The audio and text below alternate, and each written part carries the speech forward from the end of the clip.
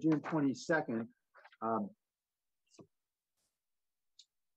and I guess it would be good, Tony, to start with roll call, just make sure we got everybody here. Yeah, Jimenez. Peralez, Here. Cohen, Here. Carrasco, Davis, Here. Esparza, Here. Arenas, Here. Foley, Here. Mahan, Here.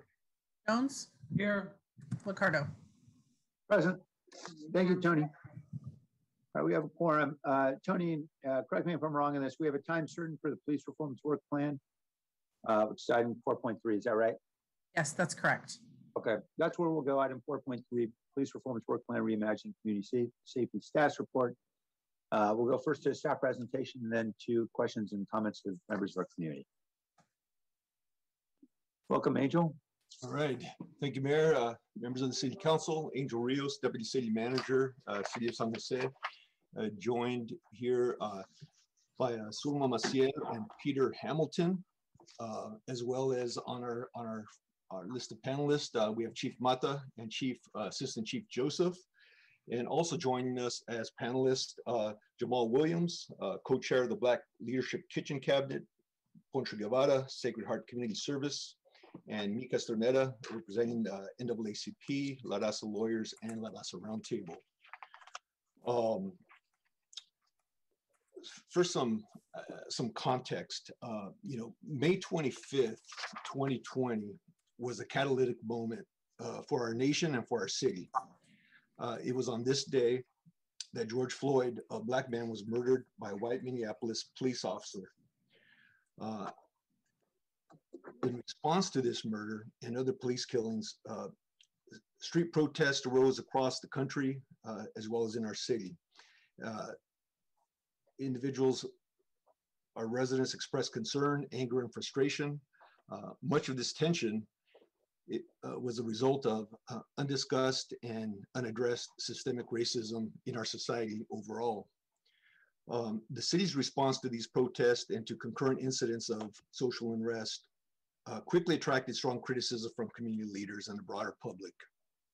The council scheduled items to hear these concerns, and on June 9th and June 16th, 2020, uh, council, uh, the council, uh, the council scheduled items to hear uh, and address these issues. Uh, at these meetings, the council heard extensive public testimony regarding concerns about specific city actions related to recent protests, as well as broader concerns about policing. After hearing this testimony and extensive council discussion, the council took action to direct the city manager, independent police auditor, and city attorney to pursue a range of proposals related to policing in San Jose. The administration collected the council direction provided to the city manager into one tracking document known as the Police Reforms Work Plan and is overseen by our Assistant City Manager, Jennifer Maguire.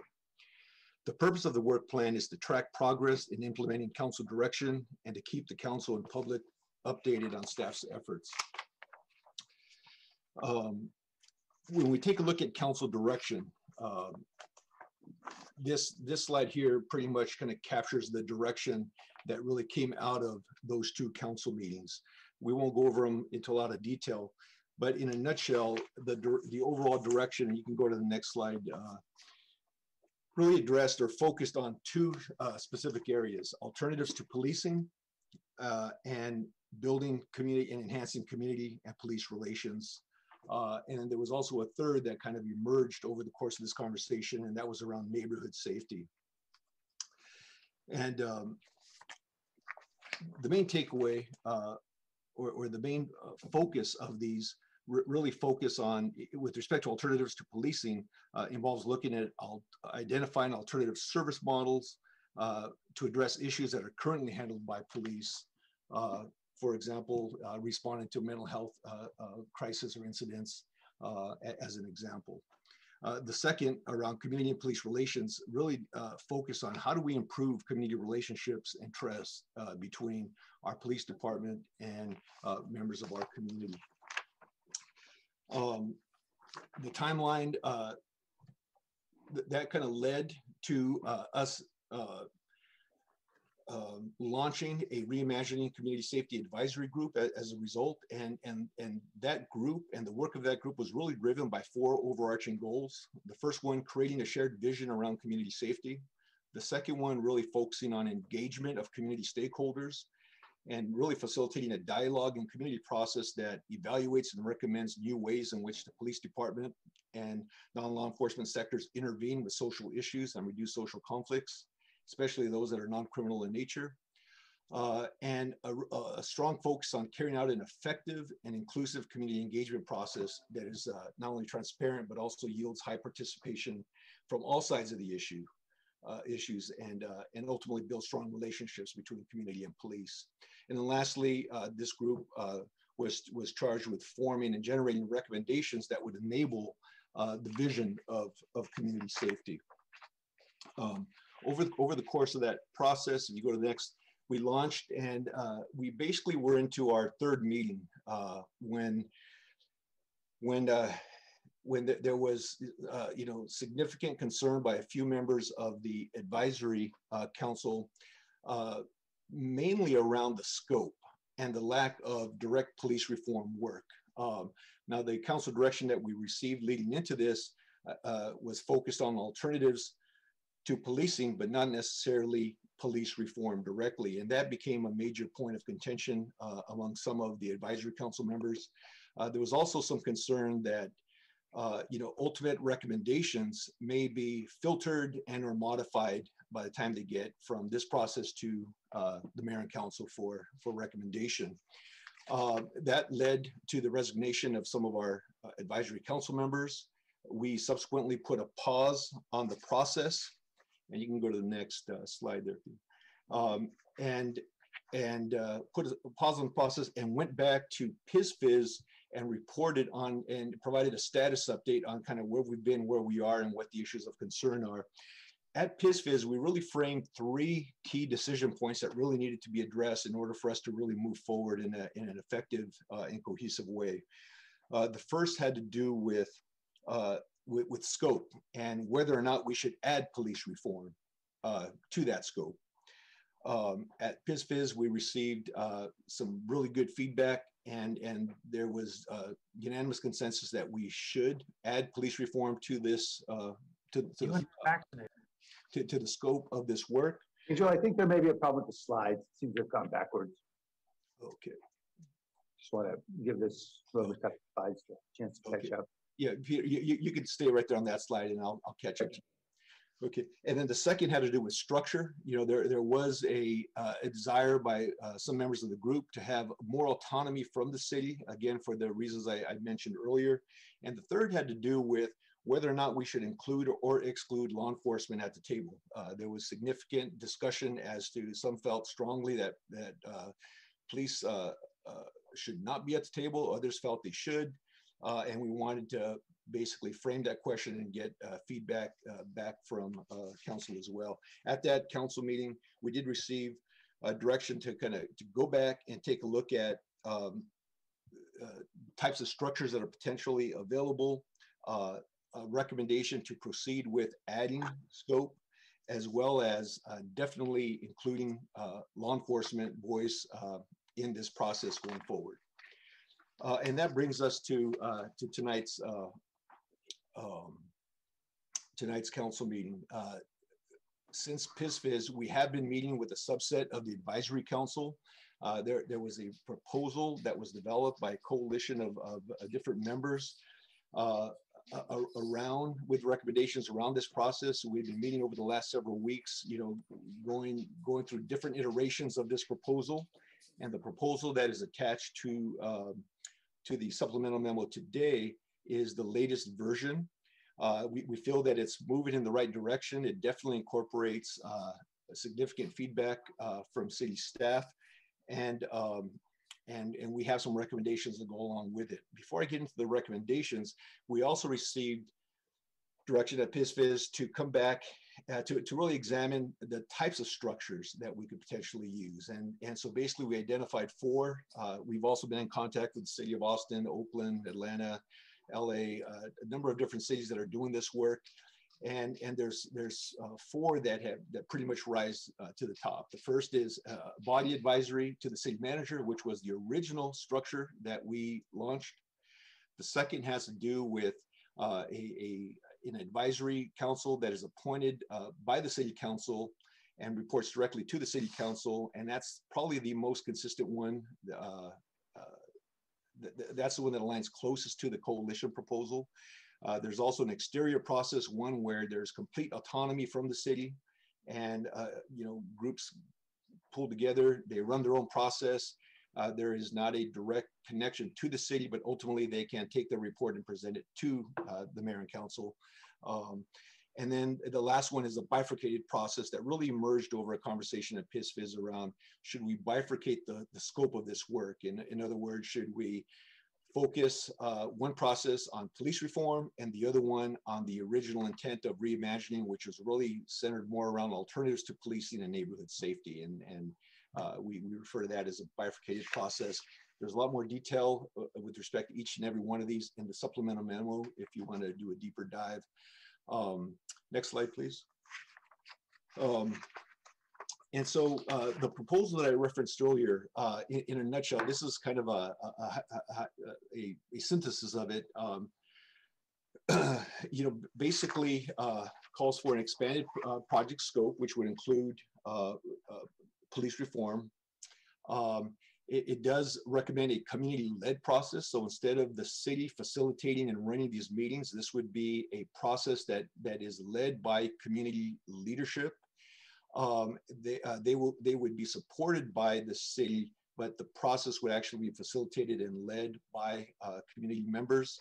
Um, they proposed the, the, the, establishment of an advisory committee composed of about 27 voting members appointed by community organizations uh, and various uh, uh, other um, uh, sectors. And um, and then it would also include eight non-voting members, and this would be representatives from largely governmental organizations that that have information to share but aren't necessarily uh, voting members on the advisory council.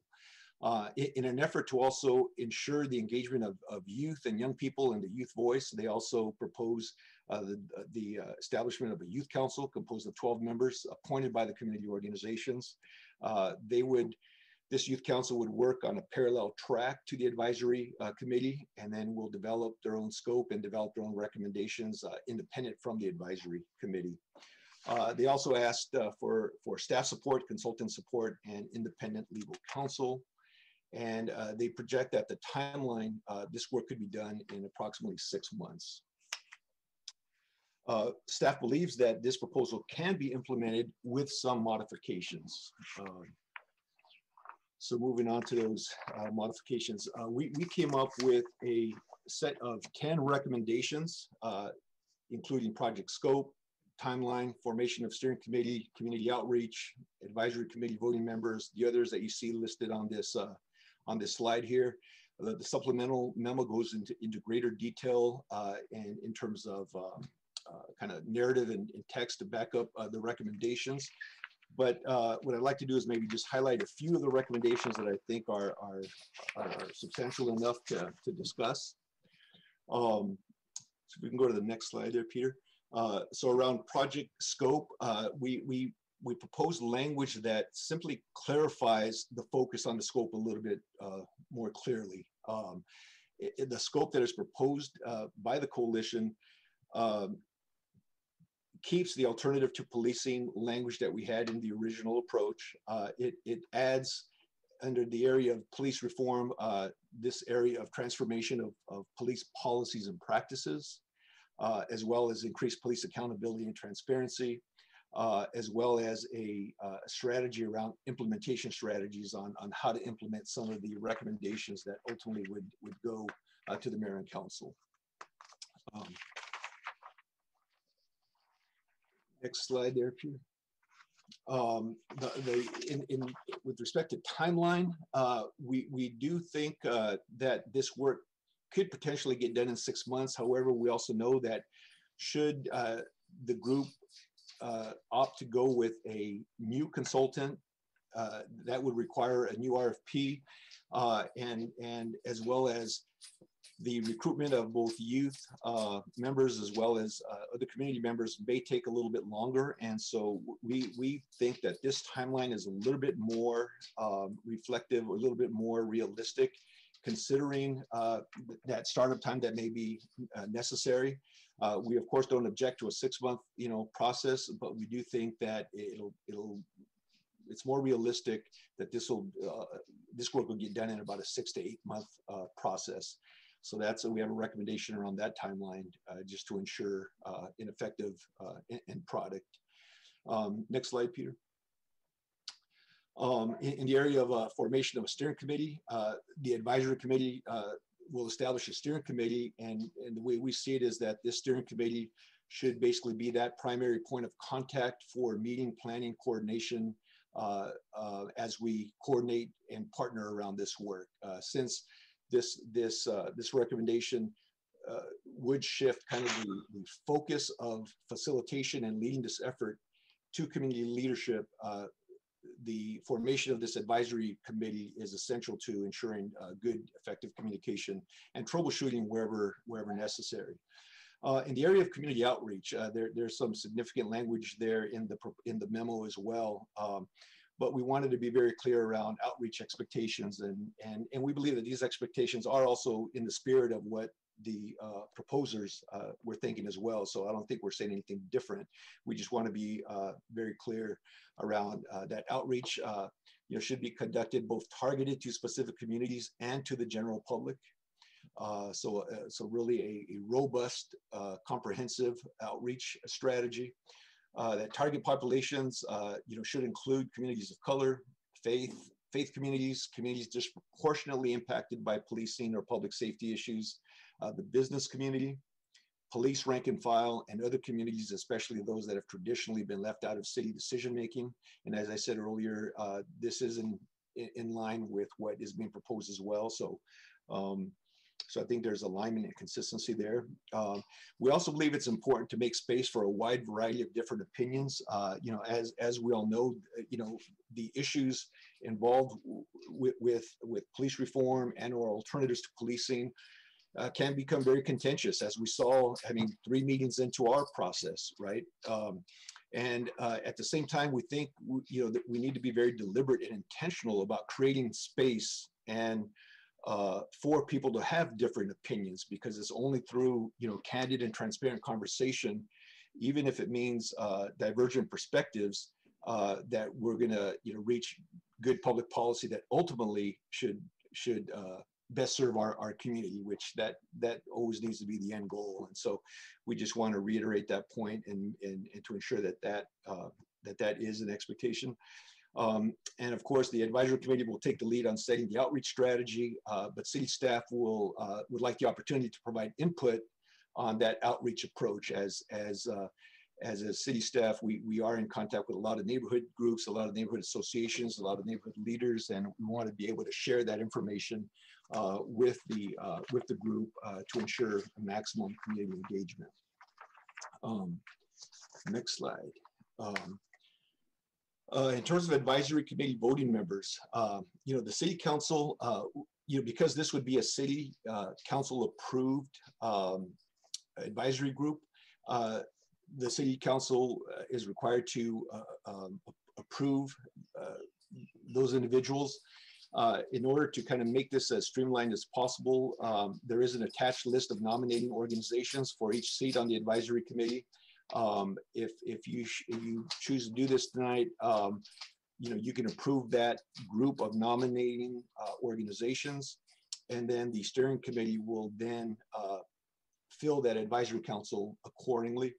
Uh, there are some, uh, additional recommendations that staff made in this area, and we are recommending the addition of six seats to the list of advisory committee seats proposed by the coalition uh, specifically around neighborhood uh, perspective and neighborhood, um, uh, the neighborhood voice. Uh, we, we also uh, uh, provided some recommended criteria around appointee, appointees needing to reside in areas designated e either by the Mayor's Gang Prevention Task Force gang hotspot list, there's about 18 of them, and or Project Hope sites. And uh, appointees should be actively involved in their neighborhoods, uh, such as through a neighborhood association or community organization or project, and, and be able to really have a good handle on neighborhood issues in their respective um, neighborhoods. Uh, and then they uh, should, of course, also be interested in advocating on behalf of their neighborhoods uh, on issues of neighborhood concern related to public safety. We really feel that uh, you know the the neighborhood voice and tapping into that neighborhood voice is going to be paramount to a successful process, and as such, that's uh, the recommendation that we have here. Um, we do uh, go uh, one step further, and we do uh, uh, you know also offer that staff. City staff will can take the lead in identifying these six representatives and pass that information on as a recommendation to the advisory council as well. So we're not only you know setting the expectation, but we're also offering our assistance in identifying uh, the appropriate neighborhood leaders. Um, next slide there. Um, in the area of staff role, uh, there is a request for, um, for staff and consultant. Um, so uh, we, we, we are uh, recommending uh, funding uh, in the amount of 100 to $125,000 to cover uh, consultant and or um, any translation and or uh, non-personnel type uh, type work that may be required. Um, staff uh, on, on, the staff side, we also would be hiring a, a part-time temporary, uh, I mean a, a temp U position to provide staff support, mainly in the area of meeting management, not so much in policy development or anything like that. It's mainly in the area of of assisting with meeting management since these meetings will be subject to Brown Act and, and the procedures uh, that all other city appointed uh, commissions and or uh, boards or groups uh, would have to abide by. In the area of consultant procurement, uh, the city will also take the lead in uh, doing that work. we, of course, would work in partnership with the advisory group and, and, and they have an opportunity to help inform any RFP should one be required, uh, as well as they can uh, sit on the, uh, the interview panels and, and assist with selection. But ultimately, uh, the procurement of a consultant will also reside in uh, the city administration side of, of this work. next slide here. Um, next steps, uh, if the city council uh, approves the staff recommendations, and, and again, I, I, just went over a few of the recommendations. There are 10 in the uh, in the memo, and, we, we'll be happy to answer any questions around those as well. But uh, if you choose to approve uh, this recommendation today, uh, then you know, we will proceed. We will proceed according to the timeline that is proposed in recommendation number two, unless there's um, any other alternative suggestions. Um, if, if you do not, uh, if you choose not to approve this recommendation, then of course we will, uh, you know, revise the project plan and kind of go back to the drawing board and, and figure out what next steps would be.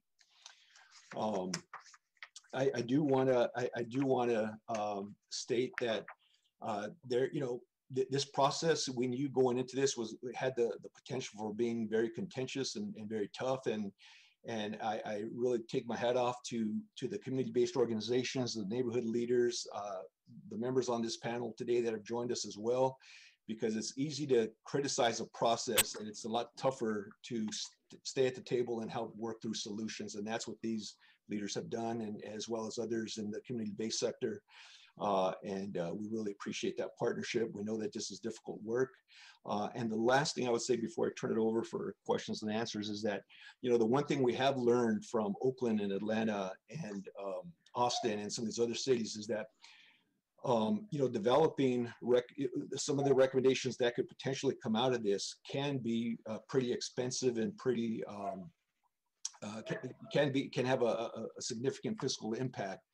Um, we, we are asking, and that's it's also in, in the body of the memo uh, around our recommendations that should there be any fiscal impact to any of the recommendations, that uh, to the extent possible, those uh, those ideas are costed out and uh, funding potential funding sources potentially identified. Because the, the one thing that we can learn from some of these other cities is that there's some great recommendations that have emerged but they've been unviable in terms of just the ability to fund. And so the more we ground the recommendations in viability and something that can truly be funded, then I think uh, th- that'll result in more effective, uh, uh, you know, results on, on the back end.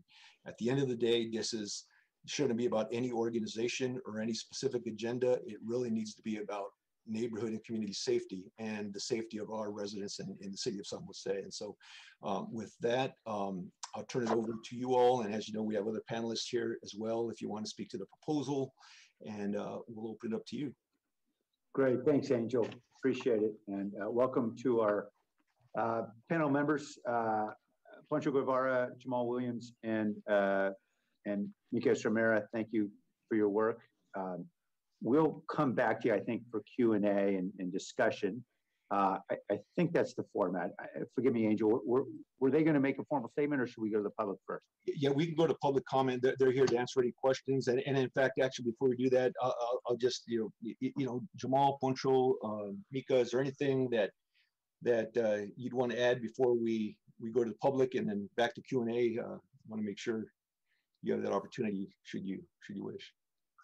Thank you, Angel, and thank you, uh, Mayor Liccardo. I think um, I think what we just wanted to add to this, we're here obviously to answer questions, but to be able to give you a sense like there is a tremendous amount of energy and enthusiasm. Over 70 organizations, uh, you know, not only have endorsed this proposal, but we've had dozens actually working on developing the framework around this. And, and rather than this just being a city process that you're developing for us to engage community input, this is about folks rolling up their sleeves, getting involved, and making sure that we're able to move this process forward. We're a year removed from you know from the commitment on the part of the city council to be able to address the to be able to work on on this reimagining process. Um, we understand that it's taken some time to actually you know get some traction on this. Um, and we actually feel like the like the main recommendations that angel like brought up are really really essential for us to be able to move forward with this. Specifically it was our interpretation uh, from the council you know from the directives that came from last june um, uh, councilmember Peralez's um, you know, memo, which you saw, which you see a quote from in the uh, in the memo from May 12th, 2021, is to accept the recommendations in the memorandum, um, uh, amending recommendation six to establish not only a process to review our use of force policies, but also include a process that broadly engages our community and what the future policing should look like. So that element of expanding the scope of this process, I think is reflected in that directive that you have there. And a couple of the process innovations that we come up with is creating a youth council making sure that we have organizations that are willing to roll up their sleeves and actually do that engagement process. And um, and certainly want to be able to make sure that we're representing all these things but in, in, a group that's really tight people that are really ready to work and i think we're, we're really prepared to be able to do so. So we feel excited about the conversation tonight and look forward to answering your questions as we move forward with this. Thank you poncho. Uh, jamal or mika did you want to add anything before we go to the public no. Okay. All right. Well, thank you for being here. I know we'll engage in conversation shortly. Let's go to members of the community now. Uh, and with apologies, I know many folks just joined us. Uh, we have constrained public comment to one minute simply because uh, we've got an enormous amount of work to do here before midnight, and we want to make sure we get it all done before midnight. Uh, Nihar, welcome. For, before they begin, I just wanted to leave this um, interpretation information up for just a minute. It was up earlier. Thank you. For those of you on the council, in order to hear the interpreters, you will need to go down to the interpretation button and choose the English channel. Um, it defaults to off. So choose English to hear the interpreters. I'm going to stop sharing now and you can move on to public comment. Thank you for that announcement, Tony. Okay. Nihar, welcome. Hello, my name is Nihar Agarwal, and I'm a member of the Race, Equity, and Community Safety Committee, or REX, at Sacred Heart Community Services. We've heard from our community again and again that we need to approach community safety in a holistic way that recognizes that increasing safety does not equate to more policing. Demetrius Stanley and Daniel Tovar were both killed by plainclothes officers and were completely preventable we call on Councilmember Cohen to release a public statement regarding the killing of Demetrius Stanley, a District 4 resident. We call on the entire council to create um, advisory committee to study alternatives to policing, the impacts of current police policies, new strategies to increase police accountability, and implementation strategies to produce real change. I yield my time. Thank you, Sophia. Welcome. Um, hello, my name is Sophia and I'm a community member at the Racial Equity and Community Safety Committee with Sacred Heart. I'm also a graduate of Cristo Rey San Jose Jesuit High School and I live in District 3. I'm here to ask that the council votes yes for the Blue Ribbon Commission. I want to make clear that I don't want to go back to business as usual after last year's reckoning. I don't want to continue living in a city that refuses to house the homeless, but has no problems with tacking on a couple hundred thousand dollars to police budget every year. I don't want to live in a city, a city that I have lived in since birth, a city that I and many others have given our time and love to that doesn't love us back. A city that responds to peaceful protests with rubber bullets, tear gas, and military tactics. A city that cares more about optics and solutions. I don't want to live in a city that treats our neighbors as threats instead of as people. As I close out my comment, let me make something clear to the council. This isn't a game. This isn't something to chat casually about or roll your eyes at in public, in private. These are facts of life for so many of our community members. Um, thank you, and please vote yes on the Blue Ribbon Commission. Thank you. Brenda? Good evening. Uh, first, I want to say thank you to everyone who is part of this and volunteering your time, as I know that it takes a lot of time to do anything, and most of us don't have that. Um, I do want to say that this is much needed. Um, after experiencing um, this in my own community with David Tovar, who lived in an area where I live, and having to see the lies that they were giving to the community that there was a man with a gun running around, which this man was already deceased. They had helicopters and they were fear mongering the community for a long time till 3 a.m.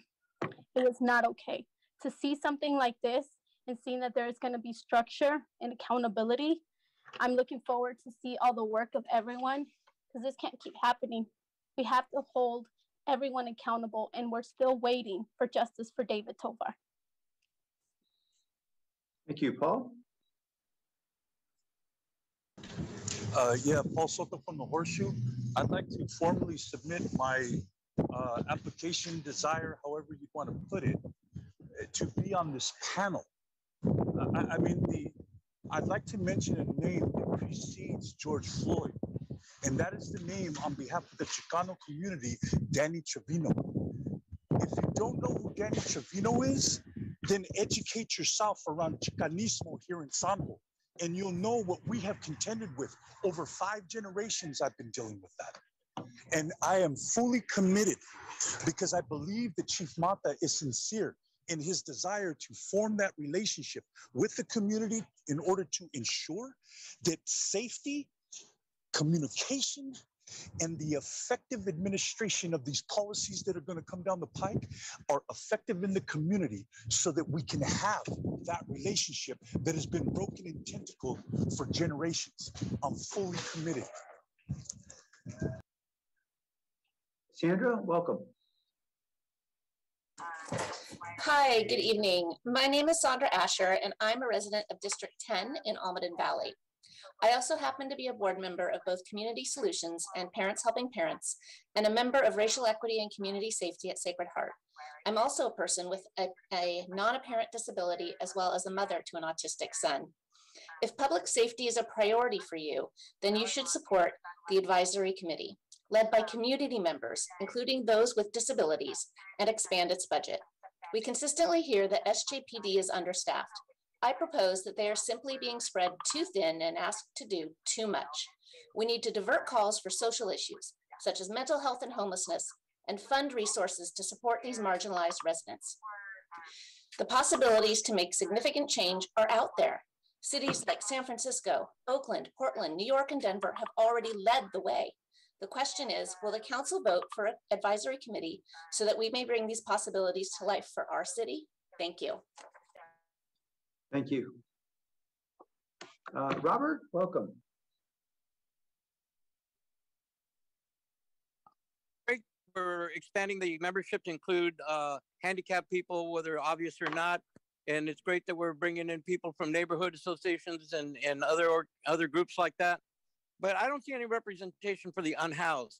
I don't see any anything in here that says that we're going to bring in unhoused people to talk about how they are being singled out and how they are uh, constantly being uh, harassed and arrested and prosecuted uh, by the police department and the system that exists here. And I think it's a real shame that uh, I have to keep coming on here and asking for representation on so many different committees, so many different, uh, you know, panels or whatever, whatever it is, to get the voice of the unhoused to be heard for more than just a minute during a council meeting. And I'm, I'm really getting tired of the of this uh, going onward and, and people not recognizing that there's a large group of people that are not being represented and we need to have that voice of an unhoused or formerly unhoused person on this committee, please. Thank you, Mr. Aguirre. We'll come back to that issue. I'm certain of it. Uh, Molly McLeod. Hello, my name is Molly McLeod. I'm a person with a disability. My son had a non-apparent disability when he was tased and beaten by San Jose police. And um, that's something to know. People with hearing loss have been shot for non-complying with police orders. This is national, and there's a current lawsuit against SJPD about that. Police will stop one in five youth with autism before they reach 21. Um, people with untreated mental health conditions are 16 times more likely to be killed by in a police incident than someone without a disability. And um, when I hear that the disability was not specifically called out in terms of representation, but it is absolutely represented. Um, serious mental illness diagnosis, this is information from Santa Clara County. 44.3%, um, that's 1,109 people with severe mental illness in the jails. The Olmstead Act, that's 22 years ago, decision to, today says people should be treated in the, in the community, receive care in the community. Thank you. Uh, Blair?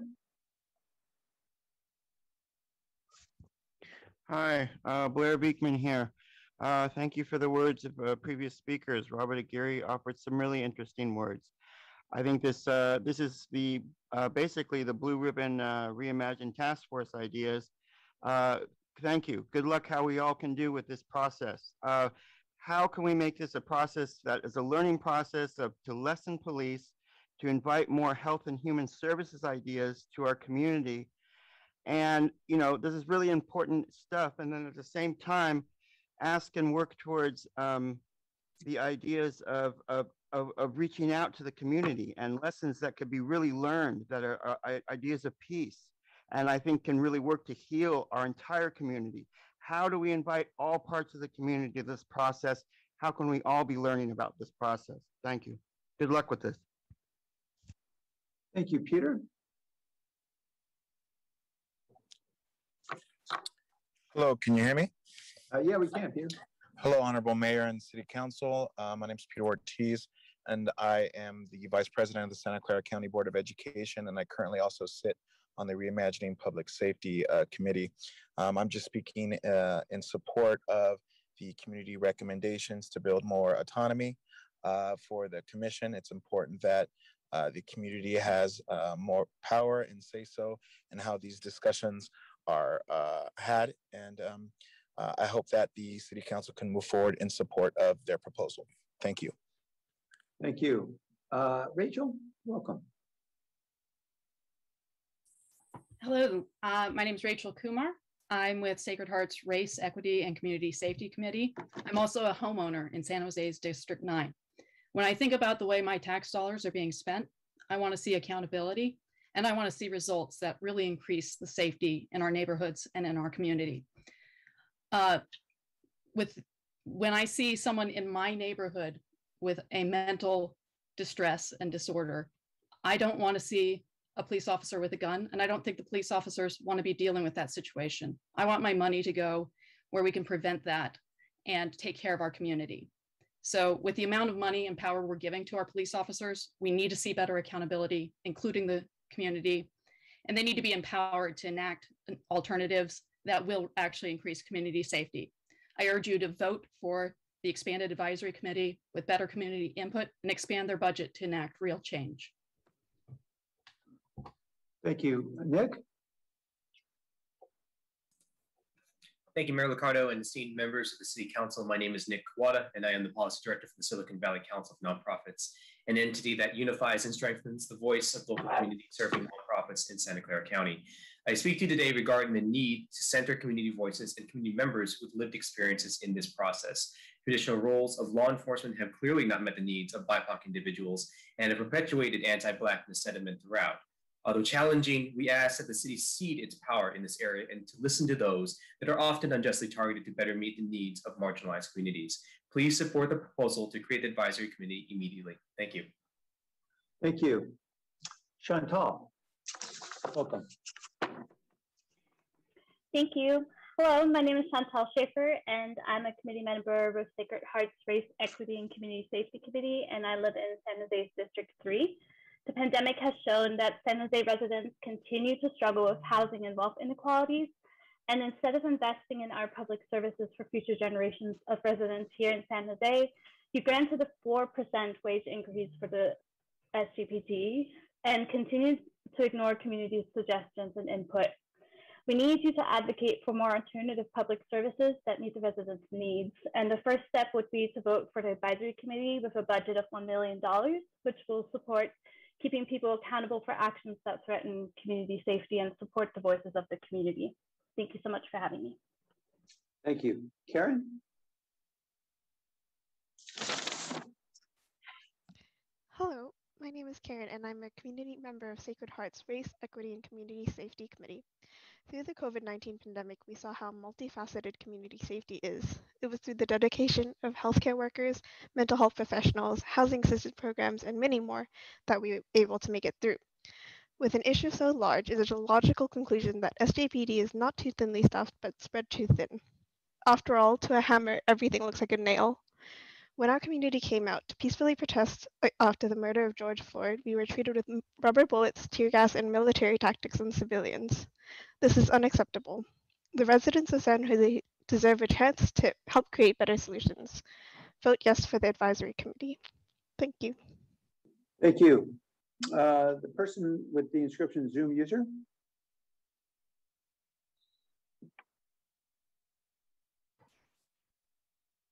Hello, can you hear me? Yeah, we can. Welcome. Okay, thank you. Hi, my name is Adriana Chavez Lopez, and I live in District 3. I'm an MFT intern and a member of San Jose Strong. Please vote yes on the Blue Ribbon Community Committee.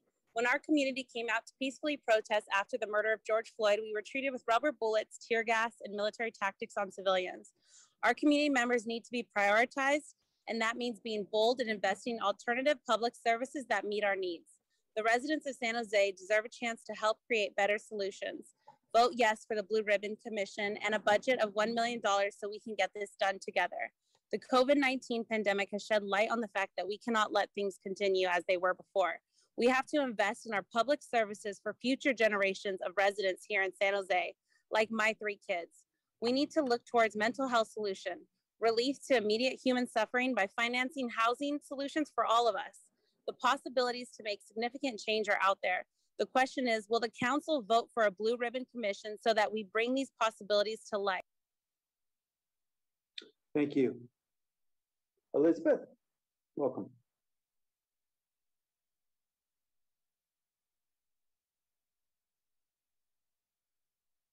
Elizabeth, your device appears to be muted. Got it. Oh, there you go. We got you. um, Elizabeth Race Equity and Community Safety Committee with Sacred Heart District 3.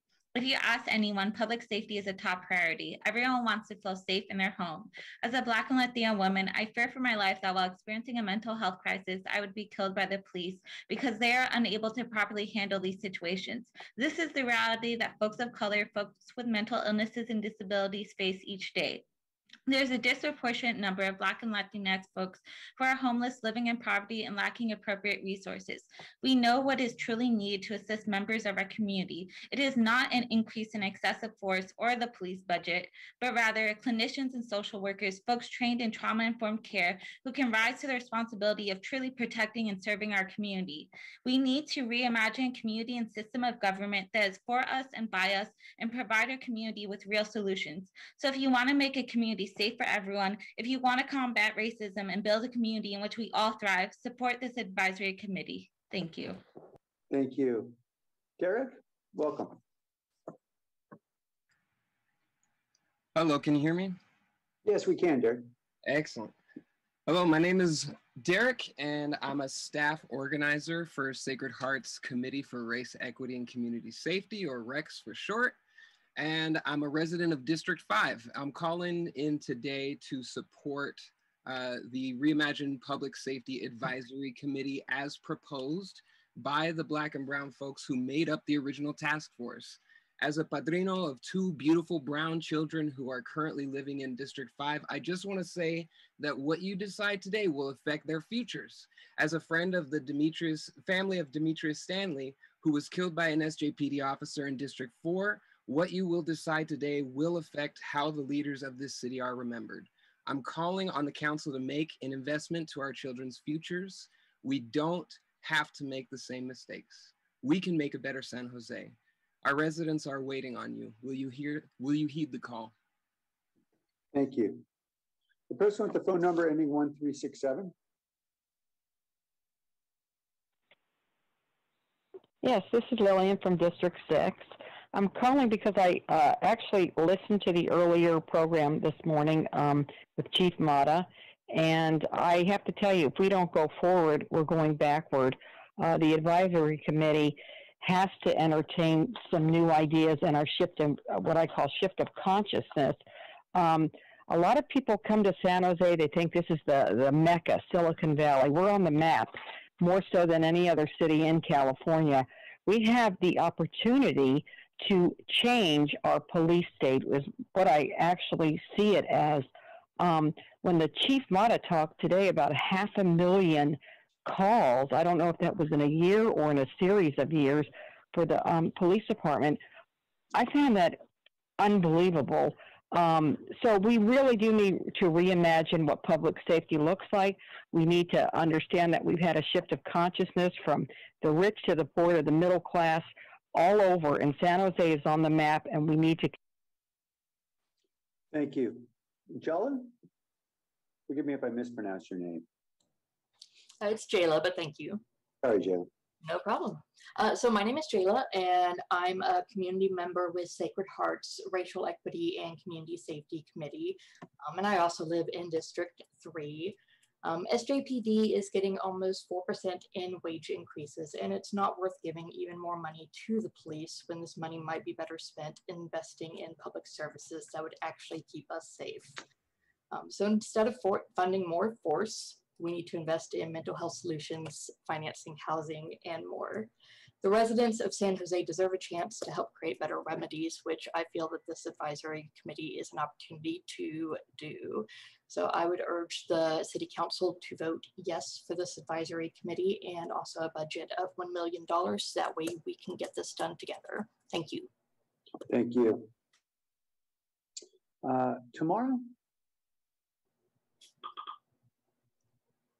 Hello, my name is Tamara Hall, and I'm a special education teacher and a resident in District 3 in San Jose. I'm also a member of the Race Equity and Community Safety Committee at Sacred Heart.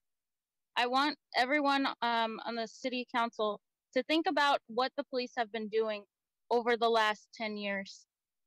And has it really been in support of the Black and Brown communities? In my experience as an Afro Latina, it, it hasn't. I cannot rely on the police. We need community oversight. It isn't affecting and helping us. And I believe that we need to reinvest our money into uh, organizations, into departments uh, that are run by the community, into um, small businesses that are supporting the community, and making sure that we're supporting the unhoused population and other vulnerable groups, like unhoused people, like students uh, with disabilities in schools, and making sure that any mental health crisis is not being seen with police officers who will then murder them, which has happened many times in the past. And we, you know, I know. uh, Marco Antonio? Hi, everyone. So I'd like to just say that with the idea with the around the corner is coming Pride Month of the anniversary of the Stonewall riots, and I just want to say that Pride Month would not be started without blood, sweat, and tears of normal people going out there and facing off against a militarized police force. So, with that being said, I think the excuse and narrative, the thinly staffed, you know, kind of BS you always give us, and everyone gives it to me, uh, seems more like an excuse, which leads to nowhere.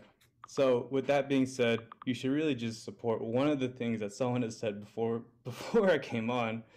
Something. Plant trees if you want to do literally anything else um, is all I'm asking. I think that's all we're really asking. So excuses always lead to nowhere, and they are monuments to nothing. Adapt, survive, guys. Come on. Uh, Melissa, welcome.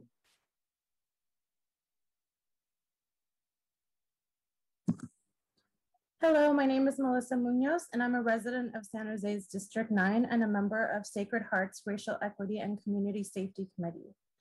Growing up in a Latinx family in San Jose, I have seen many of my family members be unfairly targeted by the police, especially the young men. I worry every day that an unfair targeting might very easily turn into a murder. We must reimagine public safety. We cannot continue to lose Black and Brown lives at the hands of the police. An advisory committee would help us push forward our vision of reimagining public safety. The time is now. In addition, because of the tremendous financial strain that the COVID-19 pandemic has caused so many of us, I cannot understand why SJPD would receive a 4% wage increase. We must prioritize investing in housing, mental health solutions, and other public services for our future, our future generations. Will the council vote for an advisory committee? Thank you. Thank you. Uh, Latoya, welcome.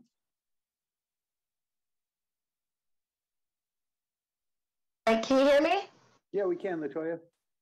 Okay, awesome. Good evening, Mayor and, and um, Council folk. Um, so I'm here uh, really encouraging you all to vote in our expanded Community Safety Advisory Board. As you can see, we have a great coalition of youth representing orgs, um, and I think this is really important because youth have not been a part of this conversation in the past. And while we do have a youth commission in our city, it doesn't actually represent all of the diverse um, communities that we have here.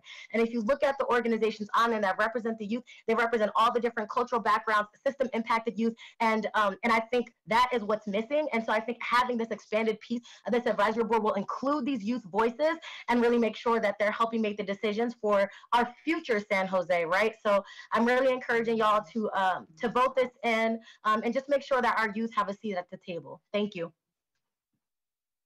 Thank you. Uh, Catherine, welcome. Uh, good, evening, good evening, Mayor Liccardo and the council and representatives of SJPD. Um, I'm a member of Sacred Hearts um, and our ableism committee and we need to include the voice of people with disabilities and people from the unhoused com community. As Robert Aguirre was saying, um, both of these groups have disparate impact in how the police treat them. And we need to do something about that. And we should be spending our money on having social workers help people who need help instead of criminalizing their behavior. Thank you very much. Thank you. William, welcome. Uh, hello, Mayor and uh, Council members. This is Will Armaline. I'm the Director of the Human Rights Institute at San Jose State University, uh, Criminal Justice Chair of the NAACP, uh, debug member, uh, uh, Sacred Heart Board member. Yeah, many hats relevant to the conversation, I suppose. Um, we at the HRI had the pleasure to, to do some work on this proposal draft we were happy to do so, and we're happy to join the 70 organizations who signed on. Uh, and and I think, as you can imagine, uh, I'm calling in to support um, uh, approval of the community uh, proposal and also appropriate funding for them to do the job that's in front of them. Uh, thank you very much, and I'll yield the rest of my time. Thanks, Bill. Um, next person is RK. Hello, my name is Rupini Kamat. I'm a community member here in support of the Blue Ribbon Commission. Uh, it's clear to the community that the SJP are not well suited to responding to public safety concerns without endangering residents or causing unacceptable loss of human life.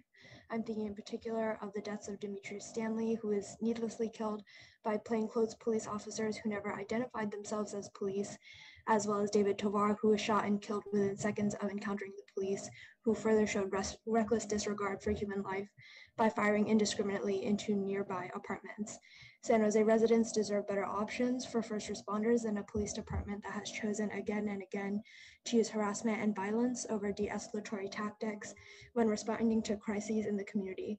Uh, please vote yes on this commission so we can work together to develop strategies of public safety that address root causes of violence instead of treating community members as threats to be eliminated. Thank you. Rachel?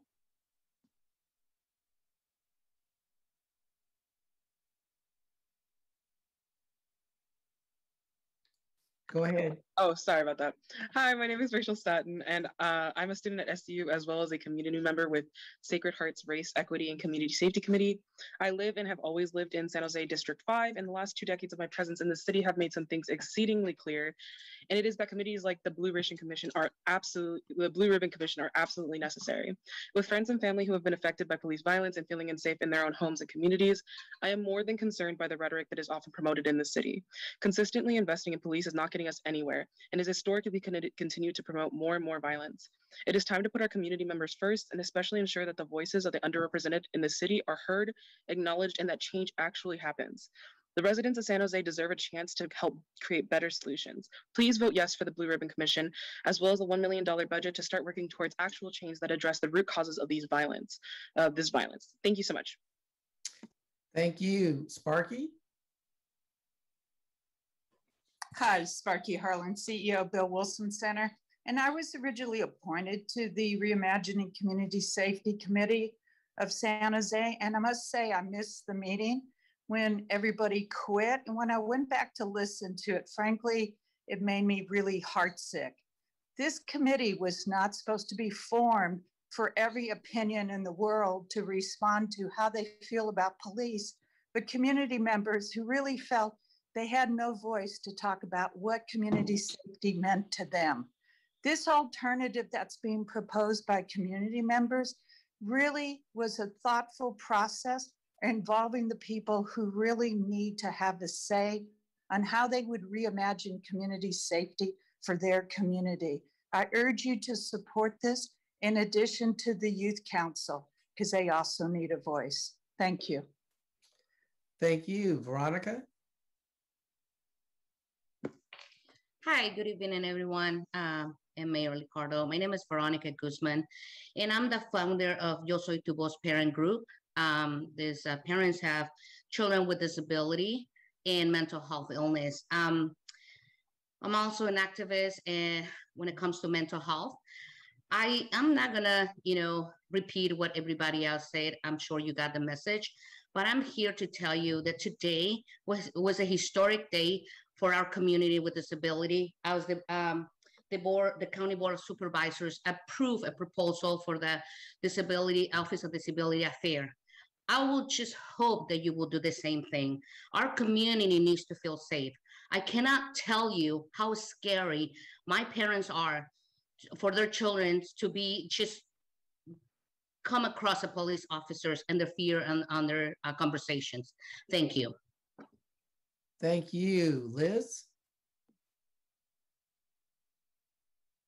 Yeah, hi, my name is Liz Finney. I am a uh, staff organizer with the Sacred Hearts Race Equity and Community Safety Committee, and I don't really have a lot more to add to what other people have said. I do think that there's a serious lack of police oversight in our community, and that we really need to take this um, new advisory committee seriously. Um, if we really want people to feel safe in their communities, which I do. I don't know if I said that I live in District 3, but living downtown, um, you see a lot of the disparities and you see a lot of these situations of unsafety for people. And so I really, really urge council to um, vote yes for this advisory committee and expand the budget so that we can actually tackle these issues in a real, meaningful, tangible way. Thank you.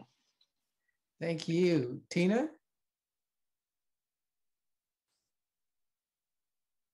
Hello, my name, uh, okay, here we go. Hello, my name is Tina, and I'm a homeowner in District 9. I'm a software engineer and a volunteer member of Sacred Hearts Rex Group. Okay, so we live in Silicon Valley. The entire world knows who we are. We are leaders, we are entrepreneurs. We house people who own multi million dollar homes. We change the world. Our city needs to do the same. Our city needs to lead. I feel we need to move forward with the Blue Ribbon Committee and reimagine public safety and be the world leaders that we are. Thank you. Thank you, Tina. And thank you, Vice Mayor.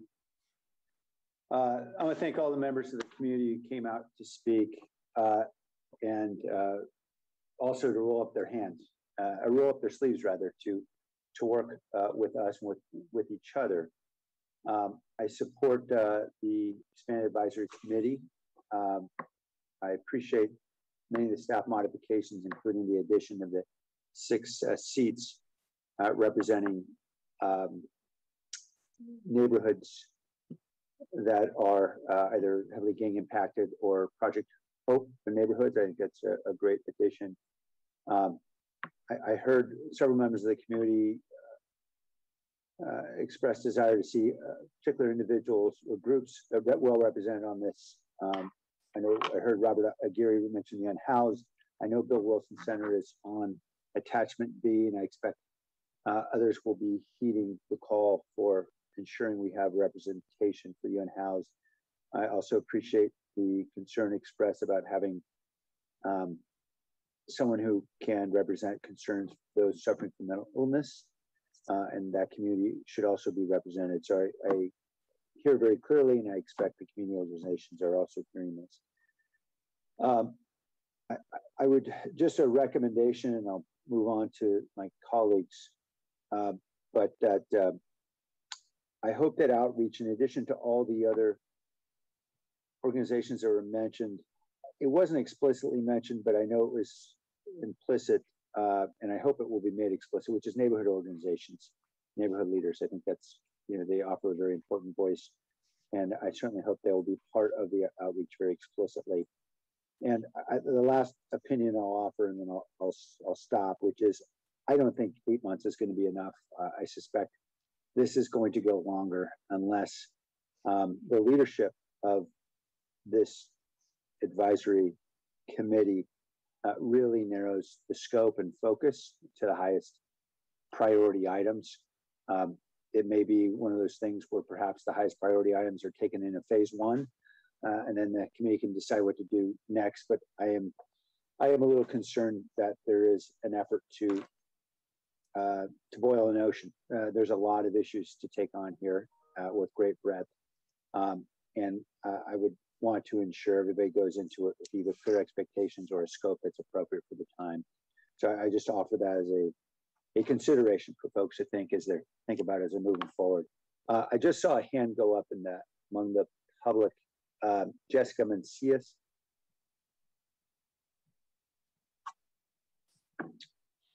Welcome, Jessica.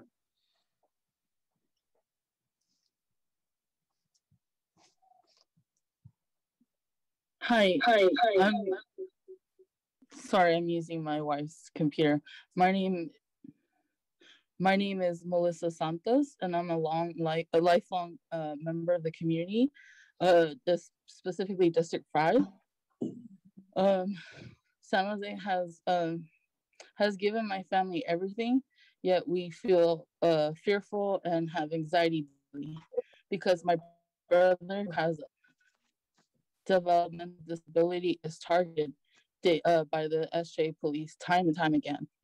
Um, we we often uh, worry we will receive a call that our that my brother is a victim of SJ police. Um, our family just really hopes that police reform happens soon rather than later. Thank you. I yield my time. Thank you. Uh, Rebecca?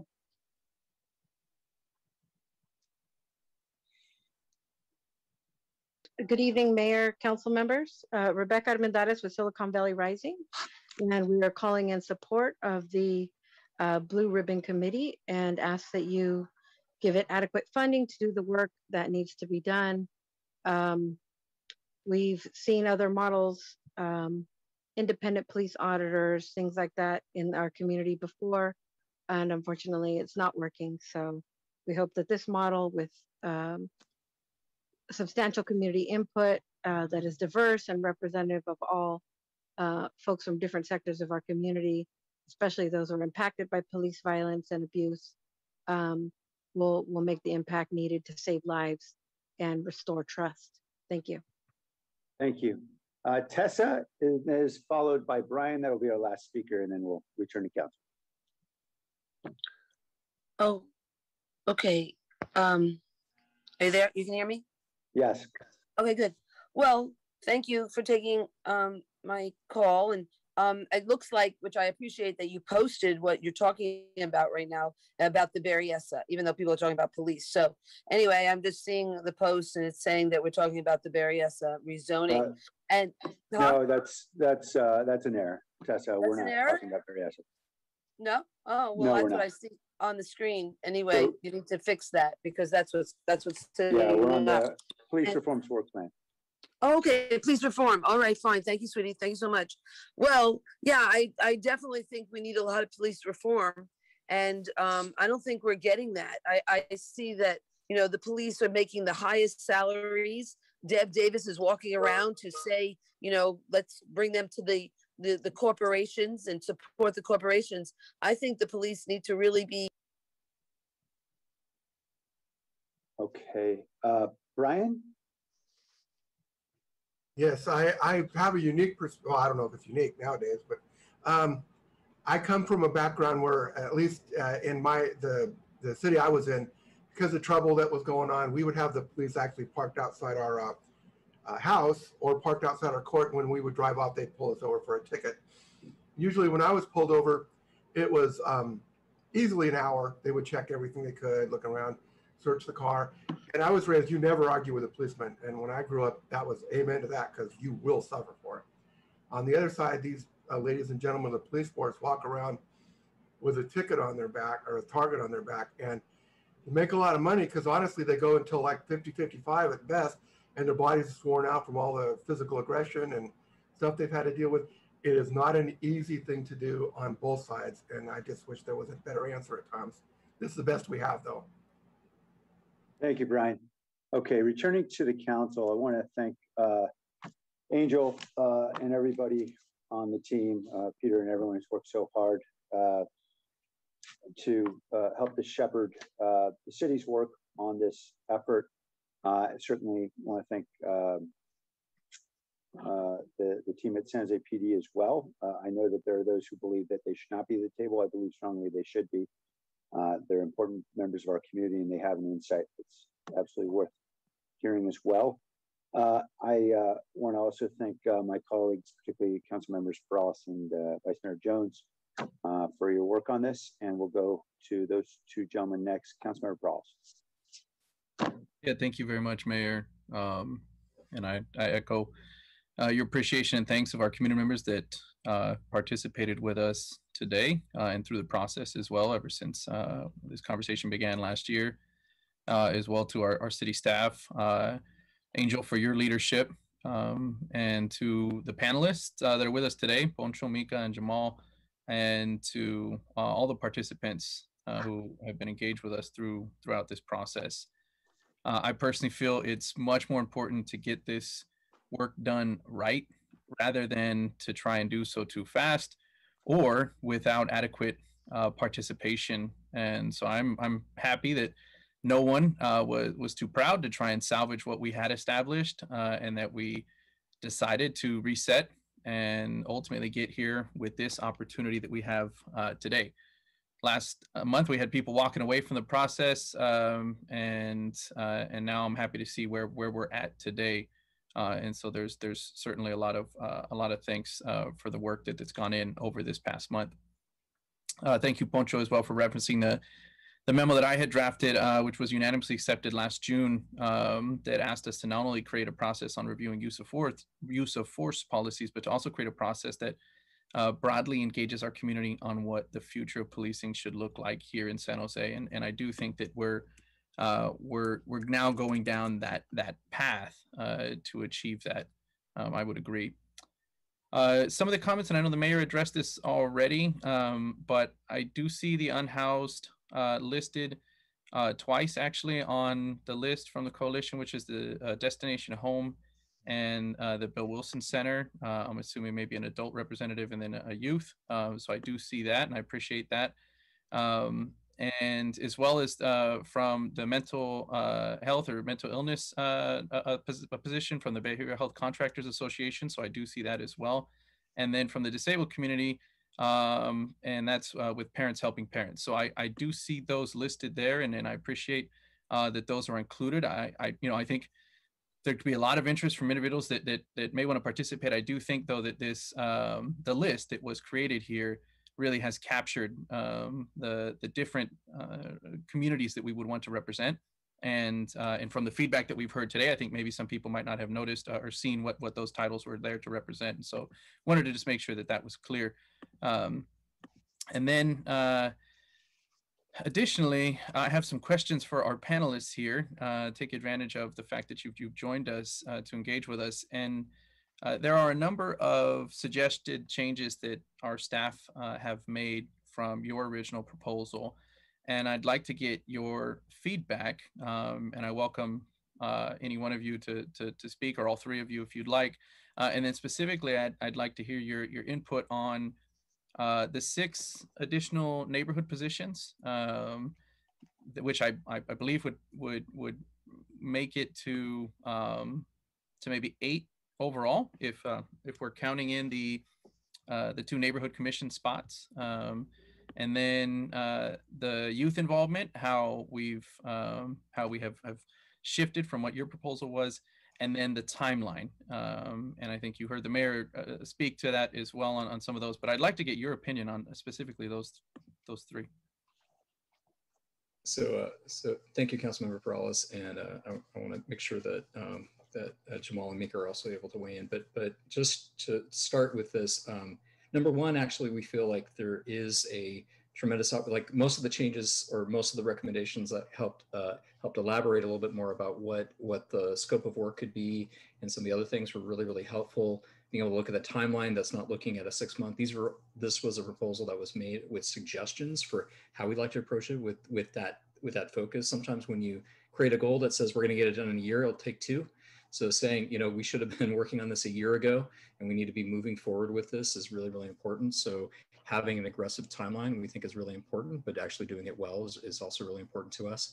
In terms of the specific uh, changes, we, when we were in, in, initial conversations around neighborhood representation, we know that our organizations are embedded in neighborhoods, are actually part of neighborhoods, and the organizations that are there and people that have lived experience working with these things are deeply, deeply connected to neighborhoods. And so any suggestion that that these neighborhoods are not represented by the by the coalition of organizations is a little bit ridiculous. But we do understand that there is neighborhood representation. Therefore, we added um, similar to what was in the advisory group process, where there are two representatives on a 44 member group. Um, there were two representatives, one from the neighborhood commission, one from a specific neighborhood association. We uh, we, we initially uh, didn't include that because we were trying to offer some things, but we said, yeah, we, we could add those.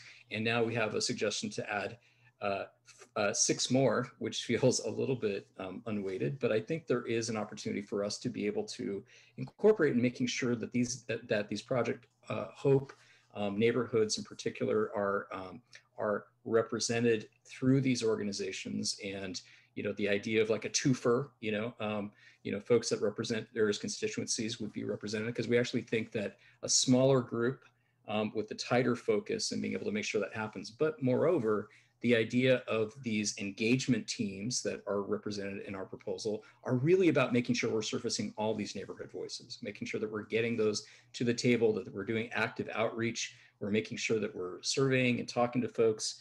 Um, and, and I think that approach applies to every one of these sub-constituencies. The folks that were identified are not here to represent that neighborhood or that or, or just that neighborhood or just that organization they're taking responsibility. They're going to have to take responsibility for developing an entire engagement strategy to reach out to these constituencies, make sure they're well represented, and that we're actually surfacing their voices. So I've been texting with, uh, you know, with Robert uh, Robert Aguirre, one of our, you know, great leaders that's been working on uh, on the unhoused, and we want to make sure that we're able to not just have someone on this on this on this advisory, you know, committee talking about and representing these issues, but but we have an entire strategy around making sure that every one of these subgroups are identified are really, really, you know, are really, really present.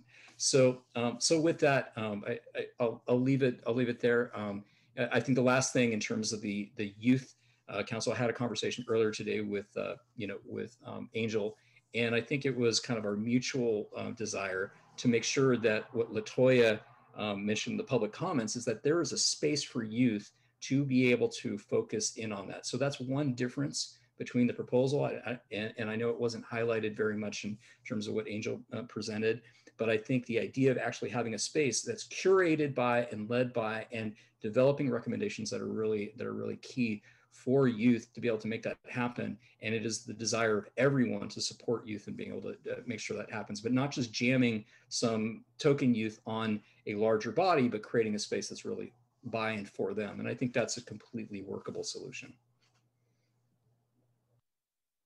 I would just like to share that um, I absolutely am in consensus with everything uh, Poncho said. Uh, sorry, my apologies. Um, how's everybody doing tonight? Thank you all for having me here. Uh, I, I want you all to look past, look slightly past just the names of the organizations and think about the, the way that the, the people who will be representing those intersections, those, those organizations intersect with neighborhoods, intersect with disability, intersect with homelessness and housing challenges.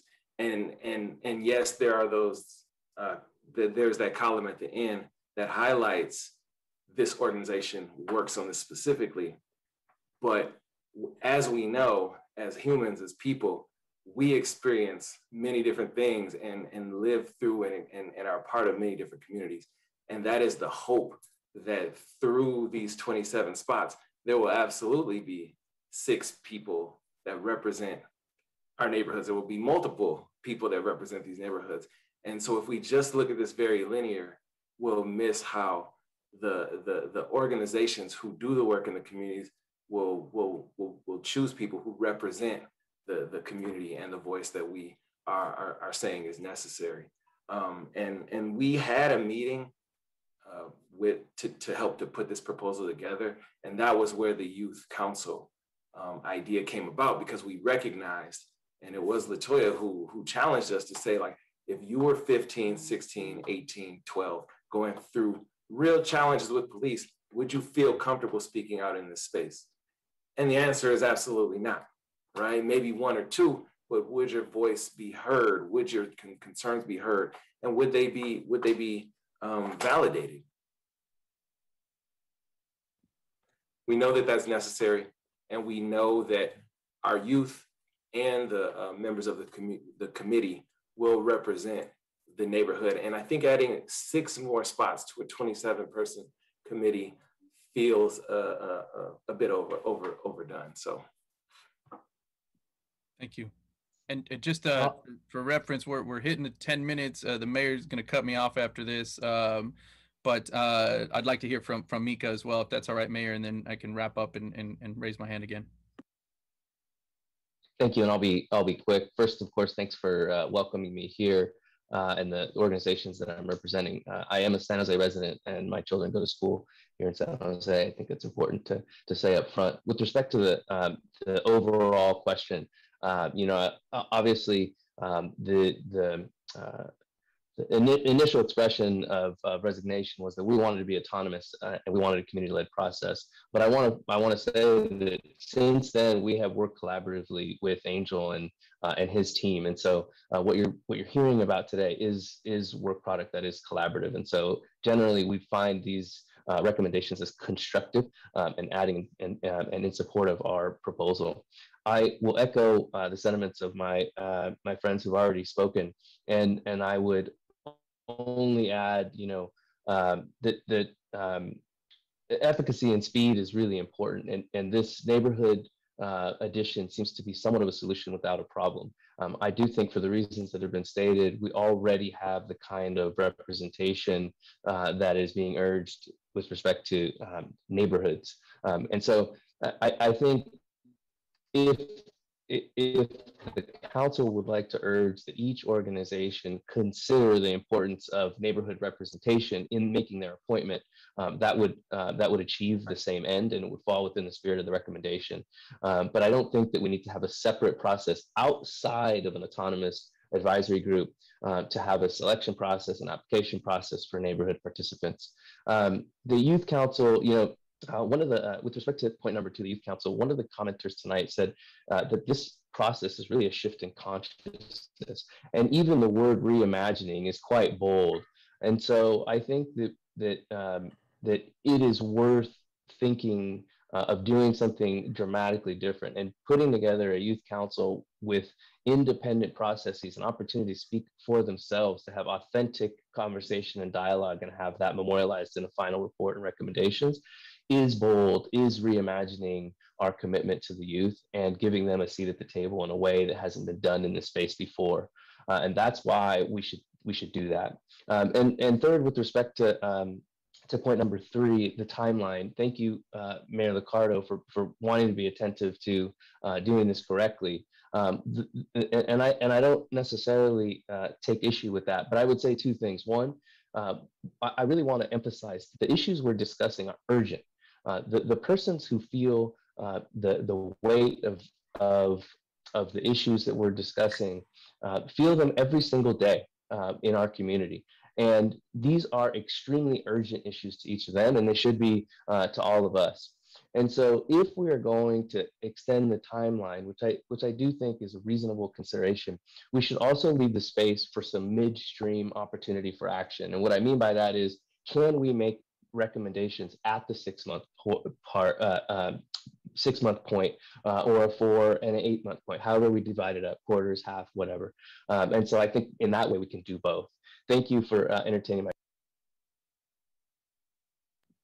Yeah, thank you very much. And uh, I'd like to summarize a, a motion, uh, Mayor, and, and, incorporate some of what, what, we've heard on, on some of the feedback here. And I would have spoken a little longer, but recognizing the time, I'll, I'll, I'll summarize that into a motion here. Um, and so uh, uh, uh, myself, uh, Vice Mayor Jones and the mayor have issued a memo. So I'd like to to incorporate that first um, and then make uh, a couple amendments to the staff uh, recommendation. Um, number one, in the neighborhood, the new neighborhood positions is six total. I would agree that we could likely get people that wear two hats. And I'd like to actually strive to do that. So I'd like to ask that out of the 27 individuals that we we identify who of their you know, could actually wear a, also a secondary hat of one of these gang hotspots, and that we add no more than two neighborhood positions that would allow uh, specifically gang hotspot areas throughout the city to be identified by staff and uh, and fill in uh, maybe areas that we can't achieve through um, through the 27 member body, and that way it, it, it could keep it still reasonable. Um, and I'm doing this just to make a motion. I understand the rest of my colleagues are going to have input, so it may change with their with their input, but I want to be able to summarize a motion. Uh, number two, within the youth involvement, I would agree. Um, the the times in my life when I had uh, what you would call negative interactions with police officers, I was under 18, um, and and the youth that that are going to be engaged are not going to, I think, be as um, as fruitful or is able to be fruitful in a body like this. Uh, I would agree with those comments that it is important that we try to find uh, a, a, better space, and that doesn't mean it has to duplicate this entire effort and and you know mimic exactly the same number of meetings. But I do think we need a, a real solid space for our youth that may be a little bit more robust than what uh, staff has proposed in their memo. So I'd like to see if we can beef beef that up a little bit, and I'll ask uh, Angel and his staff to to go back and just see how we can how we can actually add a little bit more of that youth voice uh, to, to this component. And then uh, lastly, on the timeline, um, I agree with the mayor that this is likely going to take a lot longer. But I think what we should strive for is that once we get everybody identified, let's say that we're not going to count start the clock until we sort of have the first meeting, if you will. I, I would like to see if we can hit six months after we get the first meeting going and then achieve an initial set of recommendations whatever it may be right? That way we know that we're going to get something out of it after six months. And i would agree there's probably going to be another phase of this right? And it's going to be ongoing but at least we know that we have uh, a deadline we're aiming for that's going to be uh, you know keep people moving ahead. So those are my my three additions in those areas um, and that's the motion. Thanks. Second. Thank you. There's a motion and a second. Uh, vice mayor Thank you, Mayor, and uh, thank you, Pancho, Pancho and Jamal and, and Mika, and especially Angel. Um, you got a tough job. You've um, been able to keep this process moving forward. But uh, I especially want to acknowledge the, the members who uh, had their objections, raised their objections, walked away from the process, but then came back. I, I'm a firm believer of the adage that, you know, if you're not at the table, you're on the menu. And you guys are back at the table and you're going to be able to, to make a contribution to move this process forward.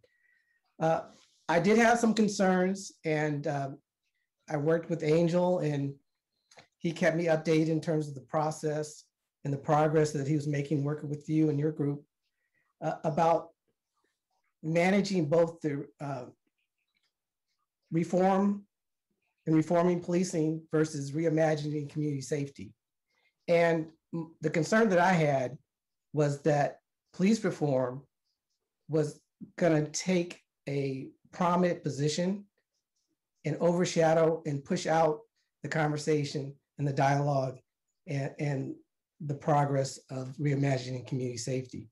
So my question to any of any of you, uh, I'll start out with Jamal. My question to you, Jamal, is what strategies do we have or do you have that you can manage both those two objectives and those those two goals even though even though i know they overlap somewhat but yeah at the end of the day they are two relatively distinct objectives how are you going to manage that process to make sure that, that they both get equal attention?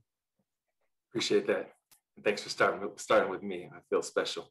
Um, you know i think we have some amazing people in our community who will be able to help facilitate this process along. We felt it was a real disservice that y'all initially took that out and y'all being whoever created that first process we were part of.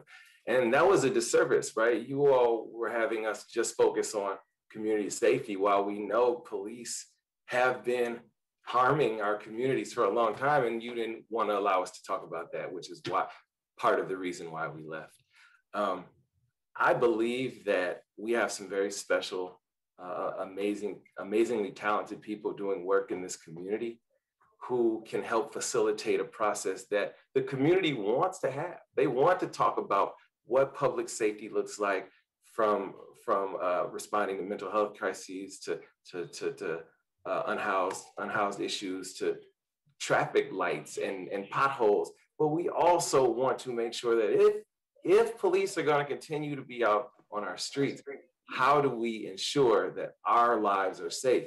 And it's not through what's been happening. And it's not through adding more police. And it's not through the same rhetoric that we continue to get. And, and, and we've already developed a, a skeleton of how we can move both processes along uh, in parallel. Uh, so we're not starting from ground zero here. We've actually been thinking about this for a long time. And so, and, and, and again, the talent and the people who do facilitation um, and, and, and, and planning for their organizations on a continual, base, continual basis are all, all represented in this, in this collective uh, proposal. And we're going to ensure that the process, uh, whenever we get those consultants, flows in that, in that same manner. So thank you again. Thank you. Mika, Poncho, I don't know if uh, want to tackle that one. I mean, I think I think the only thing I'd add is that that the steering committee is going to take a lot of responsibility for making sure that we're, we're getting these voices represented in, in, that mix. And so, I think what you're looking at is tremendous amount of expertise, you know, both from people that with lived experience that have actually been impacted by these systems, being at the table and being able to help frame the conversation and making making sure it keeps rolling, but also folks that are really that are really dedicated to try to make sure that we're able to balance things out. To the, but to your original, you know, point around being overshadowed by by these things, the, the truth is. Um, I think a lot of the energy is really looking at alternatives and making our community safer in the first place but I think um, there, there was a huge area of emphasis to make sure that we are able to balance out um, uh, being able to make sure that we're living in the world as it is, and that means we need to make reforms happen. But it will not. I, I do not believe it will overshadow. But separating them would actually be doing a disservice because they are interrelated. Being able to try to make um, some really effective work happen is, is, is something that we're all dedicated to making sure. Thanks. And the only, I'll just briefly add, you know, because because I think the backdrop of this uh, question is is uh, bifurcation, um, and and I and I think that the that the issue isn't that um, one process will overshadow another, uh, but rather that one process will enrich and nourish the other. We're talking about comprehensive services and systems, and sometimes in order to know and understand the need in one area, we've got to identify the problems and potential uh, areas for reform in another area. And in that way, it's critical that these things are done together and that there's transparency and communication during the process. Again, as I said earlier, efficacy and speed are critical. And I think thinking about this in comprehensive systemic terms uh, is the best way to go. And, and, um, and, and um, I'm confident that uh, it will be best for each pathway um, and, and, and that our community partners won't prioritize one or the, over the other. Um, and so I just wanted to add that, um, that I think the, the real answer is that uh, they will benefit each other, not. Uh, you put yourself on uh, mute, Mika. Uh, were you done? Yes. you muted yourself. Oh, okay. Um, so, so thank That's you. my signal. oh, okay. Uh, so, so thank you for the, for that feedback. Um, in the motion, uh, part of the memo is that for um, staff to come back in September, where we could do a check-in and an evaluation. I have uh, all the confidence in the world that you know it won't be an issue, but as been stated earlier, there's a lot that you have on your plate. This is a very involved and complex uh, undertaking. Uh, it's going to go well past six months. I have no doubt about that. And um, we, we should have these check-ins just to make sure that everybody is in alignment with the progress in the strategy. But I, I thank you for um, you know everything that you're doing, and I'm looking forward to a very thoughtful and actionable outcome. Thank you. Thank you. Uh, Councilmember Foley? Thank you. Uh, thank you, Angel, for the uh, presentation, and thank you for all the community members who were here who spoke on behalf of this work, encouraging us to support them, and, and I intend to. And thank you, Jamal, Poncho, and Mika for your uh, balance and expertise and for bringing this back to the table. I'm really happy to see that we are discussing this again and that we are able to bring the efforts to reimagine public safety and community safety in a different way. Um, I was a little concerned when it fell apart a couple of months ago, so I'm really glad that you you are coming back to the table and we're coming back to the table and discussing a better way to create real change within the city of San Jose. But we must do so with thoughtfulness, effectiveness, mutual respect, honesty, and integrity. Um, one, que- I, I have a couple of questions, and mostly they're around the youth voice. I, I really liked the coalition's idea about the youth council. I think it is extremely important to get our youth voices heard. So if they are not council members, and I understand the reason for that, there's a in, uh, Angel in in your memo you articulated how many meetings they would be, and frankly, uh, teenagers don't have that kind of time to devote to maybe four meetings a month to to this activity. Although they may have uh, be very passionate about contributing to an outreach or a town hall or a community meeting of some sort. So can someone maybe Jamal, Jamal or because Jamal, you seem really passionate about the vo- the youth voice. Whoever is most passionate about the youth voice, how do you see, how do you envision us reaching out, embracing, listening, encouraging input from them. Again, uh, thank you, council member. We, we really do have some, some special people already working with our youth on a continual basis. Uh, UJIMA, uh, Adult Family Services has a youth group that they meet with weekly.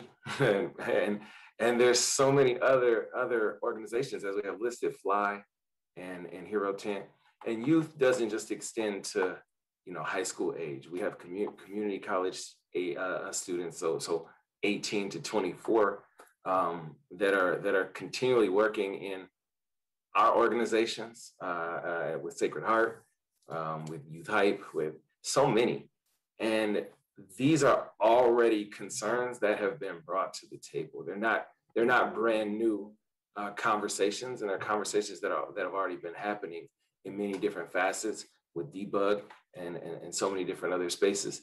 So uh, outreach will have to begin through those organizations that we that we listed, but we're confident that there are people already ready to, to commit. Now, again, as we were putting the proposal together and working with the city, um, the, the, there are there is room to tweak. You know, like we said, if, if uh, you throw out four meetings a month, that could be a lot. We could switch back to two, um, uh, or or maybe there are four meetings and you know the expectations people people come to two.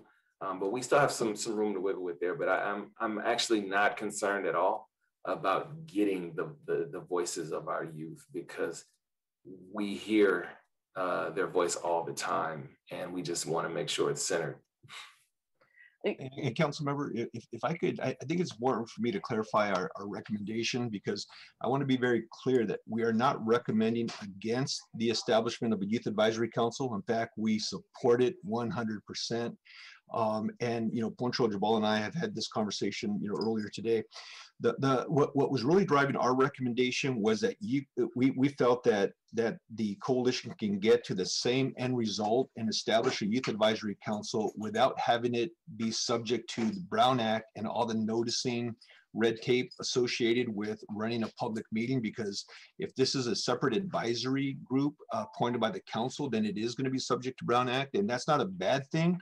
However, uh, what we know about youth is that if, say, they wanted to have an impromptu meeting, and there's an say there's an issue that that, that happens tonight, and they want to meet tomorrow, the last thing they want to hear is, oh, you got to post, eh, you know, you got to, you know, get minutes, you got to.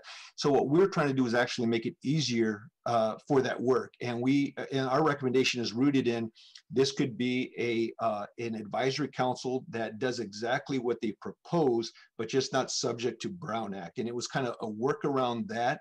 But uh, as as Poncho and Jamal and I discussed earlier, you know, if if if the preference is to go that route and still abide by, you know, uh, and, and again, I'm not suggesting that we should always be circumventing Brown Act by any means, but I do know, you know, just knowing how the youth commission has operated that was really the premise behind why we established youth advisory councils with the youth commission so that youth had that latitude to meet whenever they wanted to on their terms and so that's really the spirit behind it. So I, I, I, do feel I need to clarify that because by no means is anybody on city staff uh, recommending against the establishment of youth advisory council. We we support it. If they want to meet 20 times, I say let them meet 20 times, but we're just trying to make it easier for them and cut red tape.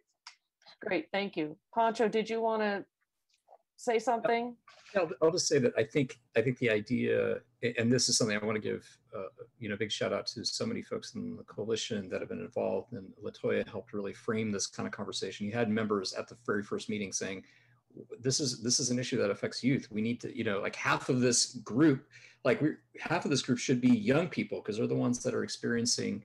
you know a lot of a lot of these difficult situations as as uh, councilmember Peralez like mentioned um, but instead of saying like, let's jam some people into some spots, there needs to be a group that that's self-governed and and let's not sell young people short in terms of what they can what, what they can do and how they can measure up to it. There are so many young people that have incredible leadership skills. Uh, we have folks, you know, involved in the, the uh, Racial Equity and Community Safety Committee at Sacred Heart that are, you know, young people in high school and, you know, in college and others that are, are ready to step up. They lead meetings now. They lead it all the time let's not let's not sell people short. Uh, but I appreciate where Angel is coming from. But we think that it should be on par and be able to have its own process, be able to do it. scheduling, it's not four meetings a month, it's two meetings a month that, that were, were recommended. If they don't need two meetings, if they need to be able to do subcommittees and organize themselves or working groups or outreach teams, those are things that they could also do that aren't that aren't necessarily required. But having that process that's parallel and powerful is something that I think would be a, a tremendous message for the city to send to our young young people. I I could not agree more. As a mom of a 24 year old, it is so powerful to listen to what young people have to say when debating really key issues and and this is the most important issue that we're facing today police reform is hugely important and it's not just to faces of color but also to my white daughter is very incensed about the way George Floyd was murdered and all that evolved around that. So I listen to her when she has uh, strong opinions, which she always does.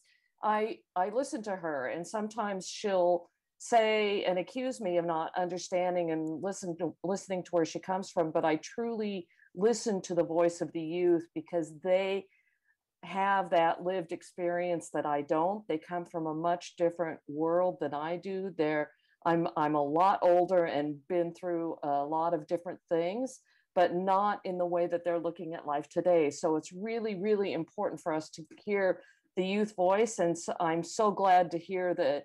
Uh, the efforts are not to marginalize them at all, but to really expand their voice and reach out to them as much as possible. So I really want to applaud you for that. That's really, really critical. I just have one other question, and it's probably a question for Angel. Um, and that is uh, several people who called in called about budget and they mentioned a million dollar price tag, but I don't see a million dollar price tag on your proposal. I, I what so what's the financial implication of the process? It just looks like a consultant and then additional staff time. Yeah, yeah. As as we've as we've been meeting with the group and and you know we we use the RFP that we put out um, for the for the initial process as kind of a barometer uh, framework. Uh, what we came up with was a budget of a hundred to one hundred and twenty-five thousand dollars for a consultant and uh, or any non-personal type uh, expenses plus the addition of a uh, of a temp U employee, a staff tech employee that um, that would be able to provide meeting support and help navigate through the Brown Act uh, and uh, Brown Act compliance and all. Um, uh, so that would be kind of the dotted line uh, in terms of support from the city. And of course, as, as I hope you're hearing today, you know, there's, you know, the, the, the conversations around really centering this work around how do we, you know, all come to the table really with the focus of, of enhancing safety in our community uh, for, for all our residents is really kind of, you know, um, is, is, is really the, the end outcome of all this. Uh, th that's what we've kind of come up with in terms of a budget proposal. Um, I've heard, uh, you know, several, you know, concerns about, you know, timeline. I'm sure that if this work gets ends up evolving to a broader scope or more scope, then you know I'm sure that's going to trigger the need for additional financial assistance. But back to Councilmember Peralez's idea, uh, you know, uh, you know, comment, you know, perhaps you know as we do these check-ins, as Vice Mayor Jones has has uh, requested, and um, you know, I think we can also check in in terms of you know how the budget is doing, uh, and then come back to you with a recommendation on that if that's uh, if that's necessary. Oh, okay, thank you. So uh, I'll, I'll just close up by saying that this is really, really important work. And while it is really important to get it right, it is important to do it quickly. I'm going to argue with my council colleagues a little bit. And that is because we cannot afford to lose one more life to violence, to a, uh, a uh, an autistic child who is unresponsive when a police officer comes their direction. We, we cannot afford that anymore. So time is of the essence. We must be thoughtful, we must be effective, but we cannot afford to lose any more lives. Thank you. Thank you. Uh, Councilmember Davis? Thank you. I want to thank Jamal and Mika and Poncho for coming this evening and for putting, bringing forward this um, proposal. I think it's given us uh, a, a lot more to talk about than, than we would have had this evening. Um, sorry, I got distracted by the cat for a second. Um, I just, I just have one, uh, and I'm very thankful to my colleagues who have been much more engaged on this issue since they're on the, the public safety committee and, and have Project Hope sites and, and um, other things in their districts.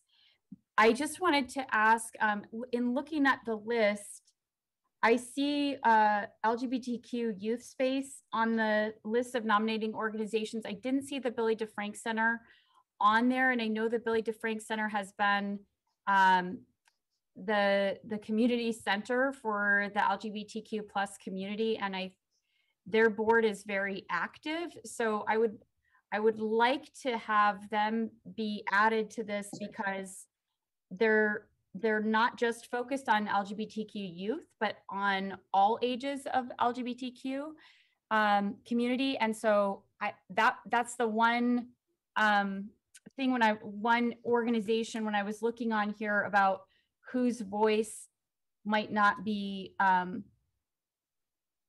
represented that I that I thought was missing. So I'd I'd like to to request that that um, group be added.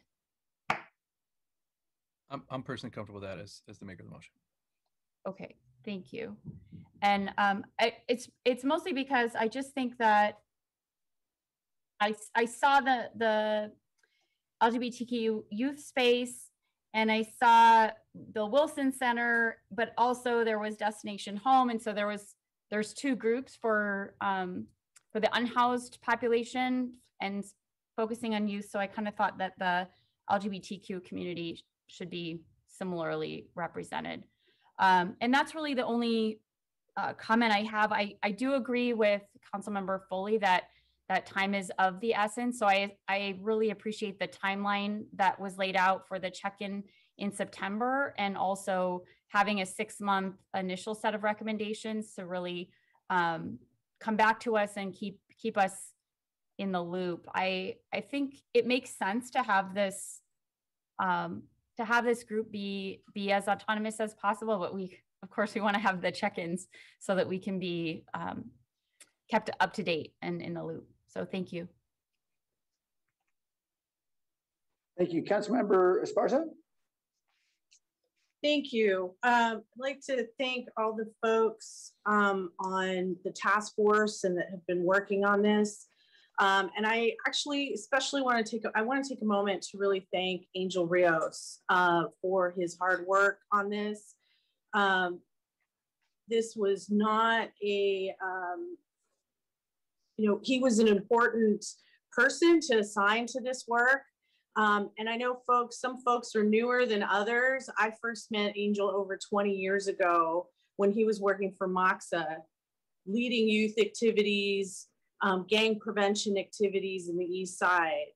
And to me, he was the perfect person to put on this because he knows full well how much our communities need investment and how much reimagining our communities need and communities like district 7 communities like district 5 um, and so i just really wanted to take a moment and thank you angel um, for your dedication um, to our community um, and so uh, I wanted to, to talk about a couple of things. And one is that uh, about the community. I uh, want to make sure that, that our community is at the center of these discussions. I actually don't think it's an inconvenience to make sure that we reach out. I think it's important that we reach out to folks, um, particularly San Jose residents. Um, uh, my office has met with folks and, and some folks don't live in San Jose, but have very strong opinions on public safety in San Jose. And they're certainly free to their, to have their opinions, but it's our residents and my residents that have to live with those consequences. And, um, and so I'd like to hear more about how we're reaching out to residents to gather their input and specifically, I'd like to know how we're reaching out to Rock Springs, Valley Palm, Seven Trees, Santee, Poco Way, Kollmar. How are we getting input from communities that aren't traditionally captured via Zoom meeting um, or uh, a meeting across town or a meeting that's held in English? How are we reaching out to incorporate their feedback um, in this process?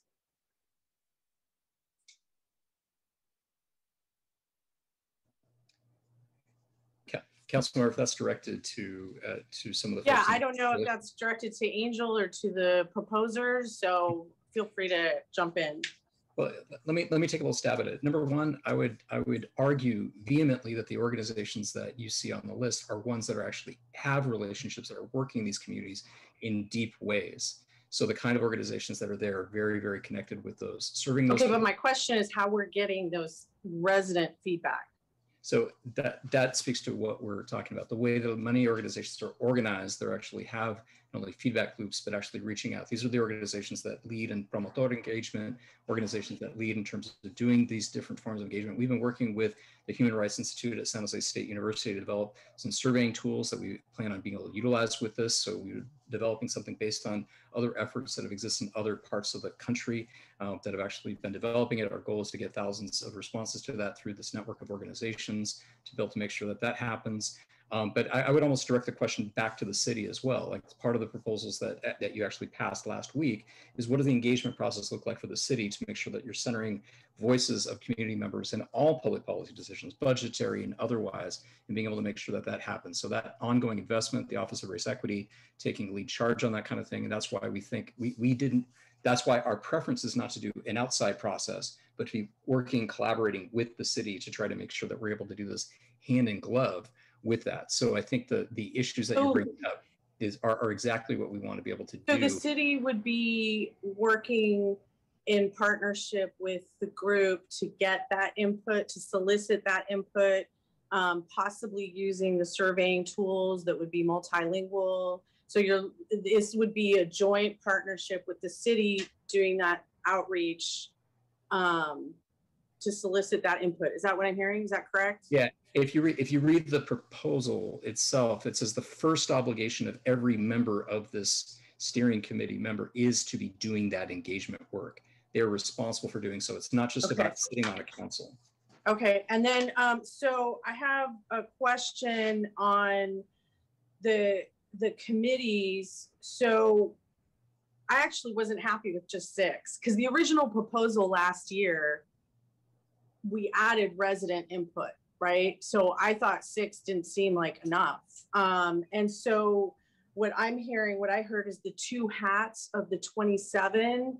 So the 27 members would be San Jose residents and we would know, like, make sure that we're capturing folks throughout the city. So would that be captured then? Um, and I'm looking at Councilmember Peralez at, at, to ensure that that's what he intended in his motion, because I heard two hats in the motion. So I just want to get some clarity on that.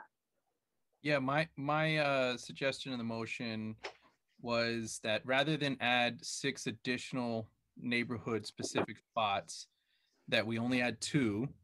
And then what we look to is in the 27, now 28, if we add Billy DeFrank, in those in those 28 spots, um, we would identify people that could actually wear, you know, multiple hats and specifically neighborhood hats. And so someone that actually, you know, can live in, you know, one of our gang hotspot neighborhoods, as well as happens to be part of one of these organizations, and that um, we identify who those are. Maybe the process would be those 28 individuals get identified first, and you see what neighborhoods of hotspots are now, you know, um, checked off the list Okay.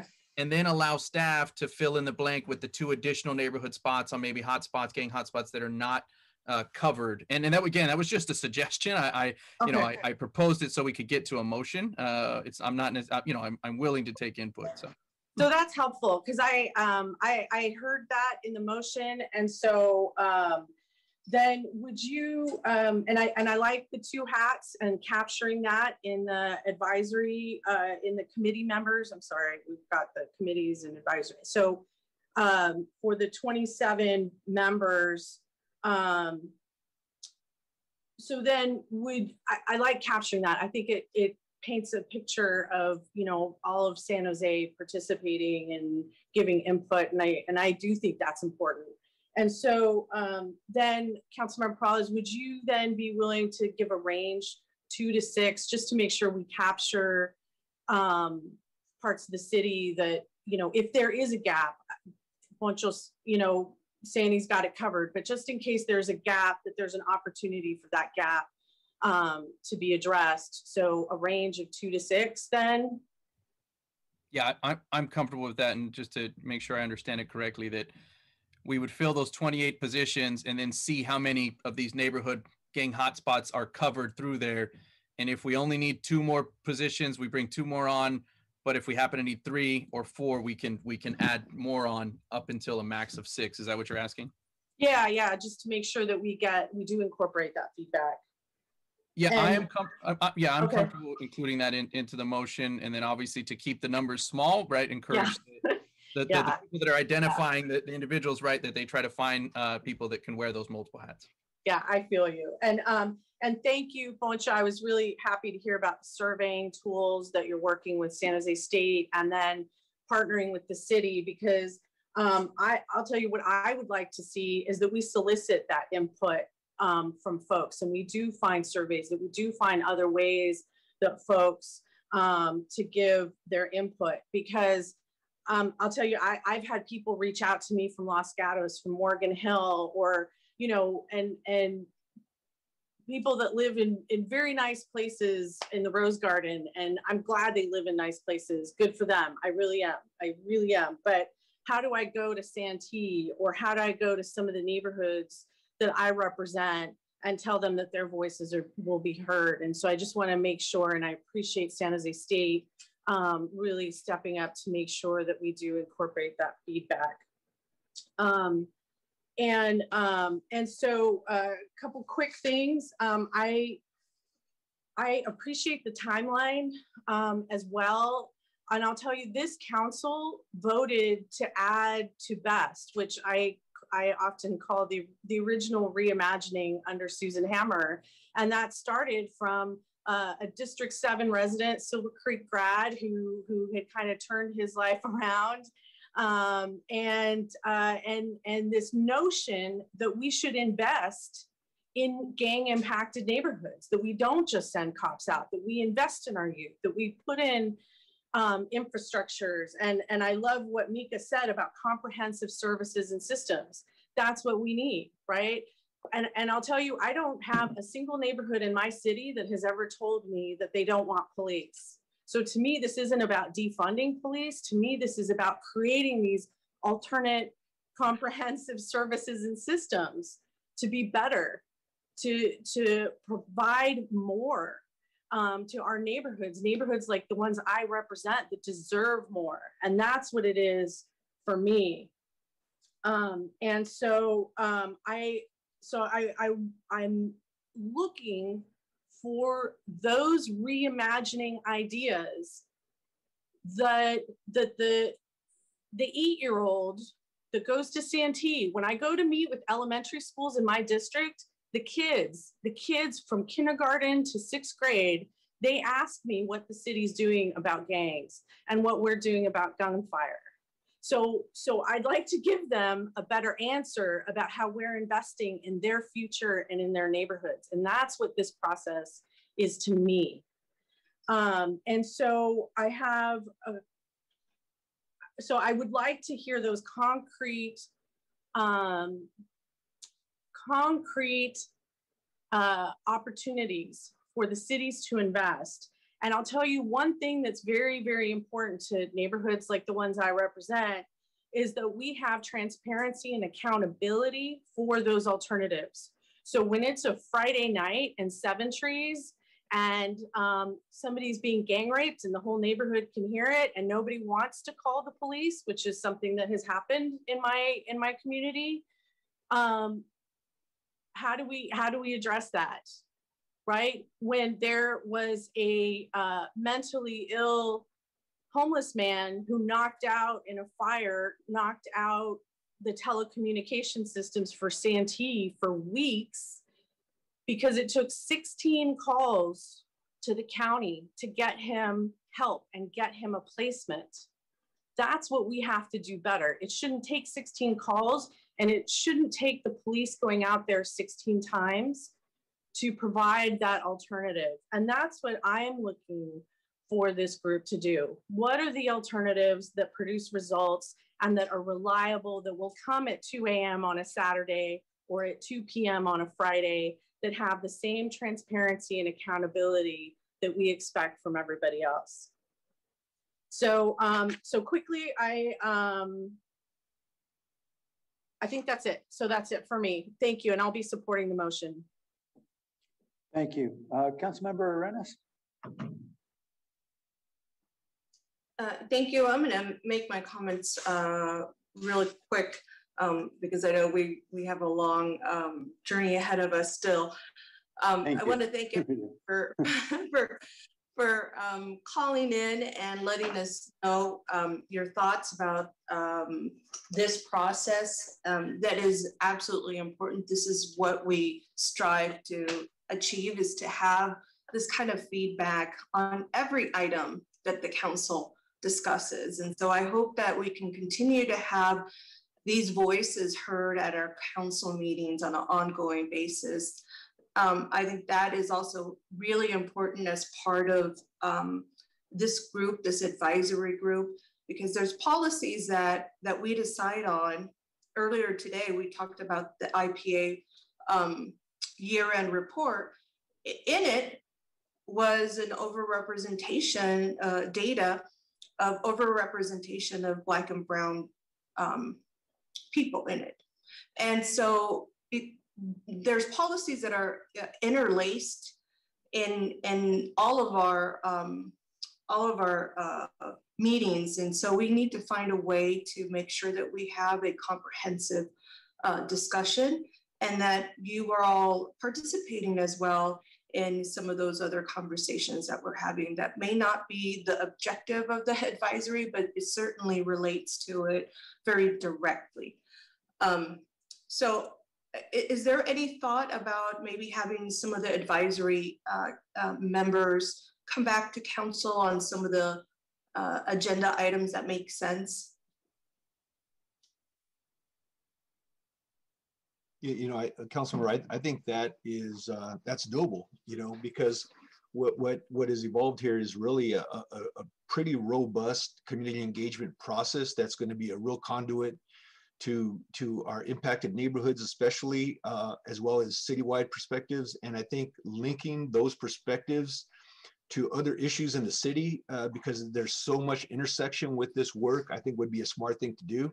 I think what we could do is is as we you know as this process gets launched stay in close coordination around the the, the framing of the issues and then sharing that information with with uh, with you all as mayor and council, as well as uh, all the, all, you know, through the city manager's office, all the department uh, heads and, and, their respective departments to really weave this work into the work that we're doing you know, this work does have a race and equity lens to it. So this is something that we'll also continue to to look through. Uh, and and yeah, we could definitely do that. For starters, um, you know, we'll use the PISFIS subcommittee uh, to do uh, report outs uh, where, where this where this group will have the opportunity to uh, report out through PISFIS and then uh, wherever necessary, cross reference to the full council. But um, yeah, I definitely think there's an opportunity here that can, that we can take advantage of. Wonderful. Um, I believe in in creating systemic change, and we can only do that by working together, um, not in parallel of one another. Um, so I appreciate that. Um, the other thing I was going to mention is that I have a district that is um, that has three country clubs on one end of it, and um, has also gang hotspots on the other end of the district, and these are perpetual hotspots. This is Meadowfair and this is Welch, um, but they're not anchored by any agency.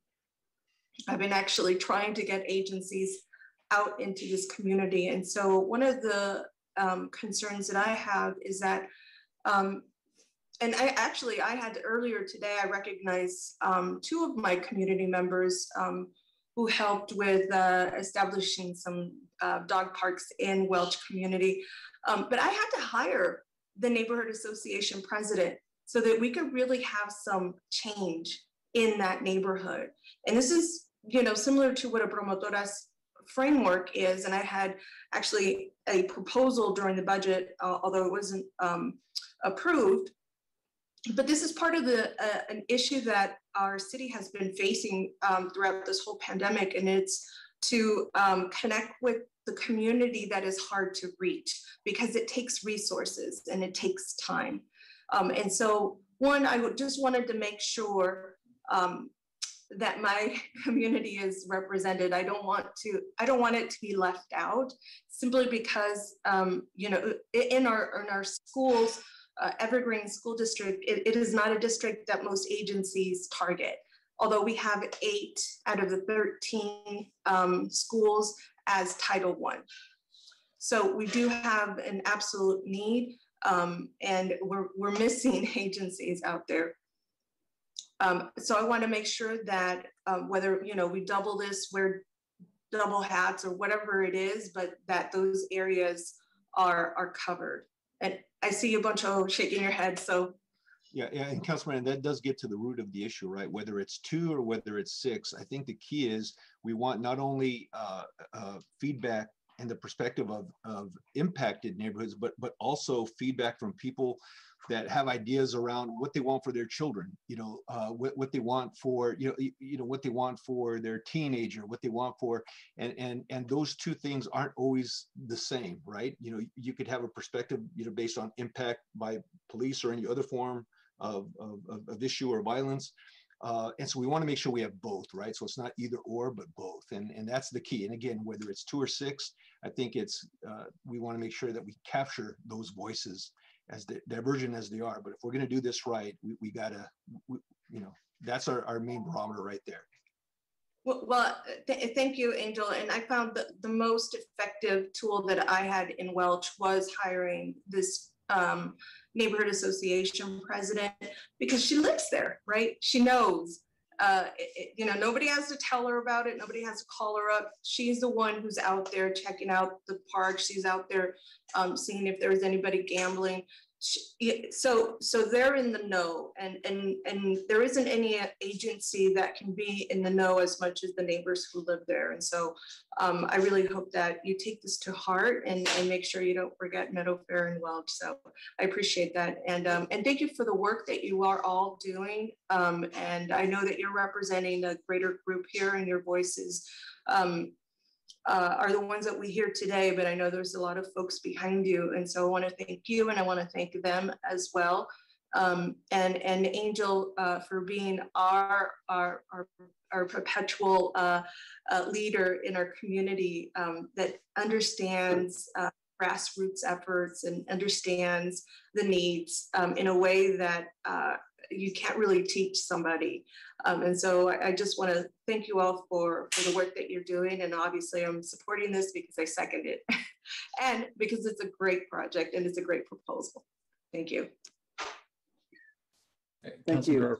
Councilmember Arenas, I just want to emphasize that that that partnership with the neighborhood associations and, and the neighborhood commission is really, really important part of this outreach architecture. So we, we look forward to being able to work with them closely on this. Poncho, I just wanted to say thank you for that uh, because, you know, I associate myself particularly with the comments that were made by Councilmember Esparza on that issue. You know, I think it is, it's one thing to say we're, we're picking community leaders who happen to live in San Jose. It's another thing to say we're working with people who actually have a sense of responsibility to the place because they're on the neighborhood association board or because they coordinate the folklorico for all the kids in that neighborhood or because you know they're running the PTA for that particular school or or they run the street volunteers. I think that that is what at least I believe is a really important perspective that is sometimes lost when we have dialogue among organizations that have strong views and perspectives. And I, I just hope that is a voice that we clearly captured. So thank you for that. Um, okay, uh, Councilmember Peralez, I know you've got your hand up. I would just ask in this second go around, uh, we've got a big item coming up next, I think you know. Yes, I'm gonna save most of my time for that item. Okay, Um, good. So just one uh, prime example, and then I'll make a, just a slight amendment to my motion. Uh, and I don't mean to dime him out, and I won't say where he lives, but I'll give an example here. Uh, my my guess would be maybe somebody like Jamal will sit uh, as as uh, a representative, say from the uh, uh, uh, Black Leadership Kitchen Cabinet, but he also happens to live between two uh, uh, historic, uh, persistent hot gang hotspots. Uh, has two young daughters uh, you know, a daughter that goes to a, a, a preschool in the area, um, frequents, you know, the, the, the parks in the neighborhood. Um, and so someone like him, right, could just naturally be wearing multiple hats. And that's kind of what I think in my mind, that's what I was envisioning, right, is that that's the kind of representation we can get um, on this body. And I, I think we can achieve that. And I think that, you know, the, the, uh, you know, the conversation here has highlighted that and, and the importance that it is to this council. And that's why I was willing to, to make the amendment to that, to the motion, right? To say two to six is, is fine with me, uh, you know, if, if we can't achieve uh, that goal with, with only the additional two. The other amendment that I'll make, because it's now been clarified, um, is in regards to the youth. Uh, my, my encouragement that we, we sort of try to make uh, the youth participation more robust.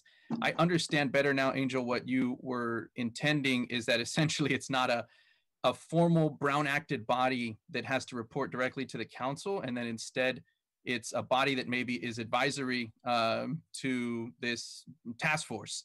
And uh, I, I actually would agree with that, that that I think would make it easier for them and then uh, easier for the task force to, to help them be successful. And so I would, I would, I'll, I'll just stick with that recommendation that, that, that, uh, that you have created.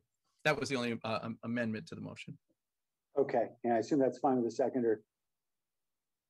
Uh, was that, who was the seconder? I think it was Councilmember Arenas. Yes. A long time ago. Okay, thank you. Councilmember Arenas, that's okay with you? And yes, I'm fine with that. Thank you. Okay, great. All right, let's vote on, uh, Mayor, Davis? Mayor, just very quickly, uh, I, I, and I'll make this very fast, but I gotta give some Please. thanks to Very Peter important. Hamilton, Suma Maciel, Sabrina Park Garcia, Lori Sabrino, and Gina Espe- and Gina Espejo, staff that have, have been helping on this collaterally, and big kudos to them, small but mighty team doing this work. So, uh, just quick, quick thank you to all of them. Thank you, Angel. Uh, Councilmember Davis?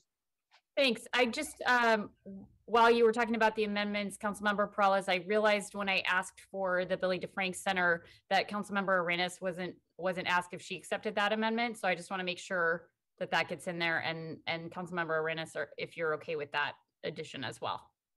Accepted. Okay, thank you. Okay, here we go. Uh, let's vote on Councilmember Peralez's motion. Jimenez, Yeah. Peralez, Yes. Cohen, Aye. Roscoe, Aye. Davis, Yes. Yes. Esparza, Yes. Yes. Arenas, Yes. Foley, Aye. Mahan, Aye. Jones, Aye. Liccardo. Aye. Thank you. Okay, thank you, everyone. Uh, and thank you, Angel, for all your work. Uh, we've got more work ahead, certainly. Uh, just, just getting to the starting line, but I think we're off to a good start here. Okay, uh, uh, we are now going to call uh, items ten point three and ten point four. The city initiated G- general plan amendment conforming rezoning for the Berryessa BART Urban Village Plan. Gonna, it's gonna be heard concurrently with item ten point four, the city initiated general plan amendment conforming rezoning for the Barbaria Urban Village. Well, wait a minute. I just read the same thing twice. Okay, uh, 10.3, 10.4 are being heard concurrently. I'll say that. All right. Uh, moving on, we do have a presentation from staff, and I want to remind everybody it's 8:43, uh, and our Zoom turns into a pumpkin at midnight. So we're all going to focus on being succinct. Thank you. Ma- Mayor, point, point of order, uh, I believe we have to take up the issue that we had to defer from orders of the day to, to actually discuss the orders of the day before we actually get into the presentation. Is that correct, Nora? Yes. I, I assume that uh, we could take that up in the orders of the motions themselves. That, that would be counterintuitive to hear the item first before we discuss, uh, um, deferring it, Mayor. Okay. Uh, the concern I have is this, Councilmember Bras. If we take public comment on a separate motion, we're never going to hear the underlying motion. And I know very well that all the issues that are being raised on the issue of deferral are precisely the issues we consider under the underlying motion. So I think we ought to take it up as part of part and parcel of the item. And we'll consider public comment and council comment together on the entire issue of whether we defer or move forward. So I- I'd just like to ask for Nora's uh, legal opinion on, on how actually this should be taken up. um, the, all of the, if the council is going to debate anything taken up on orders of the day, it, there has to be public comment and everything. And if it is going to be substantive, um, for time purposes and in terms of, um, uh, trying to manage the meeting, it, the, uh, comments can all take place and then the motions can take place. I understand that it may be more time consuming um, if the deferral is going to happen on at least one of these issues. But um, there's a there's a lot of uh, discussion that's going to take place also. And uh, as long as it's opened up to discussion and it's not just a flat vote on on the deferral, then um, there needs to be full public discussion. So I guess I was looking for more of, rather than a gray, a gray answer on a, on a definitive, how, how that we would take up uh, a recommended, as I had recommended deferral, which was then, you know, pointed to the fact that, that because uh, the mayor objected, we had to hear that now with the item. Again, I believe it's counterintuitive to say, let's hear the item first and then discuss a deferral. So I'm just looking for your legal, what legally, is there a, is a, a, a time when we have to take up one or the other? A council member, if the, if the matter was taken up in orders of the day, and if there was discussion, it would have had to be a complete open discussion, including discussion on members of the, members of the public. If there isn't a debate uh, by the council on the deferral and there's strictly a vote, then the debate isn't, then, then you can, if it doesn't pass, you could go to the, um, to the rest of the matters if it um, uh, does pass and there's and there's no debate, then whether whether or not anything else that isn't deferred needs to be heard tonight can can be um, heard. But I, my understanding is that uh, unless the motion to defer is not going to be debated by the council and is strictly an up or down vote, um, there isn't there you need to have full comment and full discussion. Okay, that's uh that is understood. So if we were to take, if I were to carry my motion from the morning, then we could not debate it now. We would simply take an up or down vote on the deferral. Um, and or the alternative is hear the presentation, hear all public comment, Right. and then following that, take up a decision of deferral. Exactly. Okay, I think, um, you know, uh, one last question. If we were to take up right now an up or down vote on deferral, and if that were to fail and we were to hear the item, and after we hear the item and hear all the public comment, could someone make a recommendation for deferral at that point? Um, there, there could be as part of uh, taking up all the other pieces of the um, uh, recommendations, the staff recommendations and all the actions that the council would have to take on these matters. Okay, so we could get two bites at the apple. It's not the way that I wanted to do it. I would have preferred to have lobbied for why I was asking for a deferral, but uh, hopefully my colleagues read the memo. So I will make a motion uh, on an up or down vote for the deferral, asking for one, one week at, at this point. Second, and that's the motion from earlier today, right? Because we did this already. Okay, got it. All right. Uh, uh, in the interest of time, uh, I'm going to urge a vote. At this time, there's a motion on the floor. I won't be supporting the motion. Uh, we will uh, vote up or down on this item so we can then move forward to get the public comment. Tony? Perez, Yes. Morales, Yes. Cohen, Nay. Roscoe, Aye. Davis, No. Esparza, Yes. Arenas, Yes. Foley,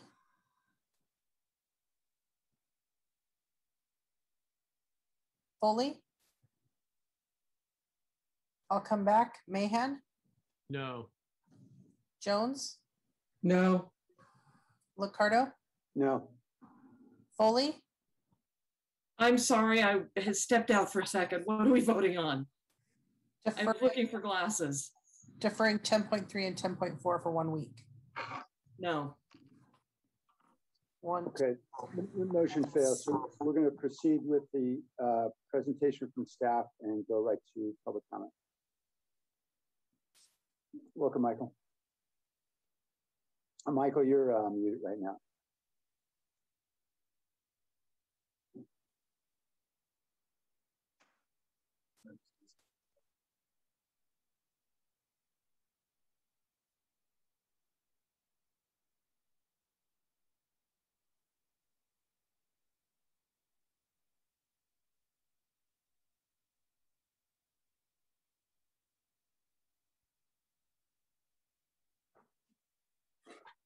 Michael, I think you're still muted.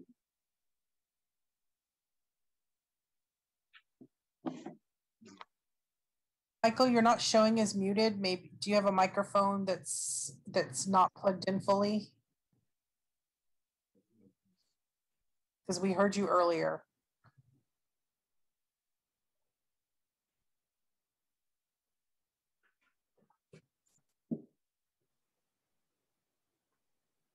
Maybe we can just give him a week. We'll come back.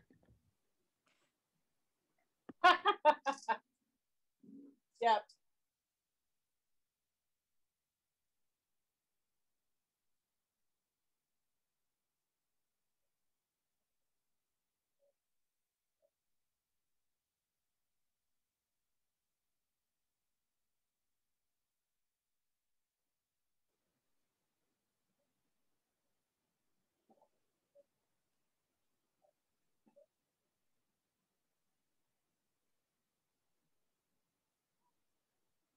Can you hear me now? And yes. Oh, awesome. Okay. All right. Woo. Can't wait till COVID is over. Let's start from the beginning. Okay, great. Okay, so here we go. So good evening, Mayor and Council. I'm Michael Brilliot, Deputy Director for Citywide Planning.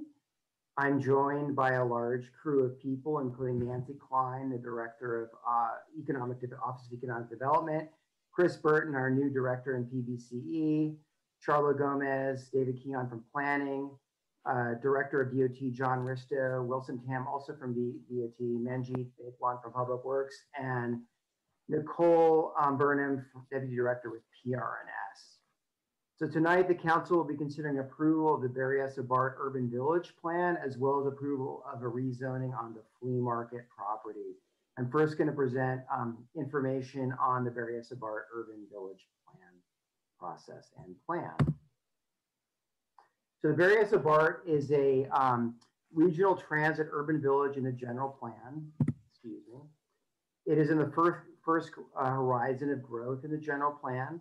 And as a regional urban transit urban village, the Berryessa BART Urban Village Plan plans for a significant amount of growth. More specifically, it plans for 4.2 million square feet of commercial and 5,100 dwelling units. The, um, the urban village surrounds the Berryessa North San Jose BART station, which in the interim is a um, end of the line station, at least until BART 2 is faded within the next, BART phase 2 is completed within the next de- decade. By the year 2030, the, this BART station is anticipated to have 25,000 new riders or just riders. Um, of course, how much or how successful we are in terms of driving uh, driving ridership to this BART station is really in part going to be contingent upon the land uses, the intensity of land uses, and the mix of land uses around this BART station. Fortunately, this village has significant opportunities for new development to support BART. Over the last three years, starting in 2018, staff have been working with the community, property owners, and VTA to develop a framework to guide the development of a successful new transit, integrated mixed use and urban neighborhood. This plan process that's occurred over the last three years has included extensive community outreach. It uh, in, included three workshops, two of which were in, in person and had 100 plus people attendee, attend at both. And the final workshop due to COVID was an, was an online webinar that was broken into three separate webinars. In addition, um, there was also uh, an online engagement uh, program where people could provide input and comments if they were not able to attend the workshops. So the urban village plan starts with a vision, and this vision really sort of um, identifies what what what the Berryessa BART urban village will look like in the year 2040 if we're successful with the implementation of, of this plan. Um, and I'll just read it really quick. An innovation district the vision is an innovation district attractive for people and business with many green spaces and recreational opportunities along the creeks. Michael, I'm sorry to interrupt, but we're going to be on really on a tough schedule. If I think everyone can read, I, I think it's important for us to to get into public comment. We've got a lot of people waiting.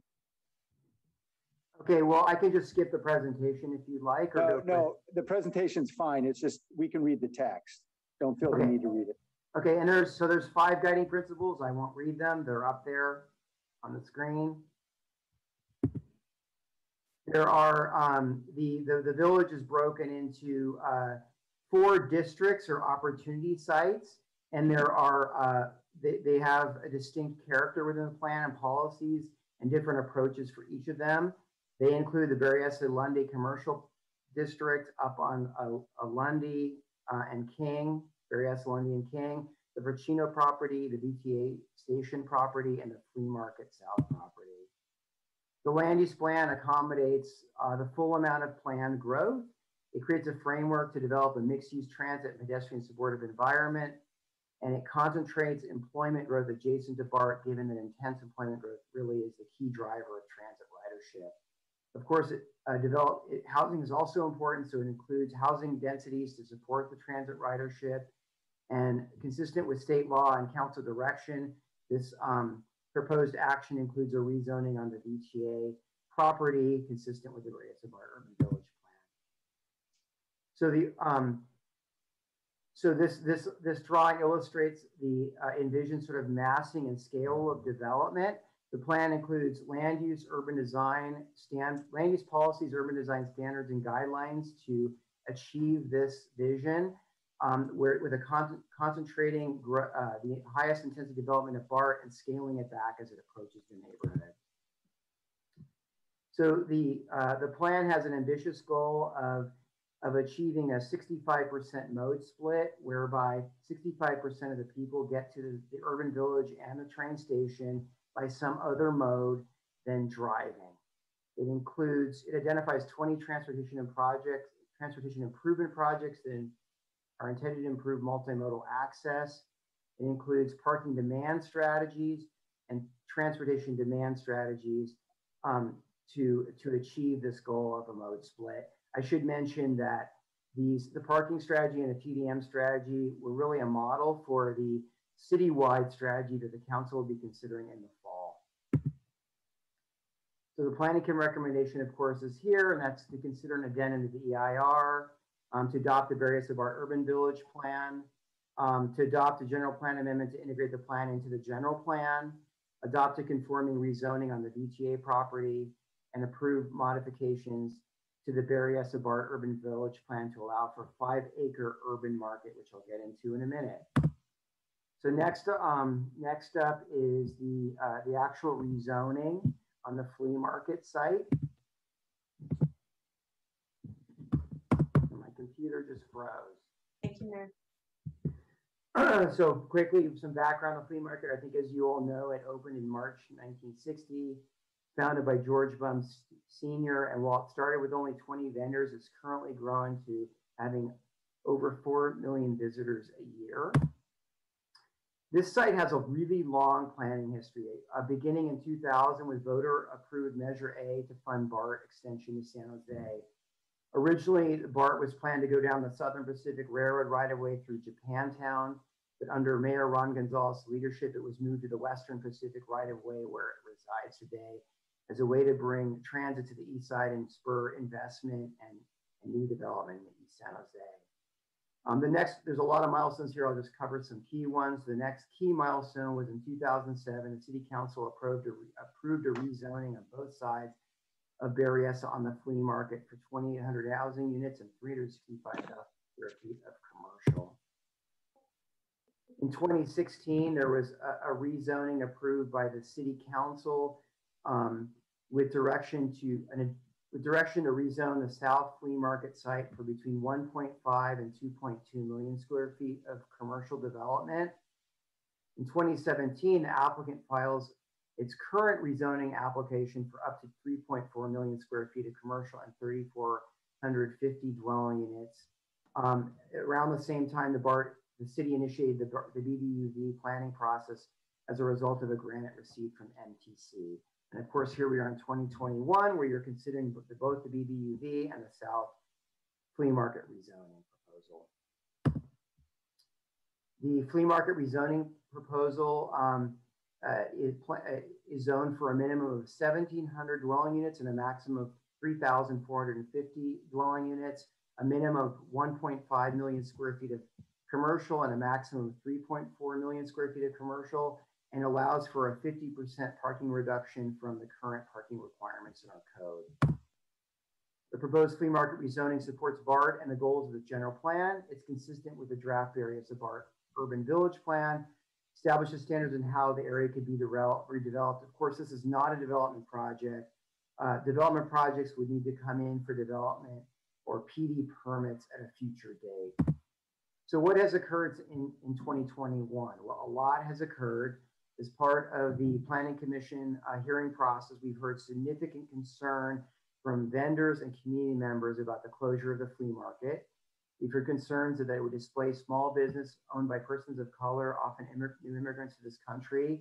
Um, it, that the flea market is a significant source of income for many business owners and their families. That the flea market provides incubator space for small businesses so they can graduate up to brick and mortar, and this could be lost.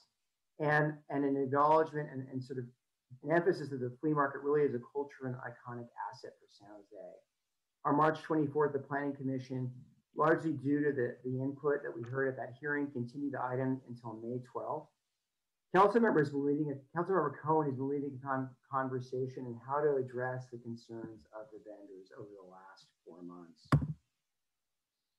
Um, between the Planning Commission in March and the Planning Commission on May 12th, the property owner proposed integrating a five acre urban market on May 12th, the Planning Commission recommended making modifications to the Berryessa BART Urban Village Plan and the zoning to allow this urban market. Um, last week on June 16th, the mayor, council members Cohen and Peralez hosted a meeting with the vendors at the flea market. Councilmember, Councilmember Carrasco also attended. The meeting was attended by over 300 persons where the council and the mayor heard concerns and the desires of the vendors. Um, conditions were discussed to support the vendors and to create an inclusionary process uh, to, to develop a new urban market. I will now turn it over to Nanci Klein, who will take it from here. Good evening, Mayor and Council. Thank you very much. In the next steps that are described in staff supplemental, as well as certain council uh, proposed actions, we would work to establish the flea market advisory group and the intent is to have a majority of the members be members of the vendor community. OED, including the work2future team, would then review small business resources with the vendor community, and the vendors themselves would identify which resources they feel would be most useful to them. Staff would then bring in representatives of those resources and decide together, vendors making the selections, what resources were made available to the vendors. This, um, the consultants that you see here, we'd scope out consultants. There's a series of consultants that have been discussed with the vendors and other members of the community. Again, the consultants would be selected by the vendor, by the vendors with support from city staff. Consultants likely to be chosen include economic consultants with urban market specialization, especially those that are familiar and operate public markets, um, and either in California or throughout the country.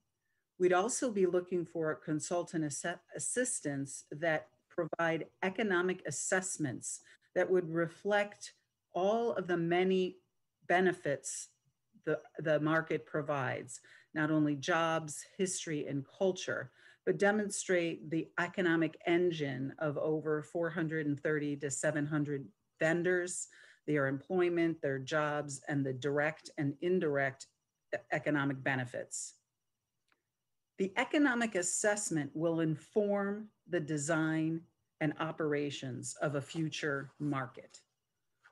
We'd also look to see models for development and ownership, such as a privately owned but publicly accessible market or a POPO of a sort that may well have at least a 65 year operating covenant to assure continuity for the market. Could, we could re, re, uh, research city owned property or land trust going forward. What we would need to do is analyze the costs to develop the markets and determine if necessary any gap financing that would be provided by the public. Gap financing tools may include uh, community financing districts or enhanced infrastructure districts or other available tools. We would also look to explore partnerships with BART, VTA in particular, to potentially design in market activities to expand beyond the five acres suggested below the tracks of BART itself, and also a po- potential partnership for weekend operations in the parking lot and parking garage. And of course, review potential for off-site market options. Next slide.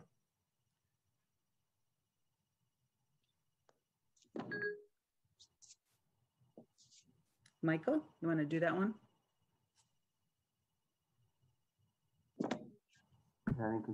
So um, the planning commission recommends, this is the planning commission recommending council adopt the CEIR, approve a zoning or approve the zoning ordinance for the, the flea market rezoning, approve an ordinance modifying the US 101 Oakland Mabury TDP, um, uh, adopt a resolution uh, giving the uh, current project a credit in the TDP, and also approve amendments to the proposed zoning to allow the five acre. And that concludes staff present. Wait, I think there's one more slide, which my slide is not moving. Nanci, can you do the next from memory? My computer's frozen. The next slide is really a recap of those options. We'd work with the vendors. We'd select relevant consultants. We'd assure that the advisory committee that's established has a predominance, uh, a majority of vendors.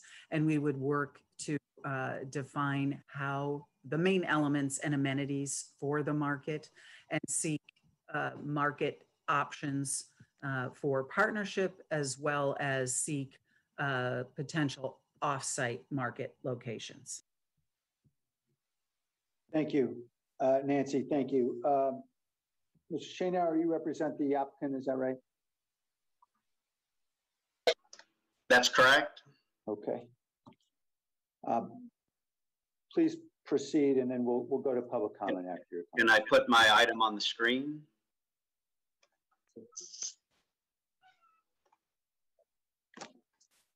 Okay. Well, good evening, Mayor Liccardo, members of the council. My name is Erik Schoennauer. I represent the flea market owner and the applicant in this case. Um, since most of the discussion will be about the flea market, I don't want the council to lose sight of the history and the major project that is in front of you that's important to the city and to the BART system itself. As staff indicated, we already have a project approved by the city council in 2007. That project has 1,800 units, 210,000 square feet of commercial left, no commitment to affordable housing on site, no market planned in the, in the development, and no proposed vendor support. Tonight, the council has a binary decision. Either approve the urban village plan and the new project that's before you, or we move forward and develop the project that's already approved. Any delay, any denial, and we simply build the project that the council approved in 2007. A reminder that in May of 2016, it was the city council that directed us to bring you this new zoning. On that council was Council Member Peralez, Council Member Carrasco, Council Member Liccardo, and Council Member Jones. All voted to tell us to bring this new zoning before you because you wanted more jobs. The project that's proposed will dramatically increase the office development to 3.4 million square feet, enough for 11,000 jobs. It will increase the residential capacity to over 3,400 units, and we're committed to building over 300 units on site in the new neighborhood. The development will result in the completion of 9.2 acres of neighborhood parks, the completion of nearly one mile of recreation creek trails, and over 17 acres of creek riparian habitat uh, along the Penitencia and Coyote Creek. The project will has already and will continue to fund over $21 million in area-wide infrastructure. And the new plan in front of you incorporates a new five-acre urban market and includes a vendor transition financial support plan and other vendor support.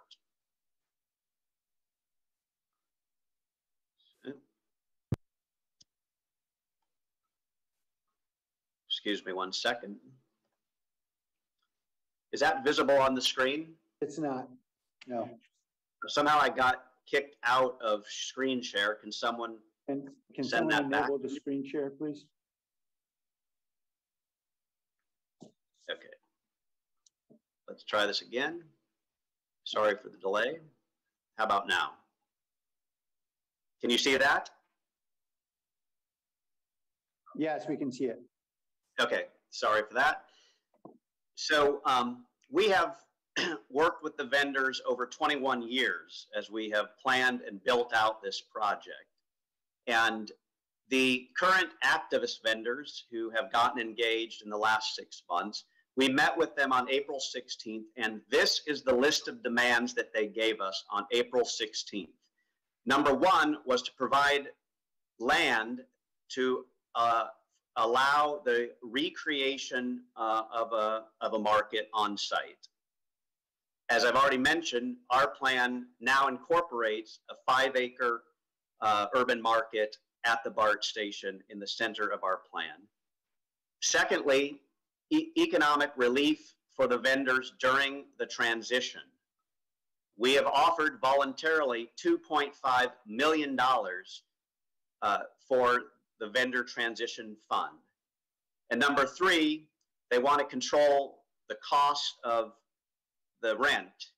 What we've said for the new market is that the rent will be comparable to other open air markets throughout the Bay Area. So we have answered the three primary concerns that were presented to us in writing by, by the vendors.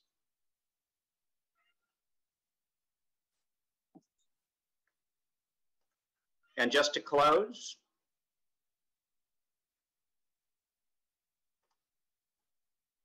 this in 3D is what it looks like. So the blue buildings are commercial office, the yellow buildings are residential mixed use, and we've proposed five acres in red to create a new urban market that is common all over the world in an urban setting and we're placing it in, in the plazas right at the BART station, so there's great public transit. And as staff has indicated, there are ways to expand this footprint by using the public streets around the central plaza on the busy weekends and expanding across the tracks to plazas that are at the BART station, as well as space potentially under the BART tracks and in the surface parking lots at the BART station. So we are confident by working together, by form of formally creating the flea market advisory group is the best way to engage the vendors to make all of these decisions about the future going forward. So tonight, we hope that you will adopt the staff recommendation, planning commission recommendation, and the recommendations in the memo by Council Member Cohen, Council Member Jimenez, and Council and Mayor Liccardo. Thank you for your time. Thank you, Erik. Uh, we are going to move now to members of the community. I want to thank the many members of the community who have already participated, and of course, the many hundreds of vendors who have made this such a special place. Uh, because of the rush we have to get our work done, I'm going to limit public comment uh, to one minute and to conclude public comment at 1045. We now have 30 hands raised. That should enable at least 90 people to be able to voice their views, and we hope we can hear from everyone that way who wants to speak. Uh, Amanda Michelle, welcome, Amanda.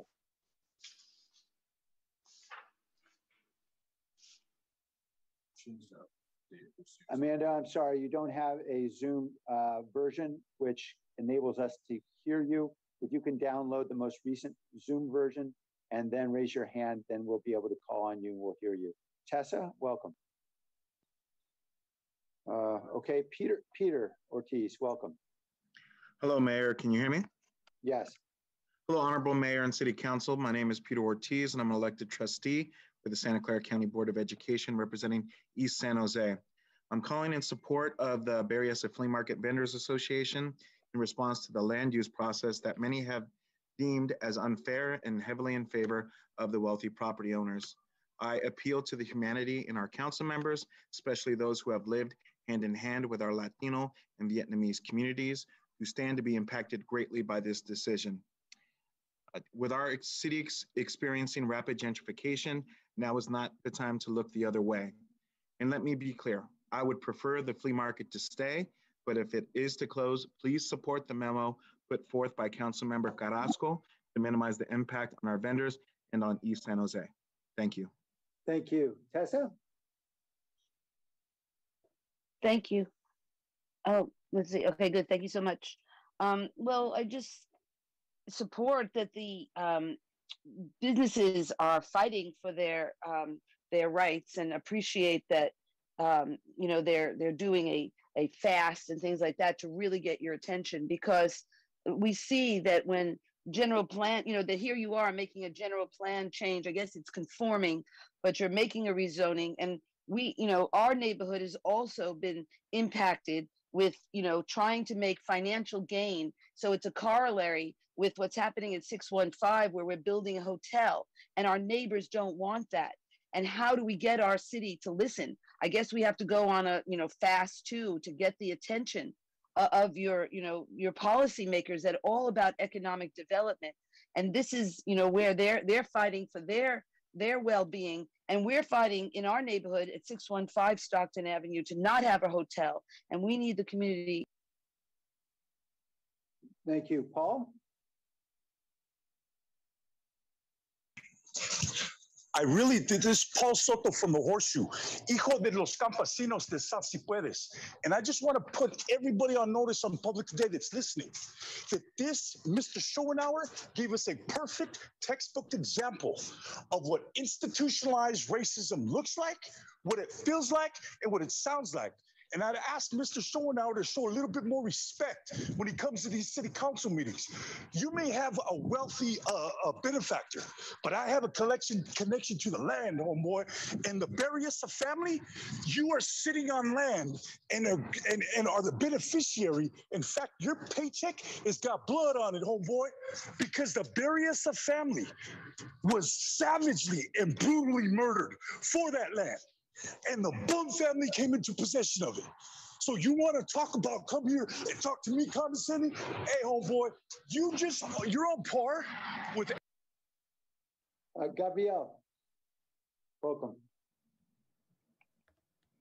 Good evening, Mayor and Council members. Uh, my name is Gabriel Manrique, community organizer for Luna. It is awful that the city of San Jose wants to raze a historical and cultural landmark and jeopardize the livelihoods of dozens of hardworking vendors by voting to possibly close down the Berryessa Flea Market. The flea market is a place where families from all over the Bay Area come to spend quality time. I started going to the flea market in the early 90s, where I have fond memories of my family and friends. It is shameful that the city of San Jose will displace hardworking families from the flea market that is their only source of income. I ask the city council to not shut down the flea market and protect our vendors. Thank you.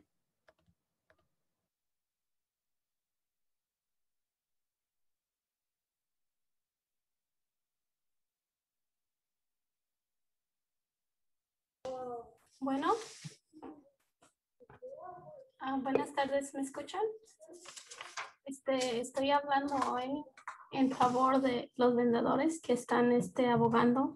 Am, ahorita todos están en huelga de hambre y este, no es justo que ustedes ah, no los quieran escuchar porque un hombre viene y los amenaza. No entiendo cómo ustedes, gente que están representando a los votantes, le tienen miedo a un millonario que está chantajeando con hacer lo que él quiere. Nuestros jóvenes están afuera.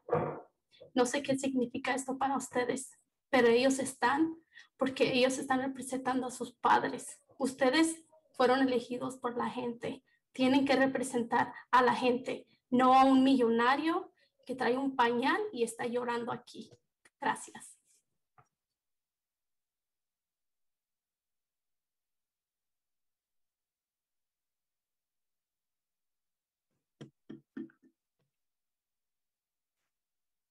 Hello? Hello? Can't hear. We can hear you. Hello? Brenda. Hear you, Brenda. Go Hi, uh, my name is Brenda Sendejas. I am calling from District 5. Uh, today I stand in solidarity with all the flea market vendors. I do want to say that, you know, David Cohen, I expected more from you. This is your district. And to not defer it for a week, I don't understand what the hurry is for you guys because a man came in here with a bad attitude claiming that he's going to build, just like Trump said, right? He's going to build a wall. He's going to build this flea market. It's unacceptable to come in with this attitude because this is people's livelihood. These are kids um, fighting for their parents. And I'm sure all of you would be doing the same thing. Um, David, Erik, and Rolando did this deal without vendors. That's not okay. Unacceptable. $2.5 million is two ply toilet paper. It's nothing to these vendors. Thank you. Jeffrey? Um, hold on, this is Toni Taber, City Clerk. Um, the interpreters need to get onto the English channel and tell the council what Spanish speakers and Vietnamese speakers and Mandarin speakers say after they speak. Um, so if one of them could remember what the previous Spanish speaker said and could tell us what that was right now, and then in the future, just immediately translate when she's done. Because I heard interpretation on the Spanish channel, but we didn't hear it on the English. Okay, sure. Can we get some indication they, they're fixing that now? Yeah, go ahead. I can hear you on the English channel. Okay.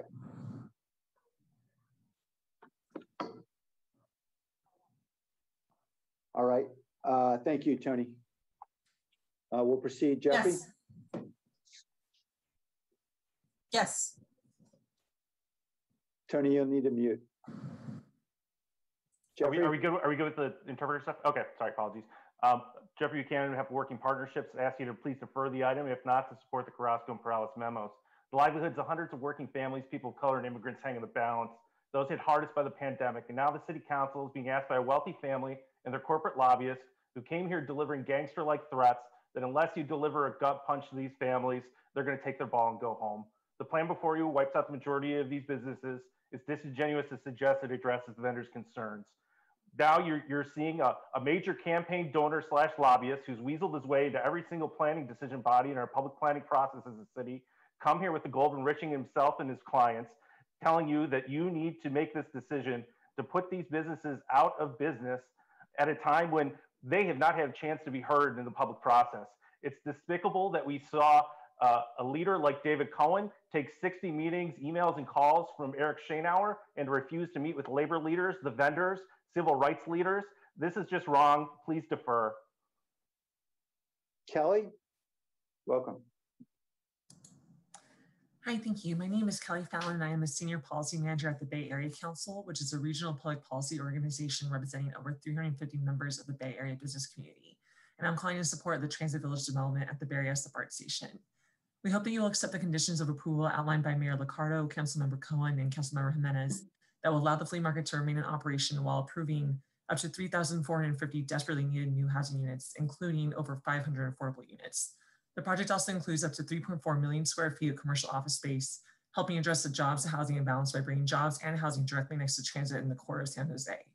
We look forward to reading the details of this plan as they are further resolved and encourage the City Council to allow the discussion to move forward to a resolution that benefits the community and supports transit-oriented development of this nature.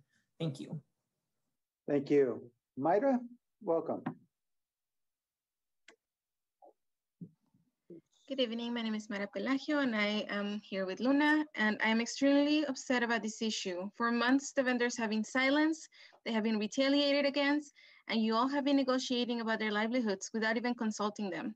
Who will these new jobs be for? Who will this new housing be for? The project continues to gentrify, dreadline, and displace our community members who are at the margin.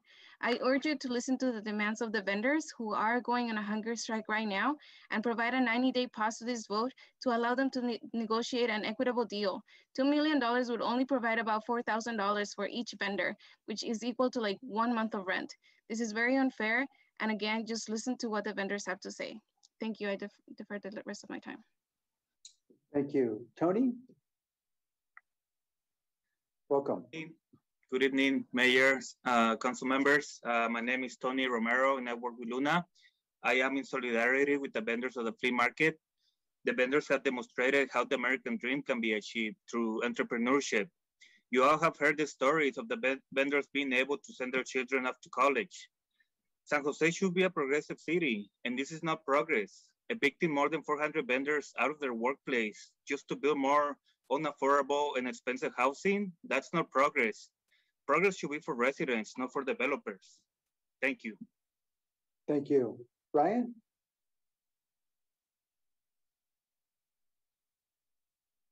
Can you hear me, Mr. Mayor, okay? Yes, we can. Um, you know me, Mr. Mayor, and uh, some of the council does too. I went through the a particular project. I can't mention it. I misunderstood something, and I do not hold the project accountable. I hold me. And now I'm living in a different place. I got more money for the place I was at than I would have ever gotten without it. What I'm trying to say is neighborhoods die. Places of community die. They're murdered. Now it's going to happen because of progress. If it is. If you really want to know what's wrong with our country, go there. Ask those questions. I, I would ask you because I know what it did to me. I, in a way, I'm grateful, but pe people struggle. And some of the people in the community I was in, they didn't survive the process, literally.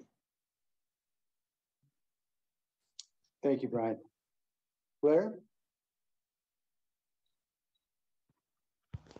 Hi, um, I felt there was an interesting uh, negotiation process that was starting, uh, that was uh, around a few weeks ago. I'd hate for uh, ultimatums to happen at this time. Uh, there is, uh, you know, Cal State funding issues that the developer is currently working on that as the vendors union, we need to be clear about exactly what that is and how, you know, that process can work. Um, there are issues of vendor space, uh, vendor co-ops, and actually what I feel is as allowing the vendors union uh, decision making in the design of the pro of the of the future development. These are important things to negotiate and work towards. Uh, let's not lock us, ourselves out of anything and collapse on this. Let's learn how to really bring this together and make this a vendors union future of what the, the flea market will look like and for the developers to accept that. And that can be okay. Let's do it. Thanks. Thank you. Gavin? Hi, my name is Gavin Laurie. I'm with Catalyze SV. Uh, I want to thank you, Mayor and City Council, for taking my comments. Um, while much of the focus is on the flea market, our members were also concerned about the building height limitations and density of the urban village. Uh, we believe that a billion dollar public investment in a magic in a major transit hub should maximize residents, workers, and visitors adjacent to the station. Um, we believe that areas within a quarter mile of these transit hubs should really push for maximum building heights of at least 500 feet, unless uh, required to be less by the FAA standards. Taller buildings in the urban village would support additional residents and workers, um, and this would be good for the planet and good for the city. So although it may be too late in this process, we really push uh, future developments and future urban villages to look to maximize uh, building heights, um, especially in these areas around these important transit hubs. So thank you for taking my comments and hopefully we can see this in future plans. Thank you. Eileen?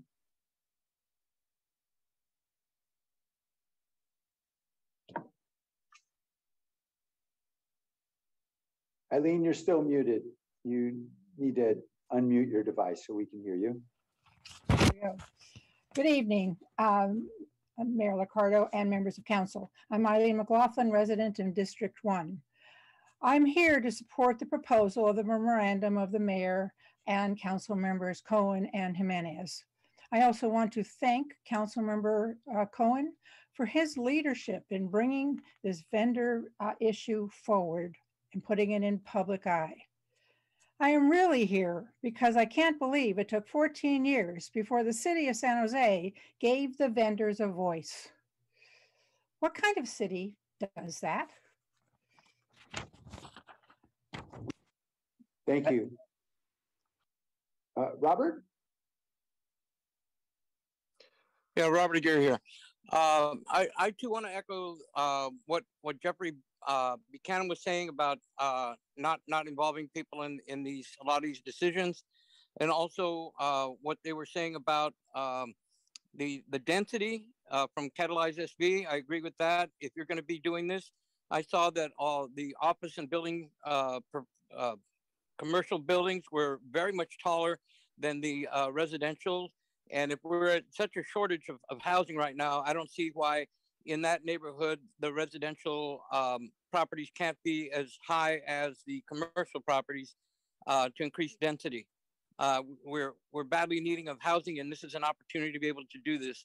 And I don't think we should be blowing that. I also agree that, uh, that vendors should have a much more say into what's going on. This is a tradition that has been going on, uh, especially among um, immigrants into this uh, country and uh, we're taking away that that opportunity for people just for uh, the financial benefit of a few. Uh, also want to make sure that it's not. Thank you, Robert. Uh, Tony? Yes, good evening. Uh, this is Tony Miranda. Um, I'm representing the Silicon Valley organization, currently serving as first vice chair of the board on the executive committee and also as co-chair of our development review and housing policy committee. On behalf of the SVO, we support the recommendations offered by Mayor Liccardo, council members Cohen and Jimenez, and to not further delay the project. Our position is in the record as stated in the June 18th letter submitted by our president and CEO, Derrick Seaver. Thank you. Thank you. Uh, Victor?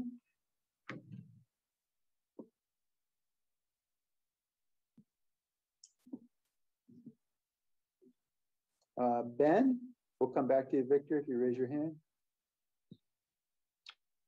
Thank you, Ben, uh, ben Leech, uh, Executive Director, Preservation Action Council of San Jose. Um, it was mentioned briefly, but uh, the flea market is a recognized historic resource under CEQA.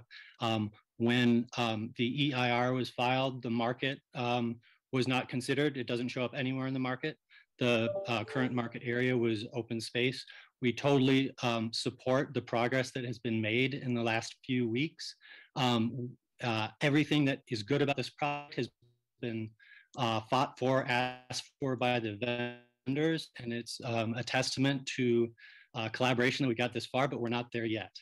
Um, we have grave concerns about the viability of the market as proposed. Uh, we strongly support uh, more time to vet this. Um, we do support in concept the, um, the ideas in the, um, the various memos, especially um, the most recent memos that just came out today that uh, most people haven't even read. So this Thank you. The person with their phone number ending 5140.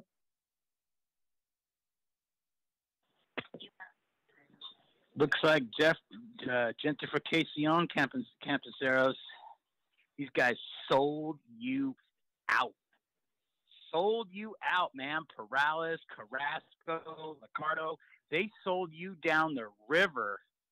And now you're going to have gentrification and public transit. Awesome, isn't it? This is terrible. I can't believe that that these city leaders sold you guys out like that, man. I'm going to miss the flea market. 14 years, and this is this is the bright ideas that you guys have. You guys are a bunch of sad sacks. This is like the old college try or something. This is what happens when you start removing statues and changing names and putting up lifestyle flags. This is what you get. Mass transit, this is what you get. It's going to be terrible. Wait till you take BART. It'll cost you $25 to get to uh, get, get the. Thank you, Mariana. Um, hi, I'm the BFBA president. Uh, yesterday, I began in a meeting a hunger strike to demand time and justice for the vendors. My life and my livelihood will be on your hands. As District 4 resident, I'm extremely dis dis uh, dissatisfied and offended how negotiation process between David Cohen and the applicant has taken place. Behind closed doors, we're claiming to be working with the vendors, which they didn't. They didn't have translated in the last meeting. Two weeks ago, after our input was requested, uh, the applicant and D4 asked for our opinion and we gave it to them. We did, we, we wrote a delete uh, process and they didn't do anything.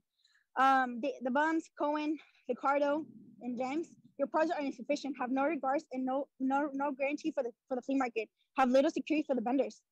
Uh, our impact, the impact that you guys are gonna have is gonna be extremely. I will go on a hunger strike and, and I will not stop until the demands are met and my life will be on your hands and I, I will not stop. This is not sufficient and this is not okay for you for 20 years. You're, you're, you're this is the only plan you have. You did not work with Ben. Uh, thank you, Joanne. Hello, my name is Joanne Martinez. I'm a vendor at the Napa Valley uh, Vallejo Flea Market, speaking today in solidarity of my fellow vendors. Um, all eyes are on the city of San Jose and the Bumb family landowners you are becoming the template for flea market redevelopment for decades to come. COVID has had a huge effect on businesses worldwide. Offices are dying. For example, in San Francisco, Twitter has gone virtual. The Berryessa BART Urban Village Area Plan, in my opinion, is now becoming obsolete in regards to um, its planned employment growth. I recommend to Council to include in this document additional COVID effects on businesses. Lastly, Bringing in anchor stores that provide minimum wage jobs does not compare to hundreds of self employed business owners. Thank you for, for your time, and please defer this item 90 days to discuss uh, the points made, made by the speakers. Thank you. Mike? Mike LaBarbera, 50-year resident of San Jose, uh, principal Terra Commercial Real Estate. I'd just like to speak in favor of both uh, things before the council tonight but I'd like to focus on the urban village specifically. There's a lot of talk about the flea market property, but there are other properties involved in this, specifically the Ficino property. There's been uh, many years of work with many people, including the city, to come up with a plan that meets the city's needs for housing. On the, on the Ficino property, there's over 650 units proposed, 120 which will be below market rate units. It's exactly the kind of the project that we have been instructed by the city that they want. And we please ask for a positive vote tonight so that we can bring this project forward to fruition. Thank you. Thank you. Uh, Evelyn? Hi, everyone. This is Evelyn, and I've been standing by my brother, who is the BFBA president. Um, I've been fasting just so he can, so I could support him. You guys claim you guys are going to do or building more jobs when you guys are simply taking jobs away from people that are dependent on the flea market. I render my time. Uh, thank you, Elizabeth. Hi, my name is Elizabeth, and I'm a community member. I've lived in San Jose for six years, and I strongly um, in support of the flea market as it is. Um, it's really racist and unfair to be um, kicking folks out and just gentrifying the area. It's a really dumb idea too, because I know the city is striving to make this a city like a destination city, but it doesn't make sense when you're taking away culture, you're taking away what makes San Jose special. And so the more you do that, the less people are going to come. And it's really not fair to be doing that. Um, because it's a place that many people come to and connect. Um, and the whole process has just been unfair for the vendors. Um, and so this is really an institutional racist act that y'all are doing. And you wouldn't do it and if it came to Little Italy or Little Portugal, you wouldn't even be having this conversation. So um, thank you. God. Thank you. Chava? Yeah, good evening. Uh, Chava Bustamante with uh, Latinos United for New America. I'm here tonight to ask for a uh, deferral on the recommendation to approve the rezoning of the um, Berryessa uh, uh, flea market. Um, uh, the vendors need time to renegotiate the backroom deal negotiated by Council Member Cohen and the Bumb family reflected in uh, your uh, mayor, uh, Mr. Liccardo. You know, I, it'll be a shame if this council were to give in to the gangster-like threats made by Mr. Schoennauer. Um, you know, lastly, I would like to express my gratitude to uh, council members Carrasco, Peralez, and Jones for really listening to the vendors' concerns and for re, uh, responding to those concerns in their memos. Thank you. Thank you. Uh, Vince? Good evening, Mayor and Council. Vince Rocha with the Silicon Valley Leadership Group. We support this rezoning as part of a smart, climate-friendly, transit-oriented development with hundreds of affordable homes uh, that will be built. Um, and we support the memo by Mayor Liccardo, Cohen, and Jimenez. And if the council passes this tonight, I think the staff presentation is clear, this isn't the end of the conversation and working with vendors. It is uh, the, really the beginning of a lot of exciting ideas and re-envisioning um, new opportunities eh, uh, for our city working with um, the vendors. So I really do see a lot of upside here and certainly um, appreciate the council support on these items. Thank you. Alex?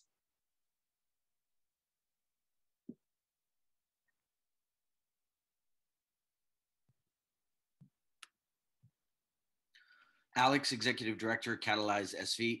Council members Foley, Jones, and Mahan. Let's start with what we all agree on. We all want a fantastic development to happen. One way to get there, pass conditions of approval tonight that are as ironclad as possible to protect the vendors from being pushed out of our community. The Cohen Liccardo memo, memo doesn't do that. Please excuse my expression of anger, but you are the gosh darn San Jose City Council. You are the authority to approve projects. You determine what's best for the city and our community, not a single family or a single lobbyist telling you take it or leave it. What Erik Schoennauer said for the last few years was here's what we proposed take it or leave it. Then David Cohen worked with the landowners, but not the vendors, to negotiate a better project what Erik said again tonight is take it or leave it. Thank you. Huascar?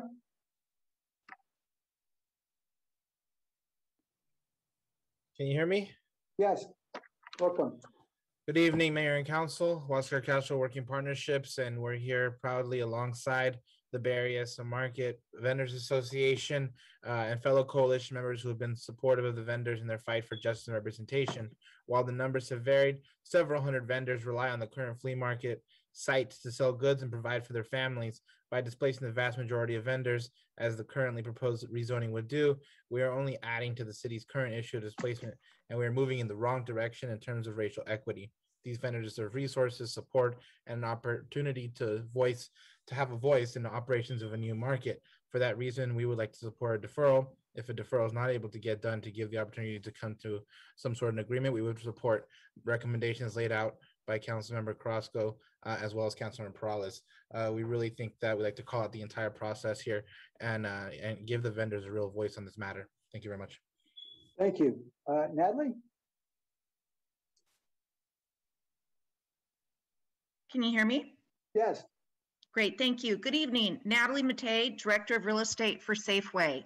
As a proud union grocer that has operated in the city of San Jose for almost 100 years, Safeway has been a part of the community fabric for a very long time. As the city has grown, Safeway has grown with it.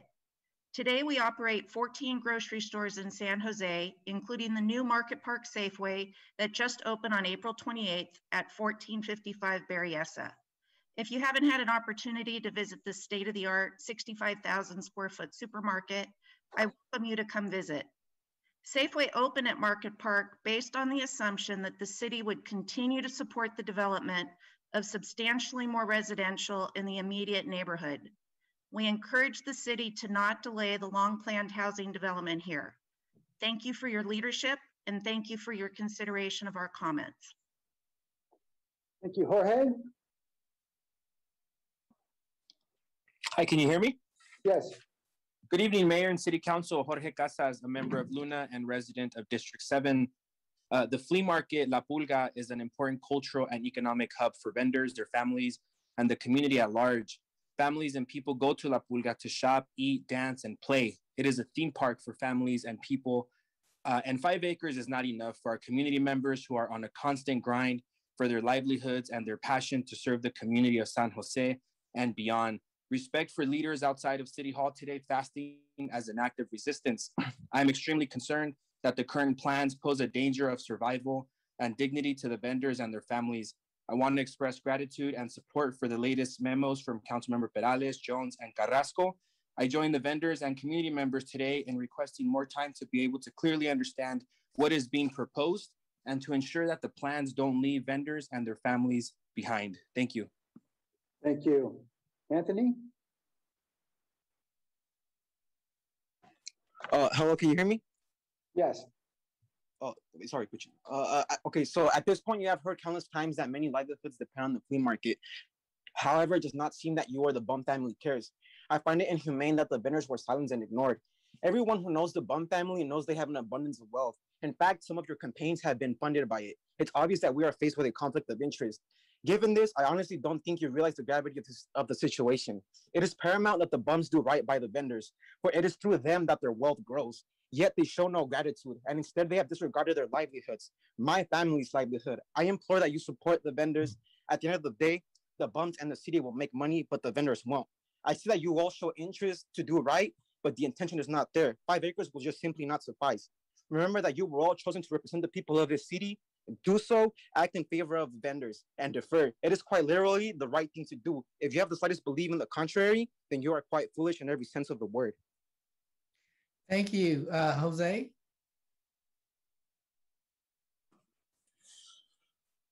Hi, thank you, uh, council member, for your guys' time. Uh, my name is Jose Wall.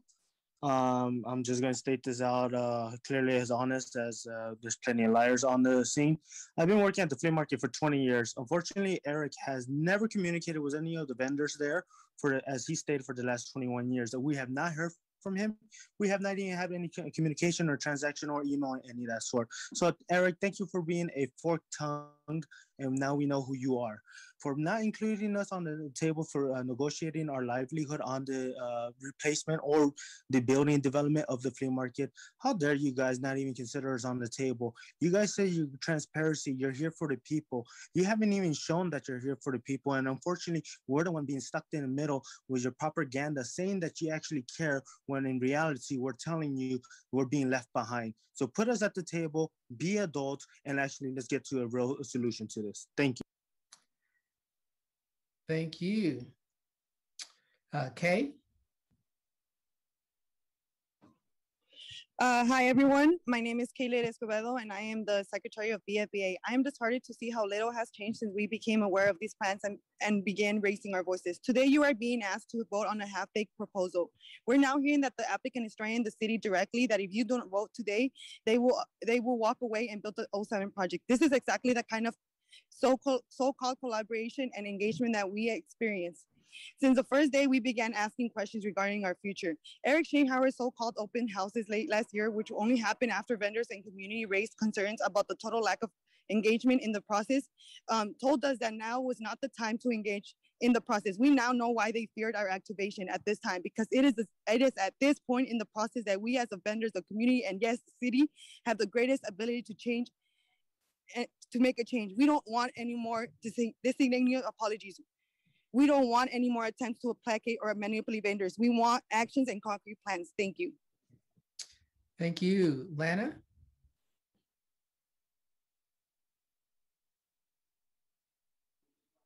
Go ahead. Hi, can you hear me? Loud and clear. Hi, it's Lana, by the way. Um, hello, my name is Lana, and I'm a current resident in District 1. I have lived in San Jose my entire life. Growing up here in San Jose means that I have gone to the flea market for 30 plus years. The flea market represents the heart and culture of San Jose, and it's important to preserve what little we have left. The flea market is essential for the livelihoods of hundreds of vendors. We are all still trying to recover from a pandemic. The homes that you want to put in place of the flea market will not even be affordable to the working class people. Stop prioritizing developers and tech businesses and listen to the people. We, the people of San Jose, demand that the flea market does not close. I also fully support all the demands of the vendors. Stop displacement, stop the gentrification, and save the flea market. I yield the rest of my time. Thank you. Roberto, go ahead. Hi, my name is Roberto, with president of the Berryessa Flea Market Vendors Association. And today, Erik Schoennauer showed exactly how this process has played out. His way of demanding and saying that there will pull out of everything is a microcosm of this process. Him and David Cohen have been doing backdoor deals without the vendors in the forefront. And that's what we're asking for today. Involve the vendors, involve the community. It's not fair or right that we have been hidden or put in the shadow for so long. We're asking for a deferral on this vote so that we can collaborate, collaborate and find a solution that will be beneficial for everyone. It's been far too long that the city has been inactive and has not done any actions with this issue.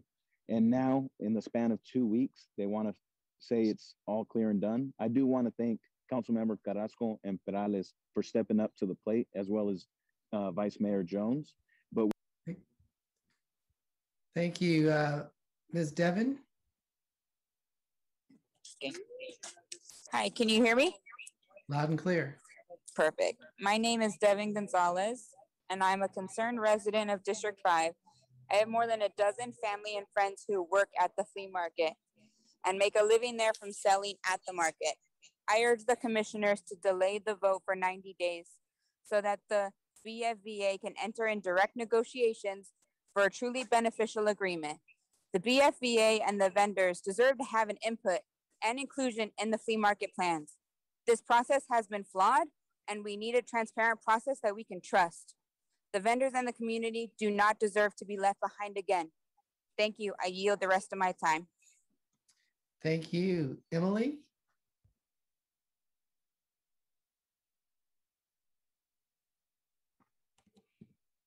Hi, can you hear me? Loud and clear. Good evening, Mayor, Mayor Liccardo and council members. My name is Emily Martinez, and my family and I are residents of District 6. I would like to echo what a previous speaker said. This conversation would not even be taking place if Little Italy were on the chopping block. I support the 90 day deferral period proposed by the Berryessa Flea Market Vendors Association. Do not let yourselves be bullied by the Bumb family and their lobbyists. I would like that the flea market stay, but if it has to close, then I support the memo put forward by Council Member Carrasco. Thank you. I yield the rest of my time. Thank you. Areli? Areli?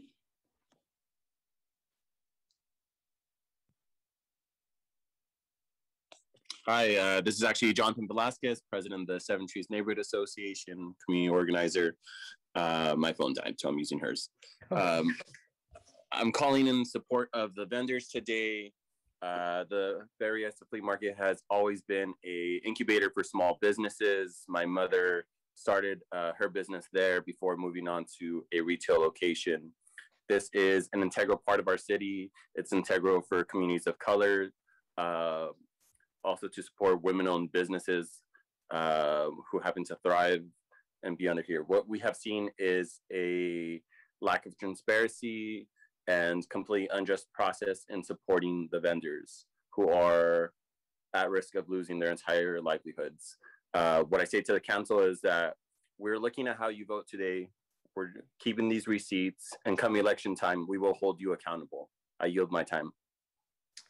Thank you. Uh, Dayanara?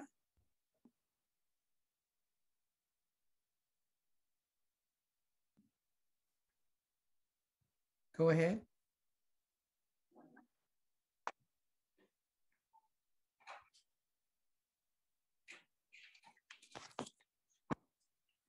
Go ahead. Looks like we lost her. Um, Susana?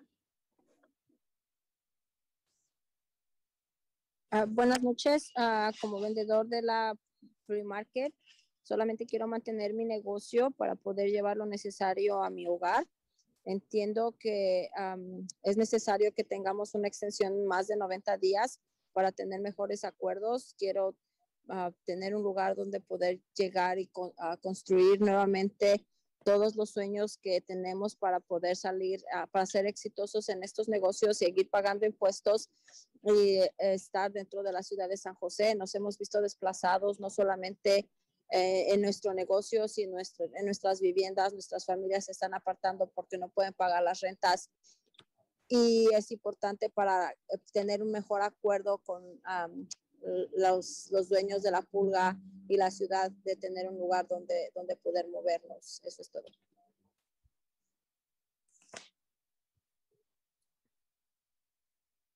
Thank you. Yes, can you guys hear me? Yes. Okay. Uh, my name's Rob Ficino. I'm the managing owner of Berryessa Properties. Um, and I just want the council to know that, you know, we're ready to invest in this urban village area. Um, there's much needed housing, uh, much needed affordable housing, which we're building, and parks also. Um, I would really encourage the city council to please vote yes on this tonight um, so we can move forward. Uh, thank you so much for your time. Hi, this is Toni Taber, City Clerk. Can we go back to have the interpreter on the English channel say what the last speaker said?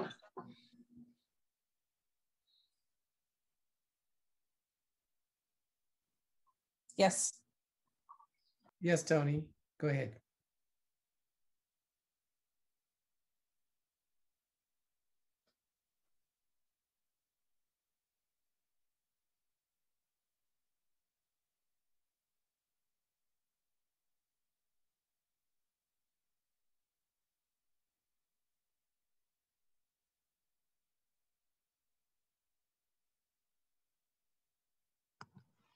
Toni, we can't hear anything. Hello. Oh, there we go. Uh, I'm Amanda. I'm a lifelong community member here. I am calling in opposition to the redevelopment plan. It's despicable and racist. It's clearly just a job to take a plan to take jobs away from the POC community who have lived here for decades. Um, the vendors are on a hunger strike while the Bumb family can't even bother to show up. Instead, they send Erik to lie, condescend, and threaten as not part of the community and they don't even care. We don't need lip service from Sam about hearing vendors and listening to vendors and then taking away their livelihoods. We need a guaranteed spot for every single vendor or no new development plan. I want, um, want to ask you, city council members, when was the last time you had this turnout to a city council meeting? Your job is to take care of the community. If you take our jobs away from us, we will take your jobs away from you.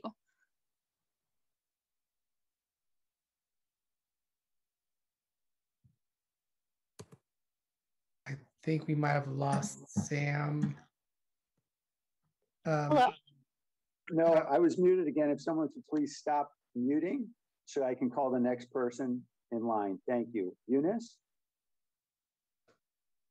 Hi, hello. My name is Eunice Santiago, and I am not actually from San Jose. I am actually from Seattle, Washington. Um, I think the fact that I took time out of my day to come here and you know sit through the whole city council meeting um, and to see the City Council enthusiastically um, vote yes for police reform, but then enthusiastically vote no for this matter um, is very telling of um, how committed they are to seeing people of color safe and sound and in homes and not unhoused. Um, because unfortunately, that is what's going to happen if uh, the flea market is closed. Not only that, but um, $2 million is not enough for the vendors. Um, you are going to be closing uh, a lot of small businesses, as we know, is the backbone of our economy.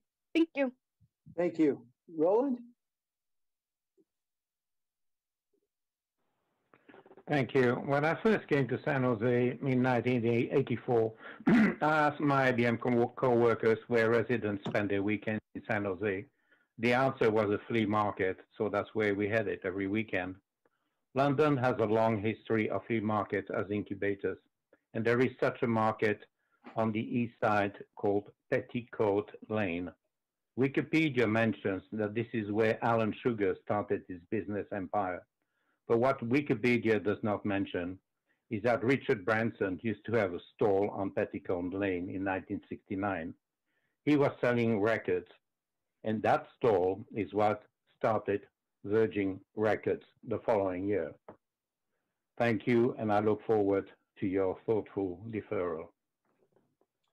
Thank you, Tanya.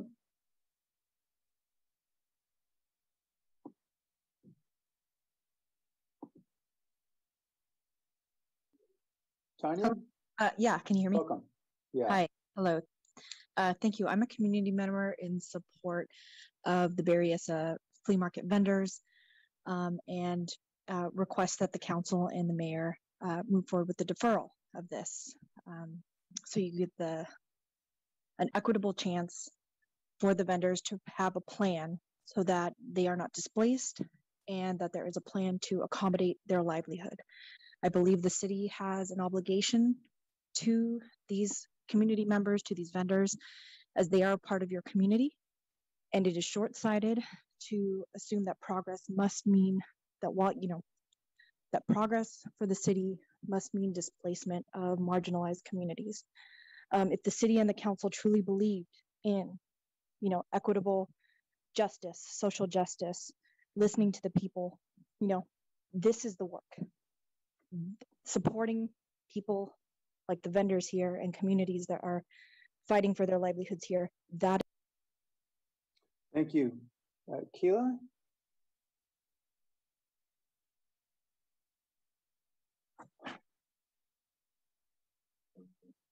Uh, Keila, we're not able to hear you. Your device appears to be muted. Hi, I'm Kayla, treasurer of the Berryessa Flea Market Vendors Association. My family has had their business at the flea market for 20 plus years. Both development process have been since the 20, 2008 exclusionary and inequitable. Although vendors, workers, and patrons of the market are most directly impacted stakeholders, it was only until the end of 2020 that the applicant applicant conducted any direct outreach at the market. By then, multiple community meetings had been held, the BBUV plan draft had been released, and the environmental impact report comment period was closed. The process has cons- consisted of attempts to dim- diminish vendor voices and concerns without a careful study and safeguards to protect our future and ensure the market's future. It would have been nice if the city officials had paid an ounce of the attention to our future as they have given it to having new offices built where our source of livelihood sit. I want to thank Council Member Peralez and Carrasco and Jones for their memos. However, we need more time so that all vendors in that community can understand what is being proposed and ensure that. Thank you. Emily? Hi, can you hear me?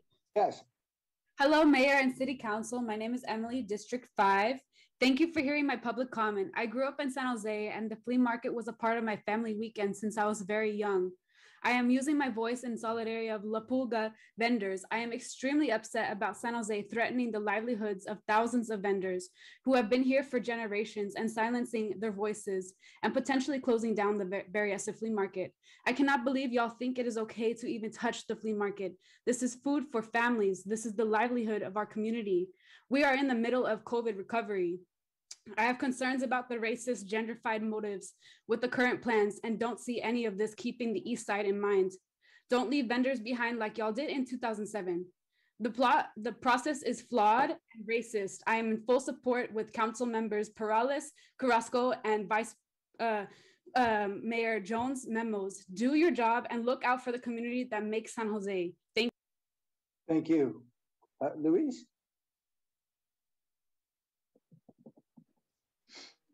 Hello, can you hear me? Uh, yes. Hi, um, good evening, Mayor and City Council members. Uh, my name is Luis. I come to you as a proud son of immigrant parents um, who found a way to become business owners and provide for their family through their small business at the flea market. This opportunity helped my brothers uh, and I um, go through the local community college and to graduate from San Jose State University debt free. Um, we have now grown up to be professionals in three three different sectors of the economy that still contribute to this great city of San Jose. I come in full support of the vendors um, who have been a part of this and who will help make the flea market what it is today.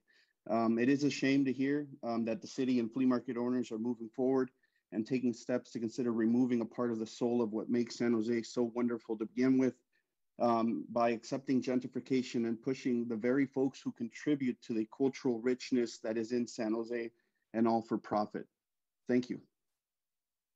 Thank you. Uh, Jacqueline? Hello, can you hear me? Yes, we can. Okay. Good evening, Mayor and Council. My name is Jacqueline Farias, and I stand in solidarity with the vendors. I currently live in Sunnyvale, and I have been going to the flea market for 15 years now. It was a huge part of my childhood, and I hoped it would have been a part of my children's childhoods as well. The flea market is not only iconic to San Jose, but it also allows hundreds of immigrants to make a living. Gentrifying this area is ridiculous. Do not take away this historical landmark.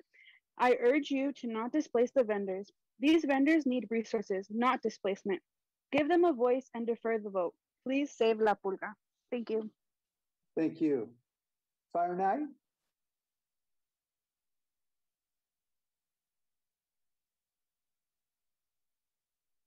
Welcome. Your device is muted right now, so we're not able to hear you until you unmute your device. Fire Night, your device is still muted. You can unmute your device, we'll be able to hear you. Uh, we'll go to Bob and we'll come back to Fire Night when uh, that person's able to unmute their device. Bob, welcome. Bob, please unmute your, there you go. Bob? We're not able to hear you right now, Bob.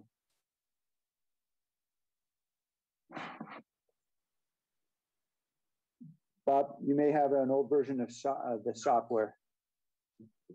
Yeah, we're not able to hear you. Uh, Bob, there must be a problem with the device. We're not able to hear anything you're saying right now. So we're going to go to Maria and we'll come back to Bob if Bob is able to enable his device to function. Maria, welcome. Bienvenido.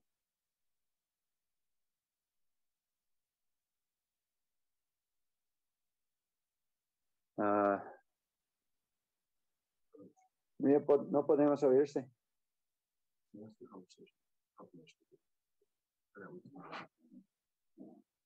Uh, let me ask, our, my colleague. Buenas noches. Uh, bu buenas, María. Ah, mi nombre es María. Ah, yo solo quiero decir que sacar a esos vendedores de la pulga es afectar a todo, toda la ciudad de San José. Ahí está el patrimonio de las familias, ah, están sus vidas, están los estudios de sus hijos, están sus viviendas, está su comida. Y quererlos desplazar por alguien que tiene bastante dinero y que quiere seguir haciendo más, se nos hace injusto. Es triste ver cómo se les amenaza y decirles que hasta se les va a desalojar porque el dueño del terreno tiene las prioridades. Creo que tenemos que darles más tiempo para que ellos puedan negociar lo que es mejor para ellos y que también las otras personas salgan beneficiadas en un acuerdo común. Gracias. Hi, before we go on to the next speaker, can we have the interpreter um, interpret that, please?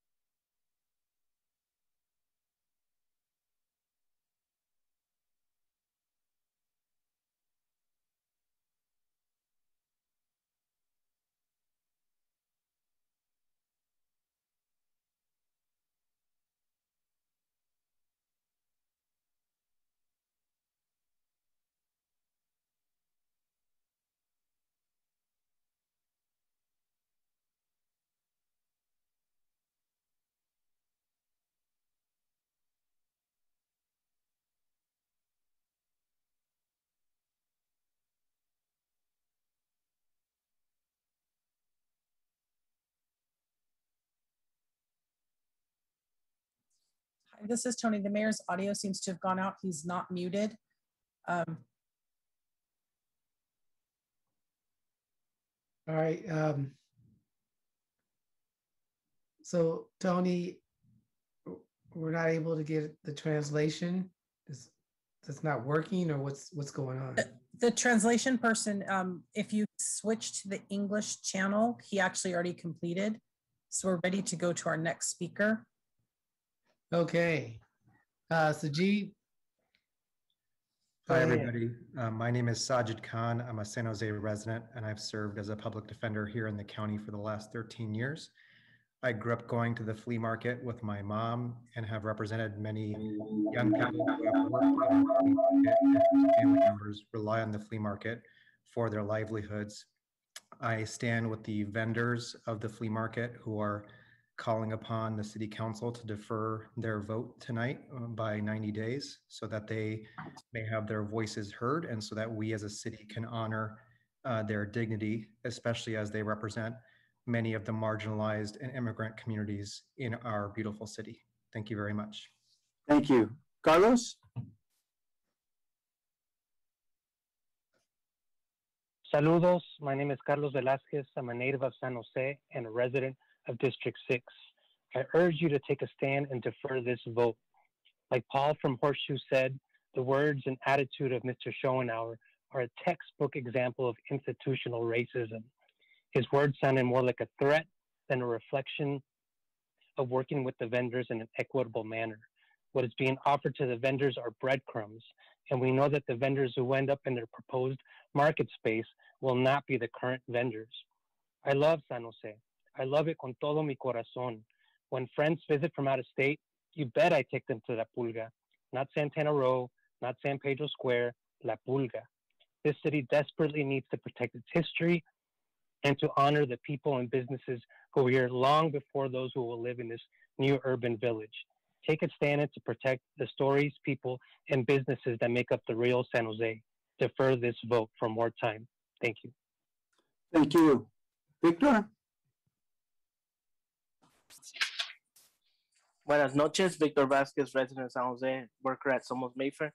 It is true what my folks have said that discussing the development on stolen land is real. It's been obtained through displacement, and we're discussing the potential displacement of 450 families, a destruction of a cultural and economic institution for the Latino and marginalized community. We are in a dire situation with the pandemic, ongoing displacement of residents, and now we see continuous displacement of small family business owners or flea market vendors, like we call them. It is a dangerous sign of our times, and we must unite. Yet we ask the, we ask you for uh, a time to defer and to listen to the vendors. They're outside fasting because they're desperate and have no other options. They're willing to trade their lives for to encourage your mora- morality, your values. They believe in you as a council to support them. Please stand with the vendors, and thank you. We thank you to Council Member Carrasco and Peralez for your memos. Thank you. Chris?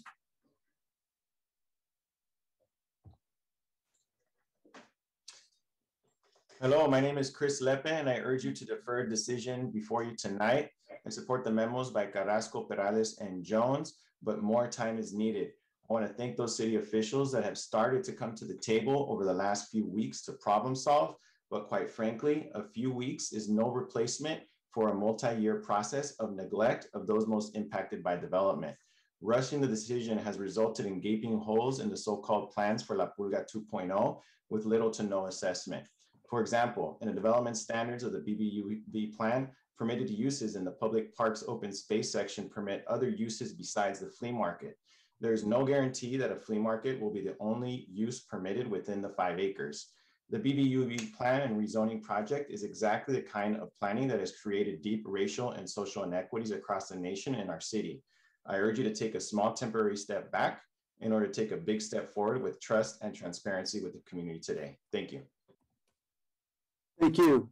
Uh, the person with the phone number ending 4475, welcome.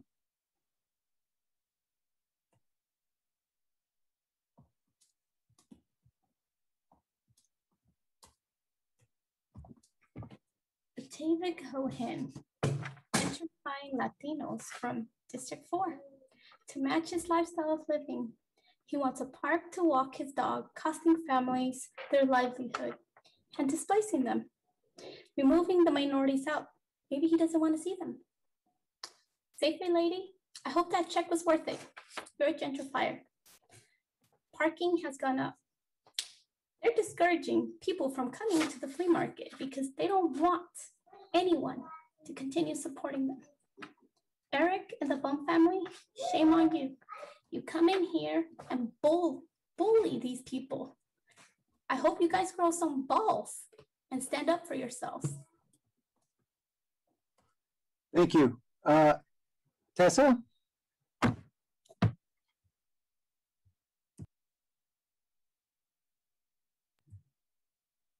Tessa, you're, you're, you're muted at this time.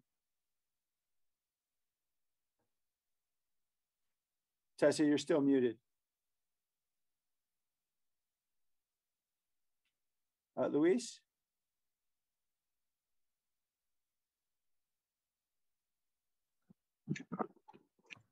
Sí, entonces eh, yo quiero decir primero que nada que me inspira la lucha de los vendedores. Mi familia y yo también somos vendedores allí, hemos sido vendedores en varios lugares y también estoy preocupado porque están haciendo una huelga de hambre, está, están aquí afuera del, del, City Hall y no parece haber ninguna respuesta de, del gobierno. Es una pena y es vergonzoso que la familia Bomb y Eric Schoenhauer estén amenazando a los, a los, a los servidores públicos. Lo que, lo que eso representa es una mafia nada más. Eso es solamente una mafia que amenaza a los vendedores, amenaza al gobierno de San José, está amenazando a Sam Licardo. Una frase como esa de Eric Schoenhauer es una amenaza directa a Sam Licardo. Entonces, ¿quién manda en esta ciudad? ¿Manda los, los votantes, el gobierno o la familia Bomb y Eric Schoenhauer? Thank you. Uh, but again, Tony, this is Tony. Let's let the interpreter interpret.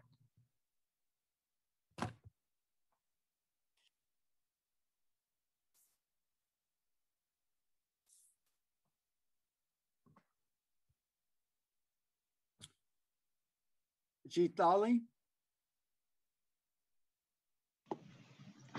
Citlali, hi, yes. My name is Citlali Martinez, and I am from San Francisco, but my father worked at the Concord Flea Market, which led to his opening of his store in Oakland.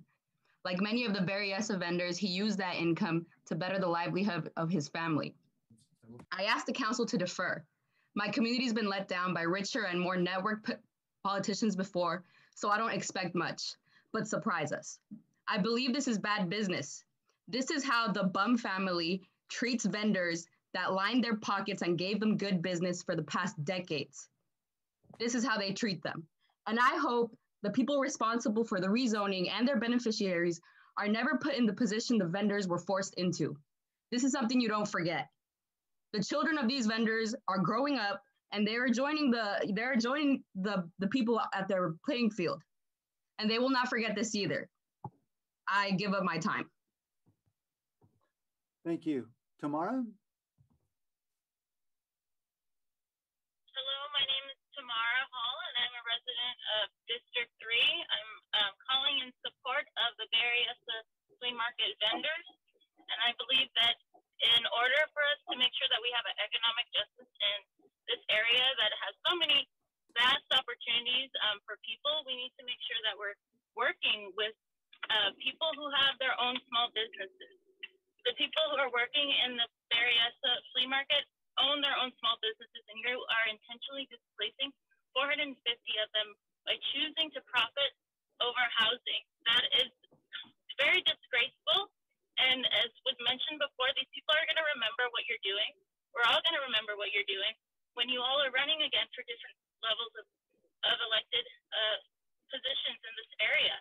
And you need to think about how you're, you're coming off. You're seeming as if you only care about money and not people and their livelihood. Thank you. Maria?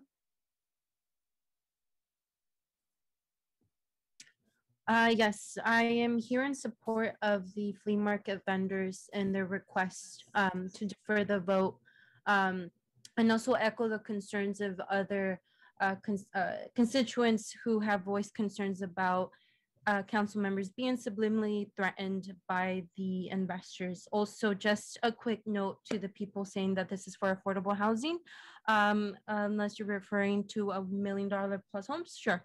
Um, to everyone who is here, I urge you, um, keep every single person here accountable come election season from the mayor to any person who is running for the position of mayorship, uh, which includes the, uh, Dev Davis. Um, so hold them accountable. I want to see you all outside of City Hall meetings supporting the vendors as well. Um, I yield the rest of my time. Thank you. Francisco?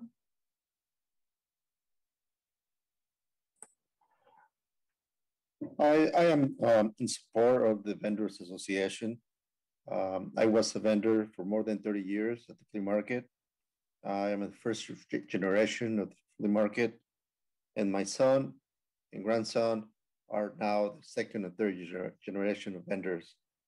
Um, and uh, the the owner's representative just show how they handle their business. Is their way or their way? You know, allowing 90 days to defer this uh, this uh, this opportunity is to have the opportunity to have a win-win situation. I don't know what is the rush. Uh, let's listen to these people because the flea market represents the livelihood of many, many residents here in San Jose. Thank you. Thank you. Victoria? Hi, can you hear me? Yes, we can. Hi, my name is Victoria Partida. I'm a resident of District 7, and I'm here to ask for more transparency as you allow developments like developments like this. With projects like this, you really highlight who is important to you, and I can tell you that it's not the vendors or the residents. I ask that you start looking at your policies and not creating more gentrification in communities of color. I ask that you delay the vote by 90 day by 90 days and allow the vendors to have oh. more voice in the negotiation process. Thank you. Thank you. Uh, next, Hi, my name's Nick. I'm a, a District 4 resident, uh, 15 year San Jose resident. I'm calling in support of the Berryessa uh, flea market vendors. Um, it was pretty telling that uh, the people who um, are on the opposite side of this are almost all, frankly, lobbyists and uh, like real estate people. Um, you know, I think it's important to think about what has given this land value over the course of the last, what, like 50 years? It's the vendors.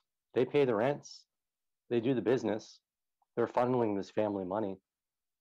They, they deserve a voice, and a 90 day deferral is not a big ask. And that threat from um, Erik the lobbyist was unbelievable. Um, just real snake stuff. And uh, please do the deferral. Thanks. Bye. thank you. Jesus?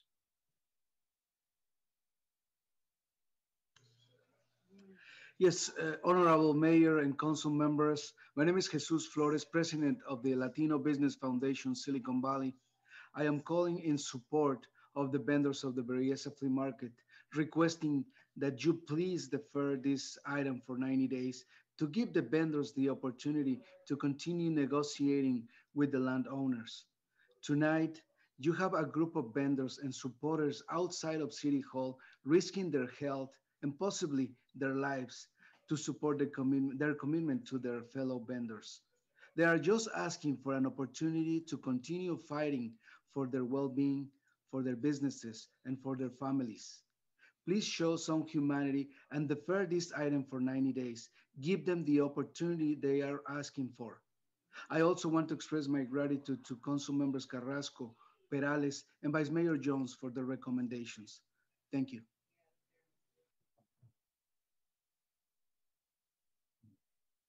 Thank you. Uh, person with the name Zoom user?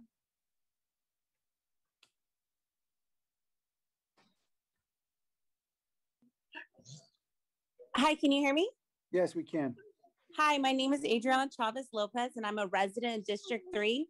I'm an MFT intern and I'm calling because I'm concerned about the vendors' livelihoods. I am in support of the vendors. Please listen to our community members and defer this vote. There are vendors outside in the cold right now who are doing a hunger strike because they want to keep their jobs. We need to listen to our Berryessa vendors and work with them. Please do not displace our vendors. Thank you. Thank you. Terrence? Hello, can you hear me? Yes. Hi, my name is Terrence Magno. I've been fasting for 34 hours now in solidarity with a hunger strike. Um, I'm an engineer and my wife and I are new homeowners and therefore taxpayers in Northern District 3 near the flea market. We chose this neighborhood because of the diversity and representation of people who look like us. We're the children of brown and Asian immigrants. And because, and because this was just not just another cookie cutter tech worker playground. From visiting the market, market and connecting with the vendors, we've become very proud to be in this neighborhood. Decimating the acreage and displacing its vendors would dismember the cultural heart and soul of the city and deals a death blow to a source of community for people of color like ourselves and a vehicle for upward mobility, entrepreneurship, and business incubation like what was shared about Richard Branson. Now, points have been made about housing, parks, but what we're asking for is maintaining a space for residents to make an honest living. And now you want to tear it off as if it were a mere band-aid. Animal and plant populations get even more considerate assessment. Thank you. Veronica?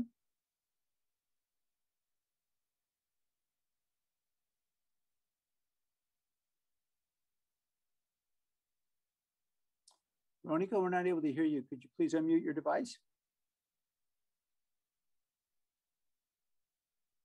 Veronica, your device appears to be muted right now, so we can't hear you speaking.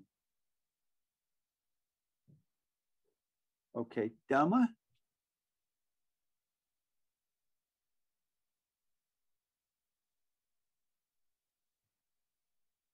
Delma, could you please unmute your device? Hello, can you hear me? Yes, we can. Thank you. Um, okay. Hi, everyone. Uh, my name is Delma Hernandez. I am a uh, domestic violence advocate at Extra Solutions, and I'm also a volunteer of Luna Latinos United for New America. I'm here in solidarity with the Bay Area flea market vendors.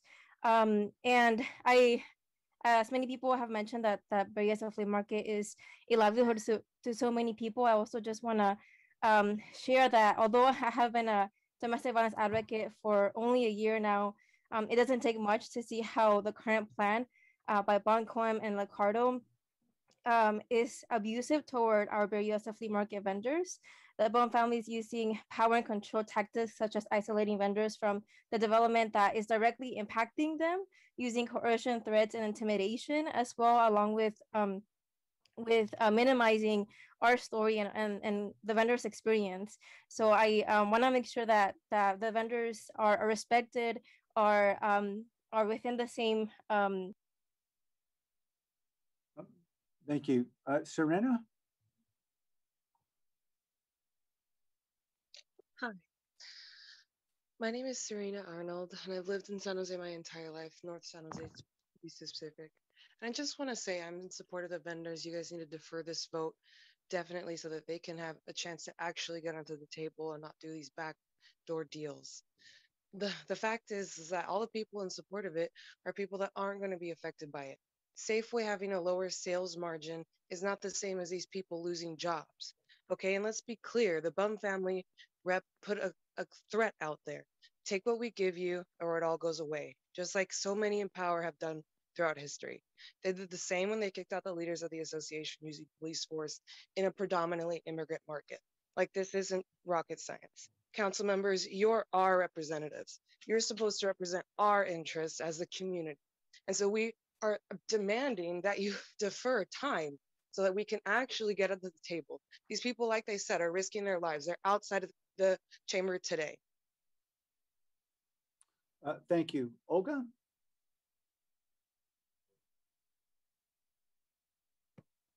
Uh, hello, everyone. Olga Media in support of current um, Berryessa flea market where small businesses thrive like a sweet honey beehive, which attracts community to be fed, taken care of, the flea market helps San Jose families and many other cities to stay positive and active, release the stress before pandemic, during and after this landmark, um, done so for the last uh, 60 years. We have um, a lot of elderly people works there for many years, many generations thrives there. I also see that you're trying to break rich historical and cultural place and let them learn from your specialists and associations. Apparently, those associations and specialists cannot even help your emptying out shopping center with much bigger pockets. None of you work there and um, to understand the deep inside of the soul of San Jose, which actually we need to be proud of. Thank you, Olga. Uh, I, I mentioned I'm going to conclude uh, public comment at 1045 so we can get uh, a, a motion before council. Uh, Mayra Flores? Good evening, Mayor Liccardo and Council. My name is Myra Flores, a District 3 resident and a daughter of San Jose. I would not be here today had it not been for the opportunity that the flea market gave to my family. I'm here to speak and say that while the project before you may have been the right one when it was first proposed, the world has changed and it is no longer the best project for our community. Setting aside the inadequacies outlined by Mr. Schoennauer as part of this project, including the lack of actual density, I think that we can all agree that the community engagement process was not equitable, nor was it transparent, and certainly did not include the vendors impacted do not put the burden of our housing shortage on the backs of our communities of color and do not devalue the economic impact to their lives and futures. Not only is this short-sighted approach, it gives everyone watching a clear picture of who we really are. Is this who we Thank you. Uh, Deyanira?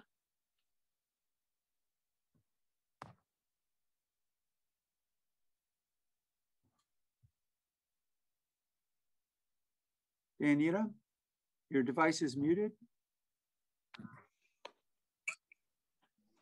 Welcome. Bienvenido.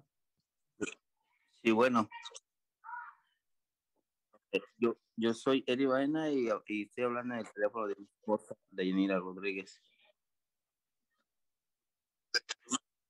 Sí, ella, mi esposa, nosotros como vendedores por más de 20 años estamos pidiendo que se nos incluya en todo este plan.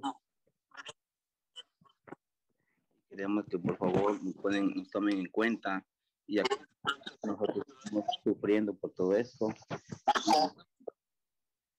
Una extensión de 90 días, la verdad, nos, da mucha ayuda para poder ver qué va a ser nuestro futuro y también gracias al apoyo de los concejales que pusieron que pusieron a favor que se pueda extender todo esto. Muchas gracias. Gracias. I'm going to pause for a moment to allow for the translation.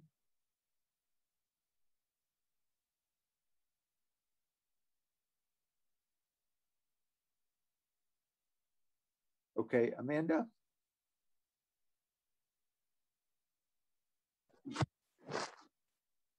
Hello, my name is Amanda Valenzuela. I'm a constituent from District 3. Um, I just want to take a moment to share with you that if you have never been a vendor yourself, let me remind you what it's like to be a vendor. Um, if you have to pack up all your materials in your car, wake up at four, five in the morning, maybe three in the morning, just to set everything up.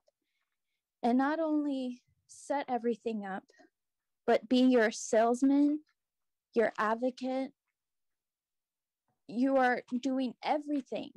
And to not take that into consideration, uh, vendors are outside right now in front of City Hall on a hunger strike.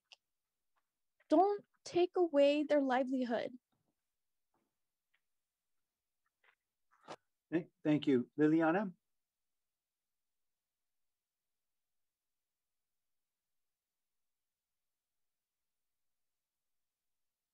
Hi, can Liliana? you hear me? Yes, we can. Hi, so my name is Liliana. I'm in District 5. I have friends that work at the flea market also. Why are we not making affordable housing? That's why there is so much homeless. And this is not going to help us at all in the long run. You're taking away our kids' playgrounds, places where they need to be outdoors. People are complaining about mental health, anxiety. You're saying that all the future kids are only going to be able to work at McDonald's? It's ridiculous. Mean, all these people need somewhere to work, somewhere to be, learn to be educated. I come from a single parent, and it was hard for her to have two jobs. And now you're telling us that we cannot even have an economical increase and help ourselves as immigrants for a future. Well, we need to we need time and we need to help our people. Thank you. Thank, thank you. Ana Ruth? Sí, mi no, eh, ¿me escuchan? Buenas noches. Sí. Bienvenido. Mi nombre es Ana Calderón, vendo en La Pulga por más, por más de 30 años. Por favor, por favor, lo que les pido es que retrasen el voto por 90 días para que podamos, para que podamos, que nos puedan incluir en presentar un plan donde nos incluyen y no nos desplacen. Para muchos de nosotros, esa es nuestra única fuente de ingresos. Por favor, apoyen a, a la concejal Carrasco y a Jones y a Perales. Por favor, retrasen el voto por 90 días, por favor. Gracias. Thank you. Thank you. Veronica?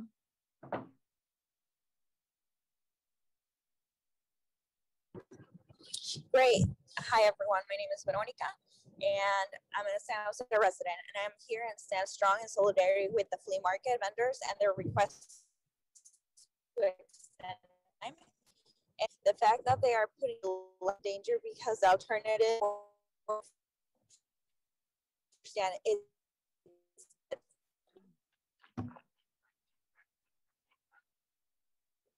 Veronica, we're not able to hear you right now.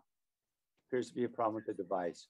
who's okay can you hear me now? Yes. who's actually running the city? Is it the city government or is it actually the Bumb family? And that Er- eric person whoever threatened the city council to end everything if they didn't comply. Um, again i stand here strong with the vendors as their lives are in danger their lives are in your hands. Please defer to the 90 days. I've used we support we stand here and we will continue to stand strong with them. Thank you Thank you. Luis Gallego?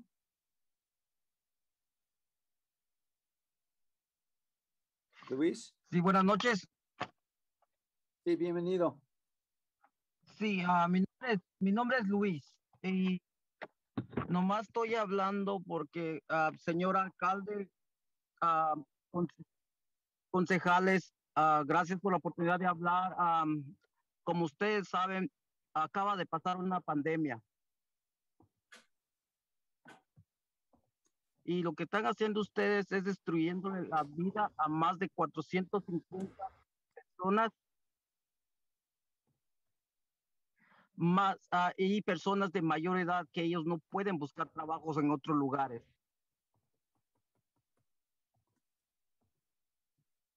Y como ustedes saben, a los cuatro mil dólares que nos están dando no es nada, es nomás un mes de renta afuera.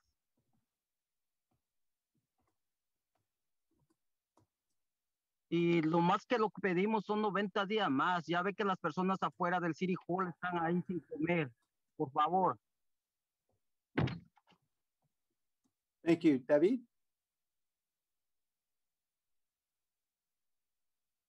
David? Could you please unmute your device and we- we'll be able to hear you. There you go. Yeah. Can you hear me now? Yes. Yeah, my name is David Lopez, a resident of San Jose and former president of the National Hispanic University. Uh, over two decades, many NHU students and their families worked and benefited from the San Jose flea market. I saw these students and on- as entrepreneurs, young and old, finish NHU and become real contributors to our society.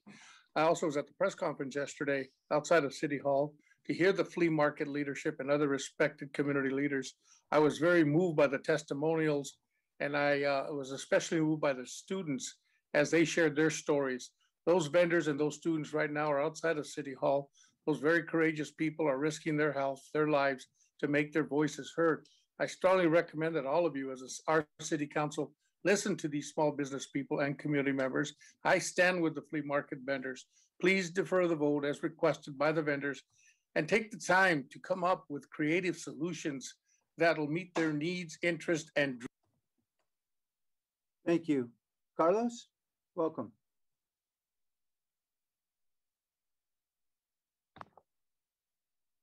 Carlos, your device is muted. Please unmute your device and we'll be able to hear you. Carlos, you'll need to unmute your device. Maria?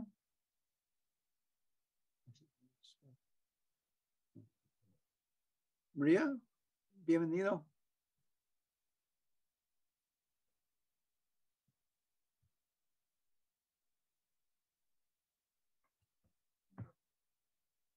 Okay, uh, Maria?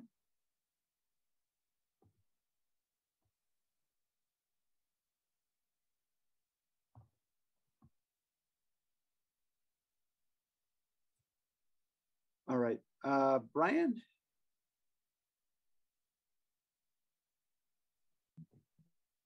Good evening, council members, mayor. I guess the question before you isn't the two options presented by Mr. Schoennauer. It's really who will decide what our great city will look like? Will it be uh, run by casino owners and the sons of former city officials trading on their father's access? Or will it be decided by the citizens and the residents who place their trust in you to do what's right? Defer the decision for a better solution. Thank you. Thank you. Ricardo? Hello, can you hear me? Yes. Hello, my name is Ricardo Camarena, CEO of Basement Entertainment and host of Down in the Basement podcast. I am speaking today because the city of San Jose is threatening the livelihoods of thousands of immigrant vendors by potentially closing down the Berryessa flea market. Ever since I was little, I've always visited the flea market, which provided goods and a method of survival for many vendors that they can't attain elsewhere. I am asking for your support and urge you to join our fight against shutting down the flea market. Please defer the vote. I stand in solidarity with the vendors and I yield the rest of my time. Thanks. Thank you. Bob?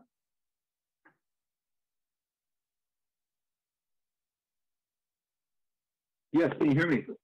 Yes. Yes, uh, uh, thank you, uh, Mayor and, and Council for uh, the late night uh, meeting. Um, the Berryessa Flea Market is more than just stalls and vendors. In many ways, it's one of San Jose's neighborhoods, and it's a it's a community that we don't really want to lose. And making a hasty decision to expedite development may yield some short-term financial benefit for a few, but it really could destroy a San Jose community forever. So a city is a lot more than buildings and development. It's our communities that really create our the heart and soul of our city. I came to understand this because during the 2020 primary uh, season, I actually manned a, a stall there every weekend and uh, register voters and, and, and do some campaign stuff. And I quickly learned what a strong community that exists among my neighboring uh, vendors. Uh, it's, like, it's like a neighborhood, and they look out after each other, they care after each other. It's there's, um, there's a lot of families, and the kids are playing with the neighborhood kids, and they also Thank you. Gabby? Yes, hello, Mayor and Council. My name is Gabriela Chavez Lopez, and I'm the president of Latina Coalition of Silicon Valley and a District 3 resident. And I'm here to stand in solidarity with the vendors of the Berryessa Flea Market. I can tell you, I feel so proud to be a San Jose resident today and most days, uh, but especially today to see all of this community standing up in support of our vendors. Um, you know, I really do support a deferral to dive into the details of this plan and also encourage the community in meaningful and productive ways to engage. It's obvious there, there is significant interest in this plan, and I encourage the City Council to capture lightning in a bottle tonight and make some informed decisions about the specifics being discussed today. It's critical that we center community voices as we plan for growth and development of our changing city through COVID and beyond. Thank you so much. Thank you. Uh, Garutam? Hi, my name is Iram Thakcham, District Six, uh, District Six resident, supporter of the flea market vendors. How is it that the commercial interests of one wealthy landowning family are being weighed against the livelihoods of hundreds of working class immigrant families? Notice that nearly every individual who's here in their capacity as a community member supports the vendors' demands. And the people in this meeting who support the development plan are lobbyists, PR representatives, and condescending legal counselors trying to make a buck off displacement. Who do you actually answer to, Mr. Mayor and the City Council? The couple hundred affordable housing units, that's not a solution to gentrification, especially if it means the loss of a living for hundreds of families. Respect the health of hunger striking flea market vendors, defer the plan by 90 days, and engage in an actual fair discussion with the Berryessa Flea Market Vendors Association. Thank you. Thank you. Uh, MP?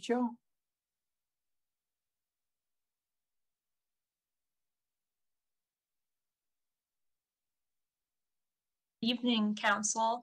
Uh, I'm calling here to voice my support of our Berryessa Flea Market Association and ask you to defer this vote as they're requesting. Uh, I can't tell you how important that the Berryessa Flea Market is to our community. Uh, most importantly is the economic opportunities of these families who've been working at the flea markets, but also it's an important cultural aspect of San Jose. Um, it's the main reason to go to San Jose. It is a beacon for our community. There are so many people and products I can't see anywhere else in the Bay Area. Uh, it would be a huge loss to all of us uh, to lose any of these Berryessa flea market vendors or to change it to something else. This is a terrible development plan. I support our Berryessa flea market workers. Thank you. Um, I had announced that I would be closing public comment at 1045. It's now 1046. Um, I would like to continue this hearing till tomorrow morning uh, to enable us to be able to hear from more members of the community. Uh, are there any objections to that doing so? So that way we'll continue to take public comment and then we will uh, continue to take this matter if we need to uh, tomorrow morning to uh, continue council debate. Okay, I'm going to continue unless I hear otherwise. Uh, David? Hello, council members. My name is David. I am an immigrant who came to this country in 1994. My first job ever was at the flea market. That was the place that offered me my first friends, my first family, and the people that supported me to become uh, my own business owner so I'm in support with the biz, with the flea market vendors. And the other thing that I want to say, this is a multi-million dollar development and they only offering 2.5 million. That's like around less than close to 4,000 and something. So this is really a joke that I just want to bring to the table that this is not fair. Uh, they need to extend the the offerings that they have and they need to extend more time so that the vendors can be part of this new development. Thank you. Thank you. Uh, Tessa? Tessa, did you speak previously? I did, honestly. Okay. You, you, you okay. All right, Caetano? Caetano?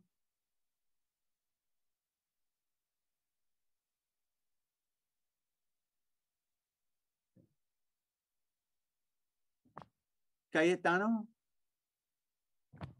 tiene que uh, activar el audio, el botón de audio. Bienvenido. ¿Está? Yeah, we ¿Sí can me oyen? Sí, podemos Bueno. Ah, mi nombre es Cayetano Araujo Hernández, pertenezco a la Asociación de Vendedores de la Flea Market.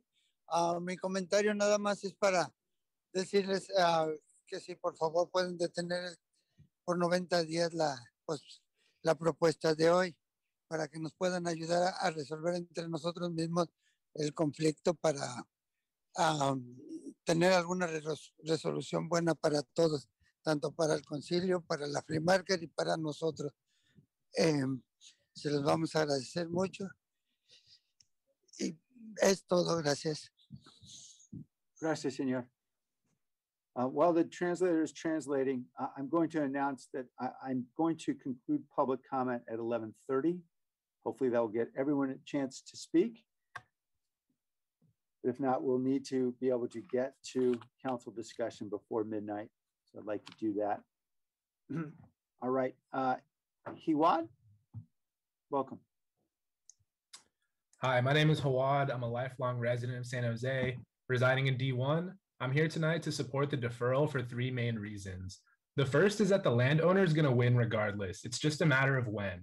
It's our job as a community to facilitate a win for the vendors as well. And all they're asking for is 90 days right now. Second, the Peralez memo outlines what exactly can be accomplished just from the city's point of view, not even the vendor's point of view with the landowners. And there's a lot in there that I encourage everybody to review before you vote tomorrow or whenever. And lastly, the flea market's value can scarcely be measured by land use aristocrats like Erik S., who spoke earlier and offended the entire city. I'm quoting the Carrasco memo now. For Latinos, it is much more than a marketplace. La Pulga serves as a combination of a plaza and market that provides an irreplaceable recreational and civic space for our community. It's a vibrant mercado that has given Latinos a cultural and economic foothold in a landscape that has largely ignored our existence. Thanks. Thank you. Glenn? Welcome.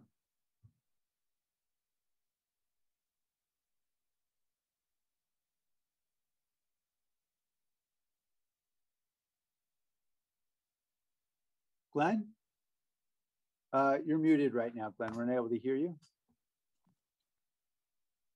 All right, Christian Lopez? Hello, good night. Thank you. So uh, I'd like to preface my statement by saying that I am not originally from San Jose. I actually have been living here for about 15 years. And um, I am a software engineer. And pretty much one of the things that attracted me to San Jose and, and uh, to my current career as a software engineer is uh, the spirit of Silicon Valley. And I think uh, some of the things that, that happen in Apulga, for example, the spirits of uh, entrepreneurship and bringing creativity and diversity into the city uh, is something that we cannot afford to lose. And I, I stand with the vendors of the Pulga, and I believe that they, their needs and their, their rights need to be respected, and we should be able to defer this uh, decision for, for, for a longer period of time. Thank you. Thank you. Melissa Santos?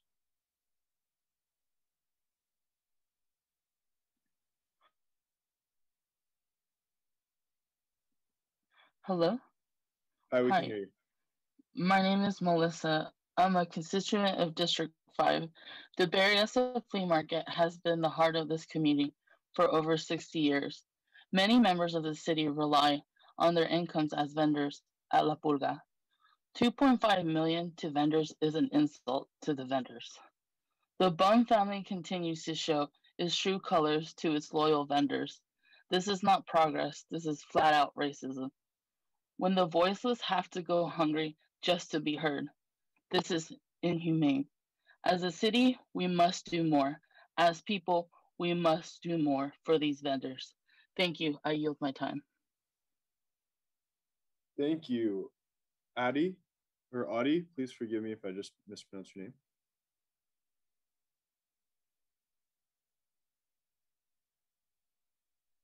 Hi, can you hear me? Yes. I am here to support the well, I am here to support the vendors of the flea market as a community of color, as vulnerable people. The way you handle this situation, their feelings, their needs, and their expectations is the way you are handled the people of color of your community. And I am here to support them. And I please um, I want I want you to think about them instead of thinking of only money, um, putting more money in the pockets of the people that are planning to build this um, this project. I hope that the people that are um, are fasting and their health are good. Please think about them and their sacrifice Thank you. Thank you. Jasmine?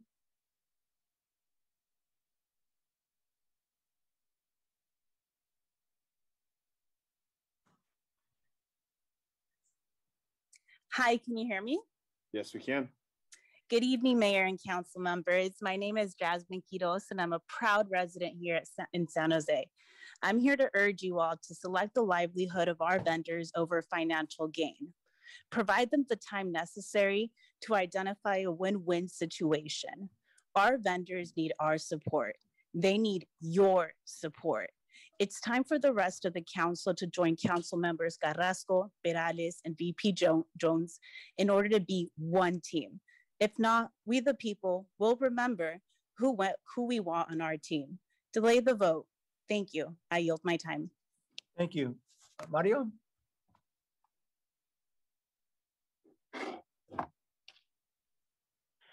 Buenas noches, ¿me escuchan? Sí, bienvenido. Gracias, gracias. Buenas noches, alcalde, concejales. Eh, como vendedor del flea market, eh, recurro a ustedes a que nos apoyen dando una que, que se postergue estos es 90 días que se pide para poder ah, tratar de negociar y llegar a un mejor acuerdo que nos beneficie a todos y esto mejore nuestras vidas. Aquí estamos ah, con los con nuestros jóvenes líderes en, huelga de hambre, a ver si nos escuchan y que la, comuni- la comunidad nos apoye y, y usted como autoridad, alcalde, eh, la balanza, ¿no? Entre, entre una familia y, y, y 500 familias que, que necesitamos, que es nuestra fuente de ingreso. Pedimos justicia, por favor. Eso es todo. Muchas gracias. Buenas noches. Gracias, Mario. We're going to wait for a moment for some translation. Can the interpreters go on the English channel and repeat that, please?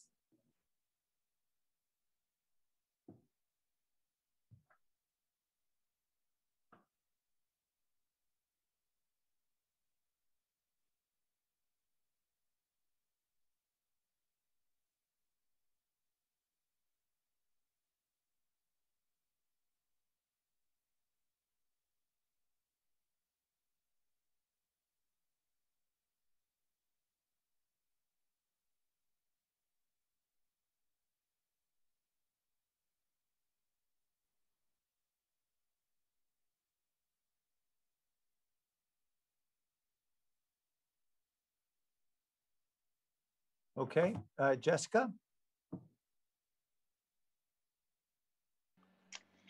Hi there. Uh, my name is Jessica Matthew. I'm with Silicon Valley DSA, and I'm a resident of District 1, calling in to support the vendors of the flea market.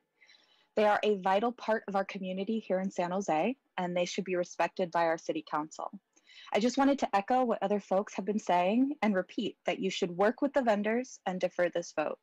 We are dealing with a housing and economic crisis in this city. The things you are doing now will impact literally generations to come. So please listen to all of the concerned members of our community on this call tonight and stand in solidarity with the vendors of the flea market. Defer the vote and work with the vendors to come up with a better plan. Thanks. Thank you. Alma, welcome. Good evening, uh, Mayor and council members. My name is Salma. I'm part of the second generation of a family of vendors who has been at the flea market for more than 30 years. Um, I know you know, but right now, my fellow vendors are in a hunger strike outside the city hall as a desperate action for our voices to be heard.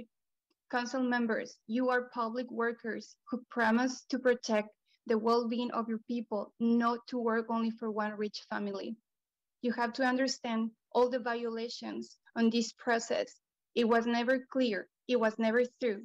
The city of San Jose made a huge cruel and racist mistake by approving this project, and now it's your responsibility to create a new benefits agreement that will benefit all the vendors. Please delay this vote, and I want to appreciate the help of Carrasco and Peralez. Thank you.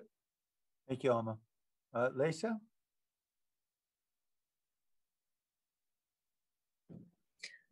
Um, hi, hello, can you hear me?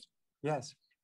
Um, it is Liza, by the way. Uh, but hi, yes, I'm here in support of um, the vendors. And well, I kind of wanted to comment how um, I see no empathy for the community, but back to what I was going to say. So for the past, I have been an employee there at the flea market and present client.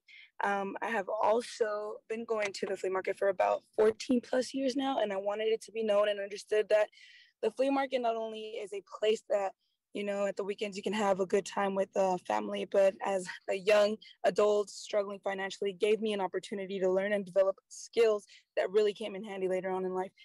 Also uh, growing up you know at low pretty much. Um anyways i just wanted to make sure that please defer the vote and just give them time Thank you. Lamara?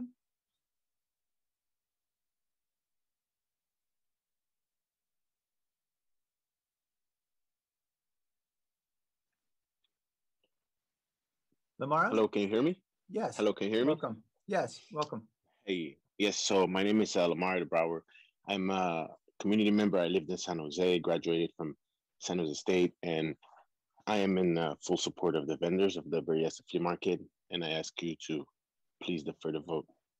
I uh, yield my time. Thank you. Uh, Jocelyn? Hi, can you hear me? Uh, yes. Hi, my name is Jocelyn. I'm here in support of the vendors. Um, today I ask you to defer the vote by 90 days. Uh, like the vendor said, this is their livelihood, and today they are simply asking you to defer the vote by 90 days. They're not asking you to stop the progress on your village plan. We already know that the village plan will happen, but today they are simply asking you to defer the vote. These vendors are asking for more collaboration with your team so that they can have a little bit more um, compared to everything that they will lose um, if they don't get these 90 days. So we just ask that you defer the vote by 90 days. Thank you. Thank you. Adriana? Hello, good evening. My name is Adriana and resident of District 7, also member of MAIS. I am a daughter, hija of a food vendor family selling tamales y elotes in the 1990s in front of churches. I'm a daughter of a flea market vendor who has found dignity, has autonomy, and has something to call his own when he sells at the flea market. I've also, I've also been a long-time client and shopper, a beneficiary of all the good vibes that the flea market provides. The flea market is the original concept of a pop-up. The flea market is a market that around the world is protected, including night markets. It's seen as a tourist destination. We as Silicon Valley need to also protect this vital institution, particularly in uh, people of color communities. The flea market is also about interge intergenerational wealth, uh, making sure that generations of families benefit, including children going to college, being sustained by the economy that is being provided as vendors. Please support the vendors in ensuring Thank you. Adriana, I'm sorry, uh, Yusuf? Yusuf? Yes, hello, can you hear me? Yes, we can. All right, cool. Um, I wanted uh, to speak today um, in support of the vendors. Um, they are currently outside, uh, outside of City Hall in the cold on hunger strike and risking their lives and health and that is on the necks um, of those who have not uh, co collaborated with them and worked with them earlier. Um, and this is why they took these measures. Um, them losing their jobs and community and uh, these perpetuating cycles of poverty which uh, ensue from such decisions, um, you know, is also on y'all's neck. Defer the vote 90 days and work with the vendors value and strengthen community over corporate interests in all your decisions. I support our vendors. Thank you. Thank you. Catherine?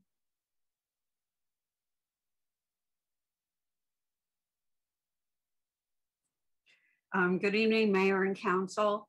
Um, I agree with what the last, all the last speakers have said from the community. We need to support the flea market vendors. They're out there striking because this is you know, hunger striking because this is so important to them. um, siding with the developers that they don't have to give just three short months after, how long has this plan been sitting around? I mean, why does that have to be now? Why can't it wait three more months? Anybody who wants to rush you into making a decision on something won't let you discuss it with anybody.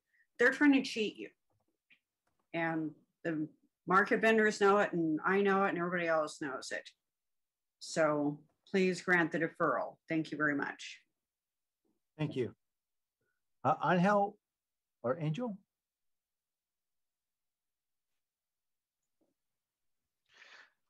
Can you hear me? Yes. Well, hello everyone. My name is Angel Martinez, and I am a San Jose native, as well as a member of a family that have thoroughly enjoyed the flea market uh, as it once was. The decision that the council is facing today, uh, well, actually tomorrow morning, uh, is an unenviable one. However, as you have all heard here today, the community is asking for your help.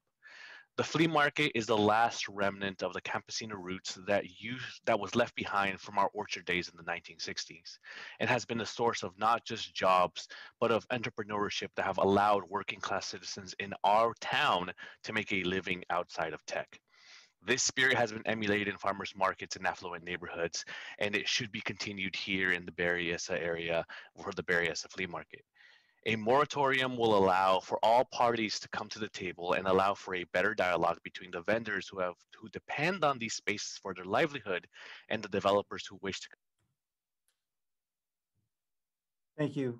Oscar?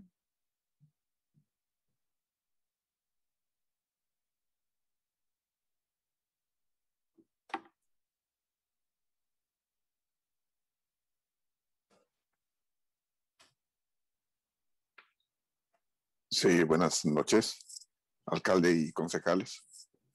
La decisión que ustedes el día de hoy tomen, eh, yo creo que va a ser de mucha trascendencia, no solamente para la vida de, de, esta gente, sino también de la ciudad de San José. Eh, sabemos que la historia va a hablar de ustedes, dependiendo de cómo voten el día de hoy o cómo tomen la decisión del día de hoy. Yo sé que ahorita va a terminar la junta y ustedes se van a ir tranquilos a su casa, pero pongámonos un poquito en, los zapatos de los vendedores.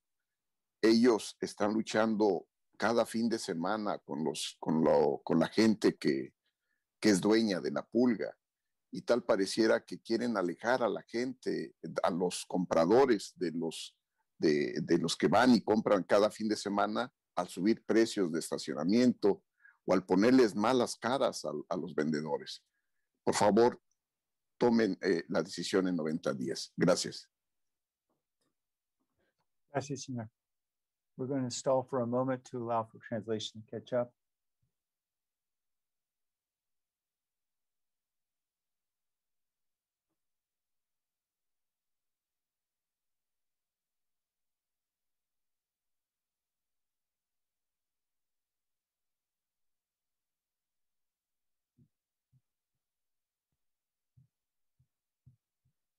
Okay, um, Suzanne? Hi, I'm Suzanne. My husband actually spoke a little earlier, but I have my own thing to say. I, as you know, we recently moved from Sunnyvale to San Jose because we really like the culture here. Um, I'm not an engineer. I actually work for a church. And I don't know if any of you guys on the council are people of faith I don't judge you if you aren't. That's that's okay. but I want to tell you that as I was thinking about all of this, my husband was very involved with all the marches and the protests, and he was telling me what's going on. And I pray and I hear from God. And I just want to let you know that you guys on this council, the mayor, you're all people in power. You guys were elected. You guys have resources you have a level of privilege. And you were elected into this position and you will be held responsible. So do the Thank you. The person with the phone number ending 8527.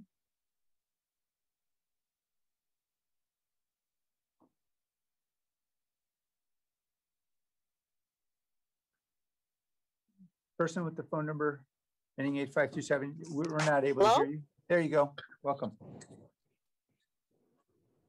¿Me escuchan? Sí, Buenas noches. bienvenido. Gracias. Muchas gracias. Bueno, lo que yo quería decir es que eh, yo soy vendedora de la flea market. Mi nombre es Lulu.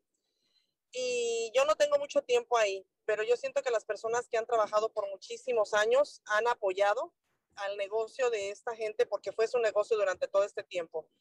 Es obvio que se va a vender, la pulga se va a cerrar, pero lo único que están pidiendo los niños que están allá afuera, que son unos héroes que no han comido en más de 24 horas, están pidiendo para nosotros los vendedores que por favor nos den los 90 días que estamos pidiendo. Y no es difícil, es egoísta de parte de todos no darles el tiempo que necesitan. Eso es lo único que quería decir y vamos, pues nosotros apoyamos a, a su negocio, que nos apoyen ahora ellos a nosotros. Yo creo que es lo justo. Gracias. So I'm a vendor. Yes, so I'm a vendor at the flea market. My name is Lulu. I haven't been there long, but I see some of my next door um, business people who have been there for many years, helping the business of the owners.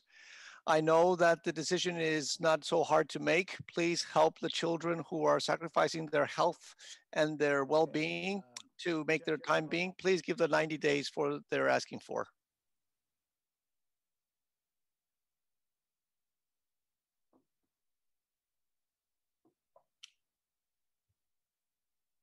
Jessica, welcome.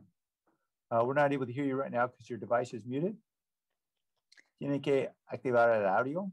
Hi, thank you for your time. Um, I saw you this weekend at the flea market Sam San Ricardo, so I know you enjoy our culture and enjoy being around our community. Um, think about how this will impact, um, you know, all of those uh, small business owners and their families, because how a lot of other people have stated, these people live in our communities too. They don't just come here and sell on the weekends. They I live, my neighbors are actually vendors at the flea market. I myself grew up, you know, working at the flea market. 90 days is not going to hurt anybody. Um, the fact that they put this on the table and they're not giving them time to review what it is that they're getting into, that to me is sketch. I don't trust the uh, the flea market owners. I don't think they should be involved in negotiations as far as it is a historic um, monument and getting rid of it like that will affect our culture. It wipes out a whole multiple generations, not just one's history. Um, it would suck to see it gone. And Oh, Thank you. Uh, Monico? Yes, uh, this is Monaco. Um, and I saw you this week, last weekend, uh, walking around the flea market. And as you can see, I also have three stands at the flea market. And uh, that's the only way I can provide food and shelter to my family. So that's why we're asking to help us at this moment uh, to for the 90 days before. So thank you for your time and I hope you do the right thing. Thank you, Monica. Alfonso? Uh, yes, hi, my name is Alfonso Yola. I'm a recent resident of District District Three. Um, moved to San Jose last year, so haven't been to the flea market for generations. But I do know in hearing um, the voices of the vendors that it's important for them to be able to have the dignity of sustaining a livelihood. Um, I also know that you know it's hundreds of small businesses that are there, and getting rid of them without thinking about the impact to them and their families, I think, is uh, something really dangerous. And you know, it's a sign of good and compassionate governance to lead by listening to those that are most impacted by decisions that are made. So I think that um, you know, knowing that the vendors are all in agreement of having this moratorium and this deferral of 90 days, I think it's uh, incumbent on the council to listen to what the vendors want and defer for 90 days. Thank you. Thank you. Uh, Brian Bahena? Yeah, hi. Uh, I would like to sex, uh, just express and ask for like uh, to give us 90 days.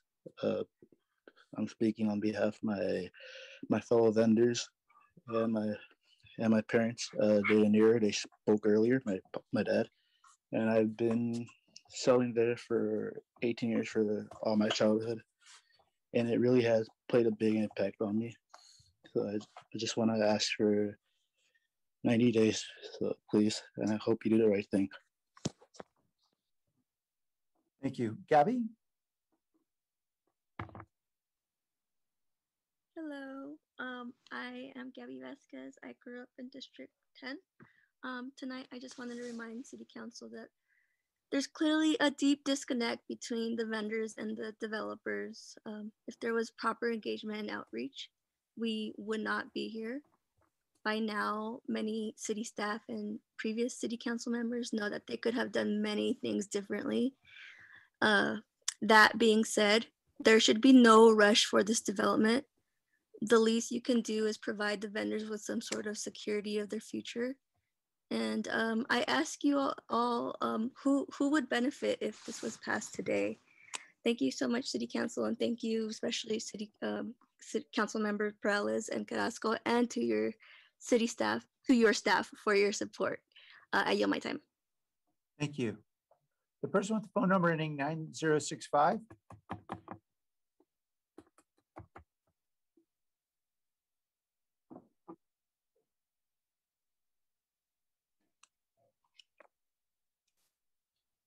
Hello. Uh, hello, welcome, bienvenido. Sí, mi, mi nombre es uh, Marta. Buenas noches, señor alcalde y concejales. Soy vendedora de la Flea Market. Por favor, sean un poco más humanos y denos los 90 días que necesitamos. Recuerden que algún día ustedes o sus hijos o hermanos o familia estarán en la misma situación y alguien los va a ayudar si ustedes nos ayudan a nosotros. Muchas gracias. Gracias. Hi, my name is Marta, and I'm a vendor.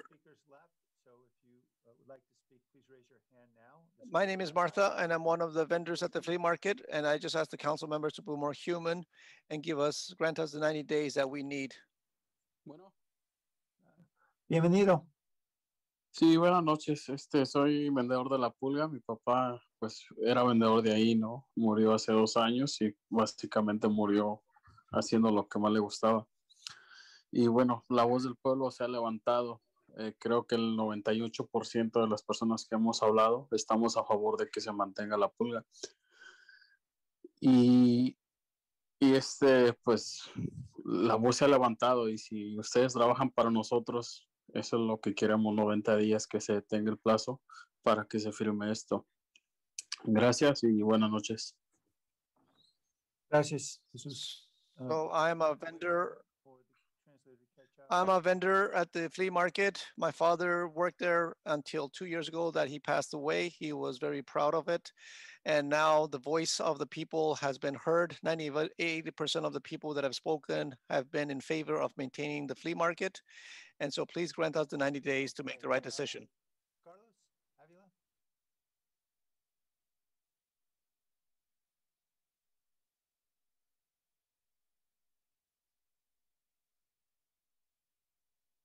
Uh, There you go. uh, hello, hey, how you doing? Uh, say, uh, how you doing? Welcome, Carlos. Hey, uh, thank you, Sam Liccardo, for having me here, Mayor. Um, I just want to say, like, you know what? I've been a part of the community for a very long time, and I've been a DJ with uh, a lot of people that you know as well as Mark Lopez and Mike Lopez. I hate to say names right now, but we really need help right now, like to keep the market open. Um, I could do anything in my powers as far as my part, but like we really need this to like happen. Like we can't let our people out here. Like San Jose is the first city in actually California. And if people really want to know the history of Thank you. Karen?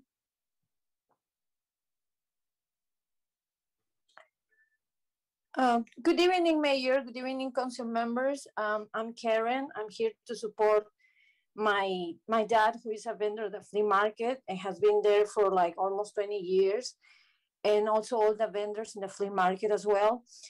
Um, the first time when I, I came to the US, I started helping my dad at a flea market. And also I was attending college. I graduated, I transferred to San Jose State, and now I'm pursuing a master's degree. I, I'm just going to ask the council member, the council members to think about the people that they're displacing and think about their children and their grandchildren too, because they are the future of San Jose. Thank you. Thank you. Leslie Carvajal. Good evening, um, City Council. My name is Leslie Carvajal, and I am a resident of San Jose. Uh, I wanted to show my support by speaking on this matter. Uh, I don't know if you noticed, but this is a form of gentrification by leaving thousands of families and vendors without without a job, which, as we saw with the pandemic, left people homeless, hungry, and in debt. And I find it inhumane inhumane for the city council to turn a blind eye to a blind eye where rich people come to destroy our communities for their selfish pockets. Thank you, and I. Thank you. Nancy?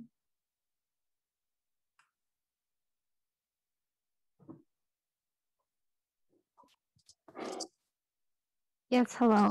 I am calling in support of the vendors. I am asking for your support because my own family has been blessed by this market and its people. San Jose has decided that the land where the beloved flea market resides will be turned into units and commercial spaces, leaving us with only five acres and no space for the displaced 450 vendors. Projects like these are what slowly have pushed out our lower income communities in the past and are only prioritizing the gentrifier to make a profit. Like the speaker said, these are people of color, and they are the ones who will be losing a safe and peaceful space in the city of San Jose. I urge you to join the fight and to defer for 90 days. Thank you. I yield. Thank you. Julian or Julian? Hi, um, I am a resident of District 8 and I'm speaking in support of our vendors. Uh, the flea market has been a place for families like mine to be able to survive in a growingly gentrified city. Uh, this is a place that I hold really close to me. It's literally put clothes on my back and it's put food in people's stomachs. Um, displacing hundreds of hardworking business owners from the flea market will displace possibly hundreds of families from our from our city, from our communities. Um, families that have been here for generations, families in general that make San Jose such an amazing city. Uh, I think voting on this right now during a pandemic recovery is is a heartless act, and I act, I ask for a deferral. Thank you. Thank you, Alex.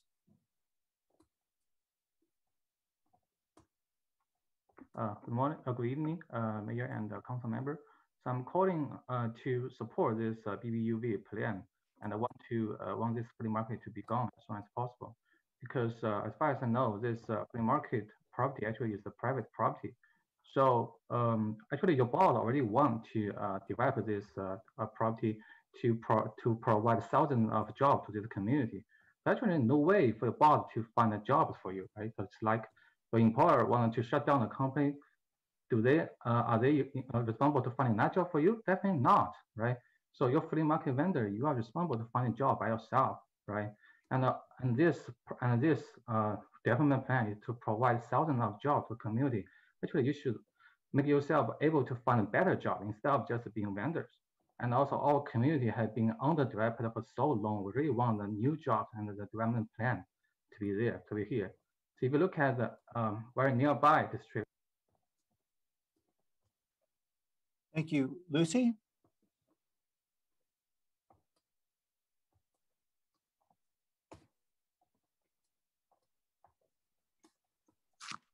Good evening. Good evening. My name is Lucy Vianda. I have been a vendor for over 30 years at the flea market.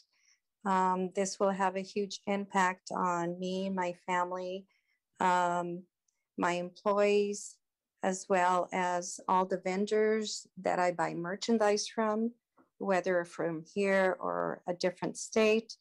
Um, it's also um, an impact on our community.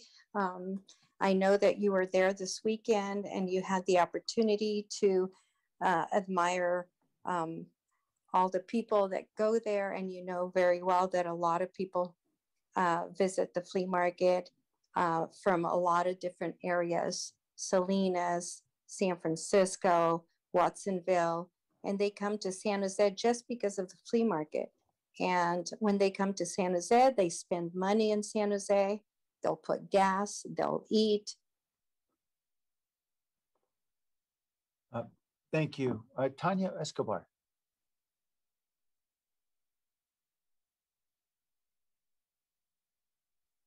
Hi, um, I just wanted to have a rebuttal comment to a previous speaker who encouraged the vendors to seek a better job. I think that's incredibly classist and disrespectful to say that their choice uh, in pursuing a business as a vendor is somehow lower in status. And I think we need to uh, make room for all sorts of people and their choices in life. So just want to say you're supported. We love you, vendors. Um, and I hope the council and the mayor does the right thing. Thank you. Um, Glenn Mercado, I, I'm about 95% sure you spoke already, but you keep raising your hand. Hi, can you hear me? Yeah, you spoke previously, didn't you, Glenn? Oh, I couldn't because I had uh, technical difficulties. So I was passed Okay, over. go ahead, Glenn. Okay. I'm Glenn Mercado. I live in Daly City and I'm a member of Malaya Movement San Francisco. I'm here this evening in solidarity with the Berryessa Flea vendors and the hunger strikers outside of San Jose City Hall. Like many of those who spoke before me, I echo their demands. The Berryessa Flea Market is a staple of San Jose and the whole Bay Area, thanks to the vendors. I would be extremely disappointed in this council to simply move forward with the development plans without genuinely addressing the concerns of the Berryessa Flea vendors and the San Jose community, as you're witnessing now. I don't know how anyone can just be okay with endangering the livelihood of so many families and pretend like they don't exist. They're demanding inclusion when really they deserve so much more. I urge you to save La Pulga and stand with the vendors. Thank you. I yield the rest of my time. Thank you. All right, the, um, the public comment is closed then. Uh, I want to thank the many people who came out to speak and, and, uh, or, or, or chose to join us by Zoom to speak, uh, and as well as many who came simply to listen because so much is, um, so much is at stake. Uh, and by that, I mean, there's a clear perception that the decision before us on the council um, is whether or not we're going to close the flea market. Um, I say that's the perception because unfortunately, under the law, that's not the fact. Uh, we don't have that choice before us. That decision, at least the closure of the portion of a flea market is was made in 2007 and i'll get to that in a moment. Um, i, I want to thank though all the vendors who have spoken today who came out uh, thursday night to the flea market to speak to us about 300 vendors or so we spent uh, must have been about three hours uh, there together or close to it. Uh, I want to thank the vendors I spoke with on Sunday when I went to the flea market, Antonio, Alma, and several others who, who helped educate me uh, a bit about the extraordinary place that uh, they have created uh, by their labor, by their efforts, and by the, the efforts of, of their families and families like theirs for many decades. Uh, I, I know there's a perception that somehow or another there is a divide of some kind on this council about wanting to protect the vendors. And I, I want to be very clear that I, I suspect that every member of this council would love to do everything we possibly can to preserve this beautiful centerpiece of our community and to protect the vendors in any legal way that we possibly can. Um, I'm only going to speak briefly before I hand this off, but I want to just clarify one basic question, which is that being in solidarity with the vendors doesn't settle the question. It, only starts the question, which is how do we best protect their livelihoods and give them an opportunity either to be able to continue operating in an urban market at that site or, or be able to find another place here in the city of San Jose. Uh, I think folks have heard at this point that there has been a prior approval by the council in 2007, and it just so happens that makes all the difference here and what happens. The 2007 plan was modified in 2016, but we are essentially bound by it if we are not going to approve something different. Uh, that is state law. That's Fifth Amendment of the Constitution. Um, we don't have a choice to simply take away a development right that has been given. And you know, one of the speakers, I think Mayra Flores, put it very well. She said the 2007 plan is not the right plan for today. She's right; it's not the right plan. And frankly, we went back in time. I suspect many of us uh, would find a better way. Um, but the city council's decision is still binding on the city until we approve a different plan. And we can't simply say both plans are invalid because there is a vested property right, as we'll be told by our attorneys. But certainly, we, I know council will ask those questions of our city attorney. And I expect that will be the answer because I've asked that question every which way to find some path to be able to do more to help the vendors. Uh, so the property owner has a vested right to build, and I think that's what Mr. Schoennauer was articulating, that one way or another, they're going to move forward with something. And the question is really for us, is it going to be the 2007 plan, or is it going to be a new plan approved in 2021, which was actually, I think, submitted way back in 2018. The uh, the property owner has been uh, patiently waiting for this council's decision. So uh, for me, it's a fairly straightforward question because the 2007 plan doesn't provide five acres for a reconstituted market on that site. Um, and I think that can be a very vibrant urban market, an open air market in a place with a lot of foot traffic that will be greatly beneficial, certainly to those families, but also to the whole community. Um, the 2007 plan doesn't promise a minimum three years of time before any potential displacement, which, as I understand it, the property owner is committed now under this plan that was negotiated by Councilmember Cohen. The, two, the 2007 plan doesn't promise two and a half million dollars to help. Uh, also part of what was negotiated by Councilmember Cohen. And I'd be the first to say 2.5 million isn't going to be enough to help all the vendors. And five acres is almost certainly not going to be enough to find a place for all the vendors. We have to do much more.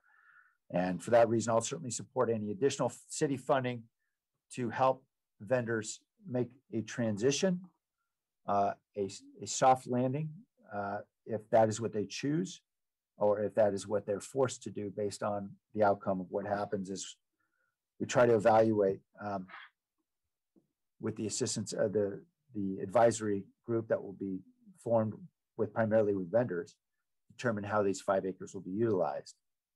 Uh, certainly, I'm happy to consider the use of ARP funding, uh, federal funding. We'll have that opportunity in October. I think based on the latest conversations I've had with city staff, it is difficult to find a way to use that money uh, for this purpose, but I hope we can find a creative path to doing so by then. Uh, if not, we'll, we can look at other dollars. Uh, for example, perhaps construction taxes that come from the development itself, that could help.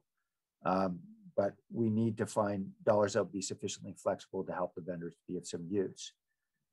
In any event, we don't need those dollars today. We'll need them as vendors are needing to make their decisions and their transition. And the good news is if we approve the 2021 plan, uh, if I guess that's what we can call it, they will have time. And that's perhaps the most important thing of all, uh, to be able to have the time to be able to find options if necessary uh, or to be able to reconstitute a market on a smaller site there at Berryessa.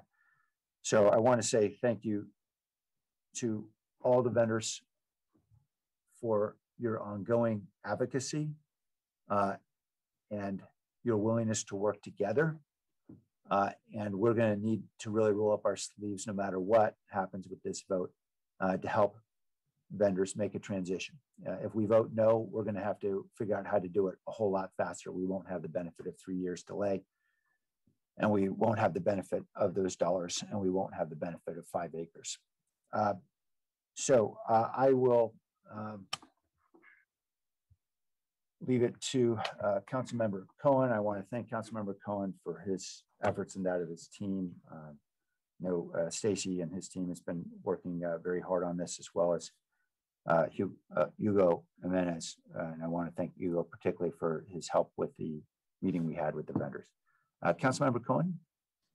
Yeah, thank you, Mayor, and, and thanks for your uh, description of the history and the importance of um, of what we're doing here. I want to I want to thank the members of the community and the vendors community that came out and spoke and and so passionately explained to us, reminded us of the importance um, of of the flea market site, a really important element of of District Four and the entire city. Um, and I, I want to thank you for uh, for everything that you've done to create a vibrant community for for um, at the at the flea market over the years. I've been frustrated uh, as I've watched the process for the entire time, for the entire 20 years since this has started, to see that the council time after time hasn't done anything to address the displacement of the vendors at the flea market. And I, so I was had an interest right from the beginning of my term to find a permanent solution for the market and, and met with vendors, uh, met with city staff and, and, and pushed for other solutions that had not been discussed before. Um, in January, Councilmember Peralez told our office about the frustration of the vendors and, and their representatives and their community partners with their inability to engage with City Hall. Um, and this led us to reaching out and engaging with the group that would eventually become the Flea Market Vendors Association. Um, you know, the diversity of the flea market reflects the diversity of District 4. Uh, it serves as an entry point for immigrants to enter our community, our country, and, to the business world. In addition to the voices we heard tonight, we have a large number of Vietnamese business owners operating on the site too. Um, and, and, it's clear that the voice of the vendors has not been included in the process for the past 18 years. Uh, the vendors we have spoken to since January have made it clear that they want to control their own fate. And this agreement sets the groundwork for that to happen. The flea market advisory group that will be created will give the vendors that voice in the collaborative process that will follow in the years ahead. So um, I do want to thank our city staff for working with, with us. I want to thank the Vendor Association for their advocacy that gave us uh, the, the, the, the, space and gave the push to the applicant for um, to make to make concessions and voluntary agreement with the city. I want to thank the applicant for helping us reach this point as well. This Berryessa BART Urban Village achieves important goals for the city of San Jose and for the whole region. The urban village will provide transit-based jobs, housing, parks, and a new urban market. And for the first time, approval of this plan will commit the developer to build on-site affordable housing units next to a BART station. They'll be required to do that rather than pay the in lieu fee. And in fact, more affordable housing units will come on this site than were built, delivered in the entire year of 2020. So it's really important for the additional affordable housing units to get, to get built. I want to thank my fellow council members who have obviously also seen the importance of the flea market as a cultural institution and as a business incubator. Um, and I thank the Vendor Association and all the vendors at the flea market for their engagement in this process that helped us get where we are. Um, so I want to make this motion that takes a lot of recommendations um, from staff, from, from my memo that I, that, that I submitted with Mayor Liccardo and Councilmember Jimenez, and also from the thoughtful memos of other council members um, that have been written in the past week. So my motion, I, I try to say this slowly enough that we can we can get it all down. My motion first is to move the staff memo that covers the planning commission recommendation of the zoning changes that are before us. In addition, the recommendations in the staff supplemental memo, which includes really an important piece of looking for additional resources, um, financial and also locations to, to make sure that the, there's enough space for the vendors to have um, ongoing businesses. I want to move the items in the joint memo submitted by Mayor Liccardo, Councilmember Jimenez, and myself. I want to move Vice Mayor Jones's memo, which has some very thoughtful additions to the process. I want to move recommendations one and two from Councilmember Carrasco's memo, um, which add additional financial aid and resources from the city, which I think will go a long way to supplementing the financial uh, package um, that will be coming as a part of, of this deal. And I want to move recommendations 1D, 1E, and number four from Councilmember Peralez' second memo. So all of that together is my motion um, for us to consider. Thank you so much. Sorry. Motion and second, was that Councilmember Jimenez? Yes. All right, thank you. All right, motion and second. Um, Councilmember Peralez? I, I was kind of hoping we would defer comment until tomorrow, but it sounds like we're already in the middle of it. So is your plan, Mayor, to go until midnight and then to continue the council discussion? Yeah, that was my plan. And So we got about twenty minutes left, see what we could get done, and then obviously continue tomorrow morning as we need to. Okay. Um, I, I, I will uh, begrudgingly go through. I think we're all kind of exhausted. So I, I I appreciate that you've made the decision that we can move on till tomorrow morning, but I'll also, I'll, I'll speak a little bit now on, on the item and then carry on tomorrow. Um, well, first off, um, thank you to all the speakers uh, who showed up as well. Um, and I think, you know, as, as, as expected, um, overwhelming majority of individuals asking for one main uh, reasonable ask of, of just an opportunity for a little bit more time. Uh, I think it's unfortunate as well that we've heard it very clear now that uh, the applicant is not only not interested in that, but um, has has threatened to sort of pull everything off of the table uh, because of that. And, and I think there's a, a, lack of understanding as to the urgency on my part, and see if we can get into that maybe uh, not tonight, but tomorrow, depending on how much time we have here. So. Um,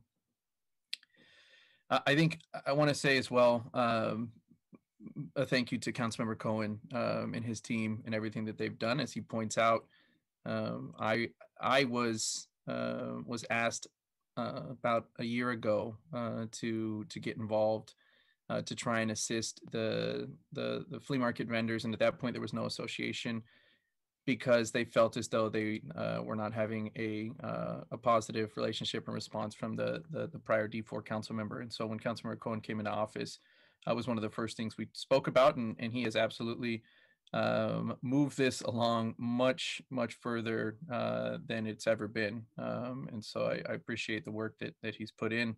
Uh, I'm personally not interested in, in you know, vilifying any council member who shares a different opinion than I do. Um, that's the nature of this job, uh, and, and especially not Councilmember Cohen. Uh, I'm, I'm also not interested in vilifying um, the applicant, the Bumb family. I'm interested in creating an opportunity for a win-win situation. And we've heard that from some community members, and I'm hoping to appeal to not only my colleagues, but essentially the uh, the applicant, the Bumb family as well, on uh, on an opportunity to do so, uh, on a family that I know uh, cares deeply for uh, their vendor community. Um, it may not feel apparent, and certainly in the way that that that uh, the vendors have been engaged, or I should say the lack of, of engagement over the years. Certainly, there's not a, a feeling of that. Um, and uh, I think there's an opportunity, though, to, to be able to prove that in what we decide to do um, tonight or tomorrow morning. And so uh, I, I also uh, recognize the, um, the potential failures of votes from back in whether it was 2007 or even when I was on the council in 2016 uh, in not getting enough support for our vendor community. And uh, I know Councilmember Cohen uh, mentioned that he was frustrated as well for, for two decades. Um, and as he served as a representative of the Berryessa School Board, um, I, I um, also took a look back at that vote, and, and uh, there were oddly only five speakers that showed up in 2016 public speakers and, and Council, uh, councilmember cohen may recall he was one of them as a trustee for the Berryessa school board actually asking for the council's support on that item that ultimately did uh, pass.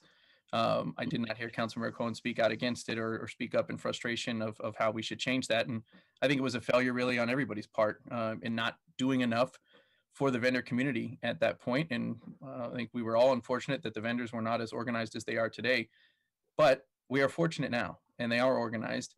And I think if they were as organized as they are today, we would have heard from them speaking up as they did tonight back then. Um, and uh, what we do have though in front of us is uh, another chance, another opportunity, um, albeit uh, we also have a risk. We have a threat of, uh, of moving back to the 2007 uh, development agreement and, and really losing everything. Um, and I think that's what we're hoping to, to avoid here and uh, and again, what I think the opportunity will be. We did also at that time in 2016 ask for robust community engagement. I think if you ask the vendor uh, association, the community now, uh, they would they would unequivocally speak and say that that did not happen over the last five years. Um, and in fact, uh, we didn't see that really become robust uh, until the last few weeks. And um, and and again, I think an opportunity that we have to to make right. I personally, because of the the quite honestly the the risks and the threat of of uh, the applicant withdrawing and moving back to the 2007 Land Use Authority, I did not come to my decision easily on um, on what I asked for earlier, uh, which was a deferral, and um, certainly haven't come to to any of the, these decisions easily uh, in regards to the, the the secondary memorandum that I've issued today, uh, and as well as as the ask that I'll have. In the uh, memorandum that I was unable to speak to in asking for a deferral, I will now explain some of those concerns that I had and why I think there actually uh, merits what is only one week, um, mind you, not not 90 days that I'm asking for that the vendor community has has been very clear that they're asking for, but what I feel is a very reasonable ask of seven days, which as of tomorrow, if we take the vote, it'll actually only be six days that we're asking for. Um, that we have that opportunity to address some of these these uh, concerns that I think are realistic and um, and valid. So number one, as I listed in the memo, there are legal concerns. Um, there were some some broad legal statements made by the mayor at the large community meeting that we held on the 16th uh, about the city being being sued, um, and there was really an unclear answer, um, and and and obviously was done um, was done on the fly at that meeting, uh, and we still have not had clarity on the legal consequences of that, which I feel that uh, this council would merit, even if it be in a closed session discussion, uh, and at least uh, in, in a discussion here. There's been a lot of questions and concerns raised from uh, a number of local land use experts, as uh, the city staff shared with all the council today and in the public record as well, um, in regards to some of the obligations. And uh, I've, I've seen and appreciate staff in their response in, in those um, these are incredibly complex uh, discussions, and I think that those also merit uh, more than just uh, a couple hours of of, uh, of headway in a response. The outreach and engagement, as I pointed out, uh, has not been robust over the last five years. And, um, and in fact, since last year, um, I started pushing on city staff to uh, to host a community-wide uh, meeting to address some of the growing concerns at the time. And as Councilmember Cohen pointed out, uh, was one of the initial uh, conversations that he and I had uh, and what really ignited some of these further conversations and, and helped to spur um, greater involvement. But that's really been just here at the, at the last stretch. Um, and understandably, this past year has been difficult because of COVID. Um, but I think that even more reason why we should be interested in allowing for a little bit more time um, to, to be able to better engage with the community. Uh, I would say as well, um, one of the challenges was the meeting that we had this past week, uh, where we, uh, it's actually was the, the, the first uh, meeting where I think we can be confident every vendor received a hand delivered notice.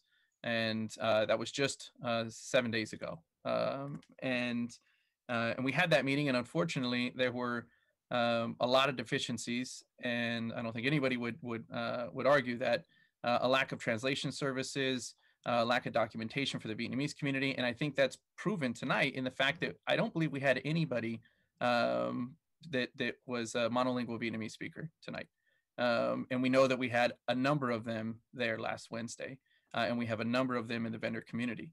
I think that there absolutely needs to be uh, better discussion, better uh, engagement with the vendors uh, and that's again one of the reasons why the vendors have asked for for a delay.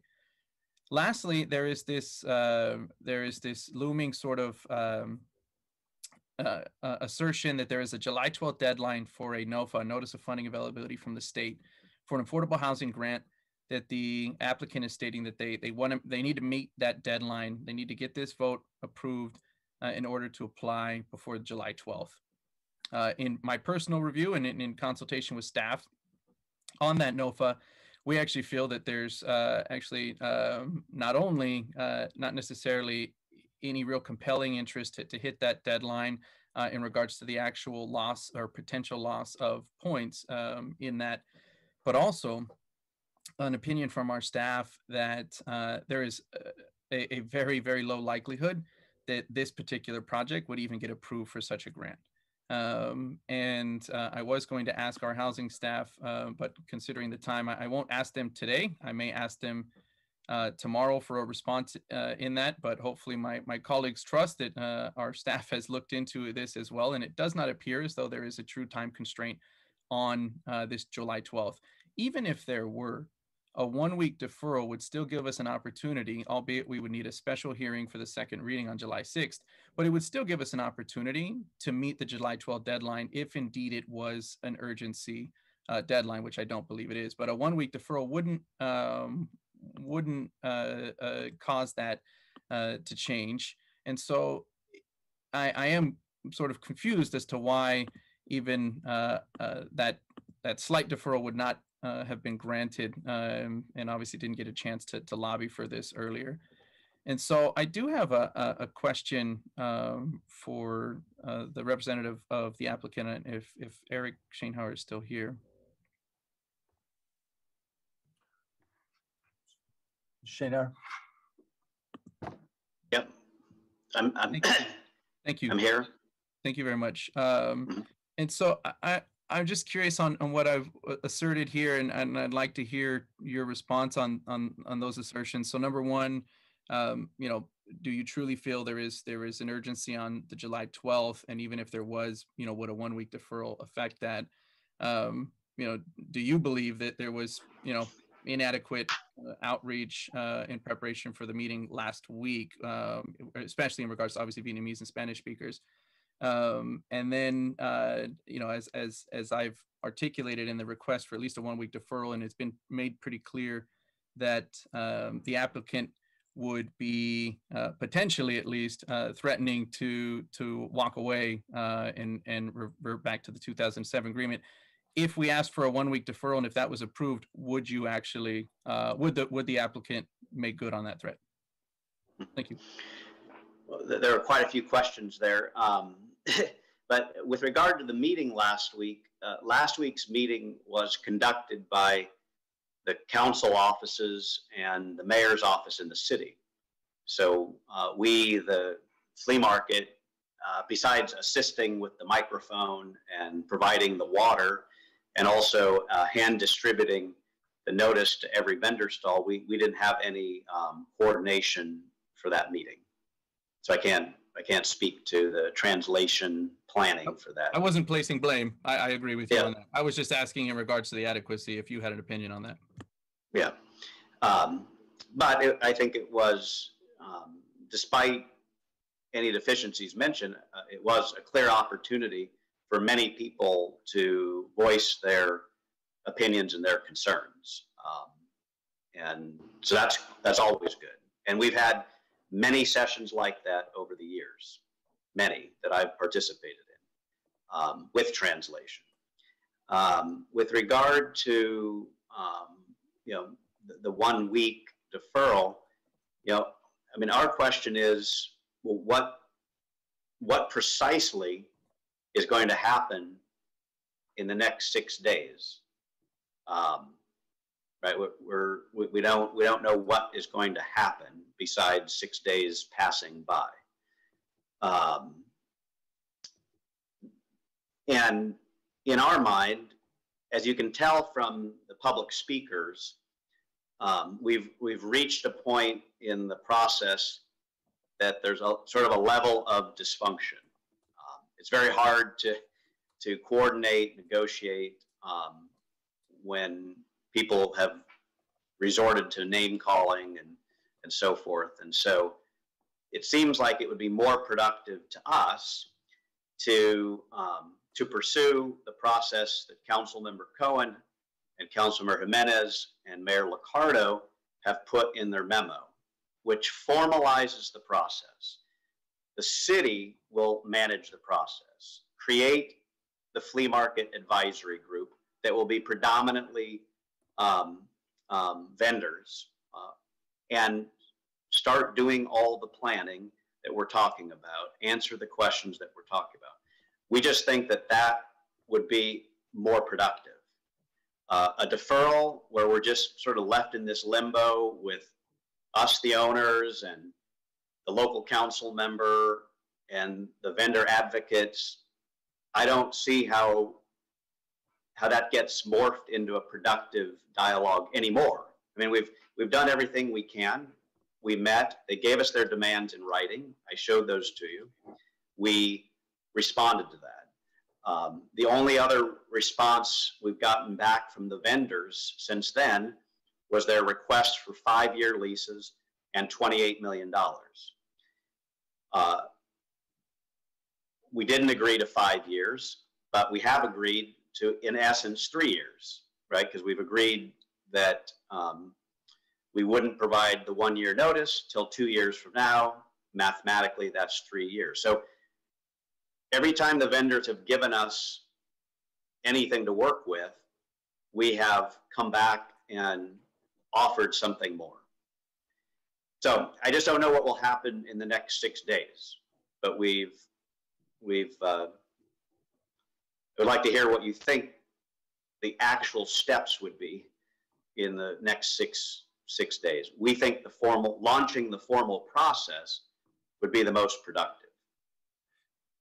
Councilmember, you're well over time. Yeah, my, my, point. my time is, is up. I'm, I'm happy to, to take it back up tomorrow, uh, and raise. Okay. Mayor, thanks. Okay. Thank you. Councilmember Esparza? Thank you. Um, so I, uh, I, so I want to just go over what the motion is, um, on the floor. Can, um, someone repeat it? I think Councilmember Cohen probably would be the expert at that. I, I Okay. can, I can repeat it. Okay. Uh, let me go, actually make sure I bring up my that proper document here. Um, first was the staff memo, which was the first memo posted. Second is the staff supplemental memo, which at the bottom actually has recommendations, not at the top as usual. Um, and then third is our joint memo, the one that I wrote with the mayor and councilmember Jimenez. The fourth is Vice Mayor Jones's memo. And then the fifth one is items one and two from Councilmember Carrasco's memo. And, and that includes all of two, A, B, C, D. Um, and then from Councilmember Peralez's memo, recommendations one D, one E, and four. One D, E, And then number four. and four. Okay, to expand the interim. Okay. Yeah. Okay. So, um, so did, the motion, um, does not include the makeup of the advisory group where a major, super majority of flea market vendors or would consist of flea market vendors. Can I ask you why that wasn't part of the motion? Well, the, the agreement that's written out already and provides for at least half of the committee to be um, grouped to, to have representatives of the vendors. Beyond that, we've been trying not to be over prescriptive as a city. And my personal preference and the preference of all of us who've been involved was to leave the makeup to a group that will be involved, that will involve the vendors and a potential consultant that the city will hire to run the process so that we wouldn't overprescribe. Because we've, we've heard that the vendors kind of want to control that fate. And, and so we didn't want to overprescribe that, the makeup of that, um, of that group. Um, you know, in addition, we've, we've heard of multiple um, vendors at the market who are parts of different groups and not necessarily united with the, the, the group that has, has organized. And so, you know, we want to make sure that, that all of them will have a part in being able to determine who will serve on this group. And we're not going to tell them who is the appropriate representative and, and what groups they should be part of. Okay, and can I ask why, um, the, so the recommendation number one from Vice Mayor Jones, that, that was included because his memo was included, is that correct? So that would already be included? Okay. Yes, yes. Okay. Um, and then, um, I wanted to ask, because, and I'm getting to a couple of points, so including clarifying language in the ordinance and resolution that the conditions of approval remain in effect in the event the property is transferred. Can I ask why that wasn't included in the motion? It's already in the language. Well, it's already in the legal language of the mo, of the memo that, that I submitted. It's already, you know, the city and then the attorneys wrote the language that already has that. I mean, if we think that we want to include additional language that repeats that, that's okay. But we, it's already in there that this, this would, would have the force of enforcement no matter who, tra- who the entitlement transfers to. Councilmember So Esparza? Yeah. Oh, I'm sorry. Go ahead, Councilmember yeah, Esparza, ahead. you, you'll, Yes. you'll have the mic first thing tomorrow morning. I think we picked Okay. the midnight hour. Okay, all right, thank you. Right, so we'll So start out with continue. Councilmember And what Esparza. time are we meeting tomorrow? Uh, I believe nine AM, is that right, Toni? Nine AM, but we do need to take a vote. Oh, we vote need- on yeah, what? need a vote On- to continue on- the hearing until tomorrow morning, is that right? Yes. Okay, I Okay. move to continue the hearing till tomorrow morning at nine AM. Second. Motion and second. Okay, let's vote on that motion. Councilmember Sparks. Jimenez, Yes. Morales, Yes. Cohen, Aye. Roscoe, Aye. Davis, Yes. Esparza, Yes. Arenas, Yes. Foley, Aye. Mahan, Aye. Jones, Aye. Pardo. Aye. Thank you. All right, thank you, everyone. Uh, The meeting will be continued tomorrow morning at nine AM.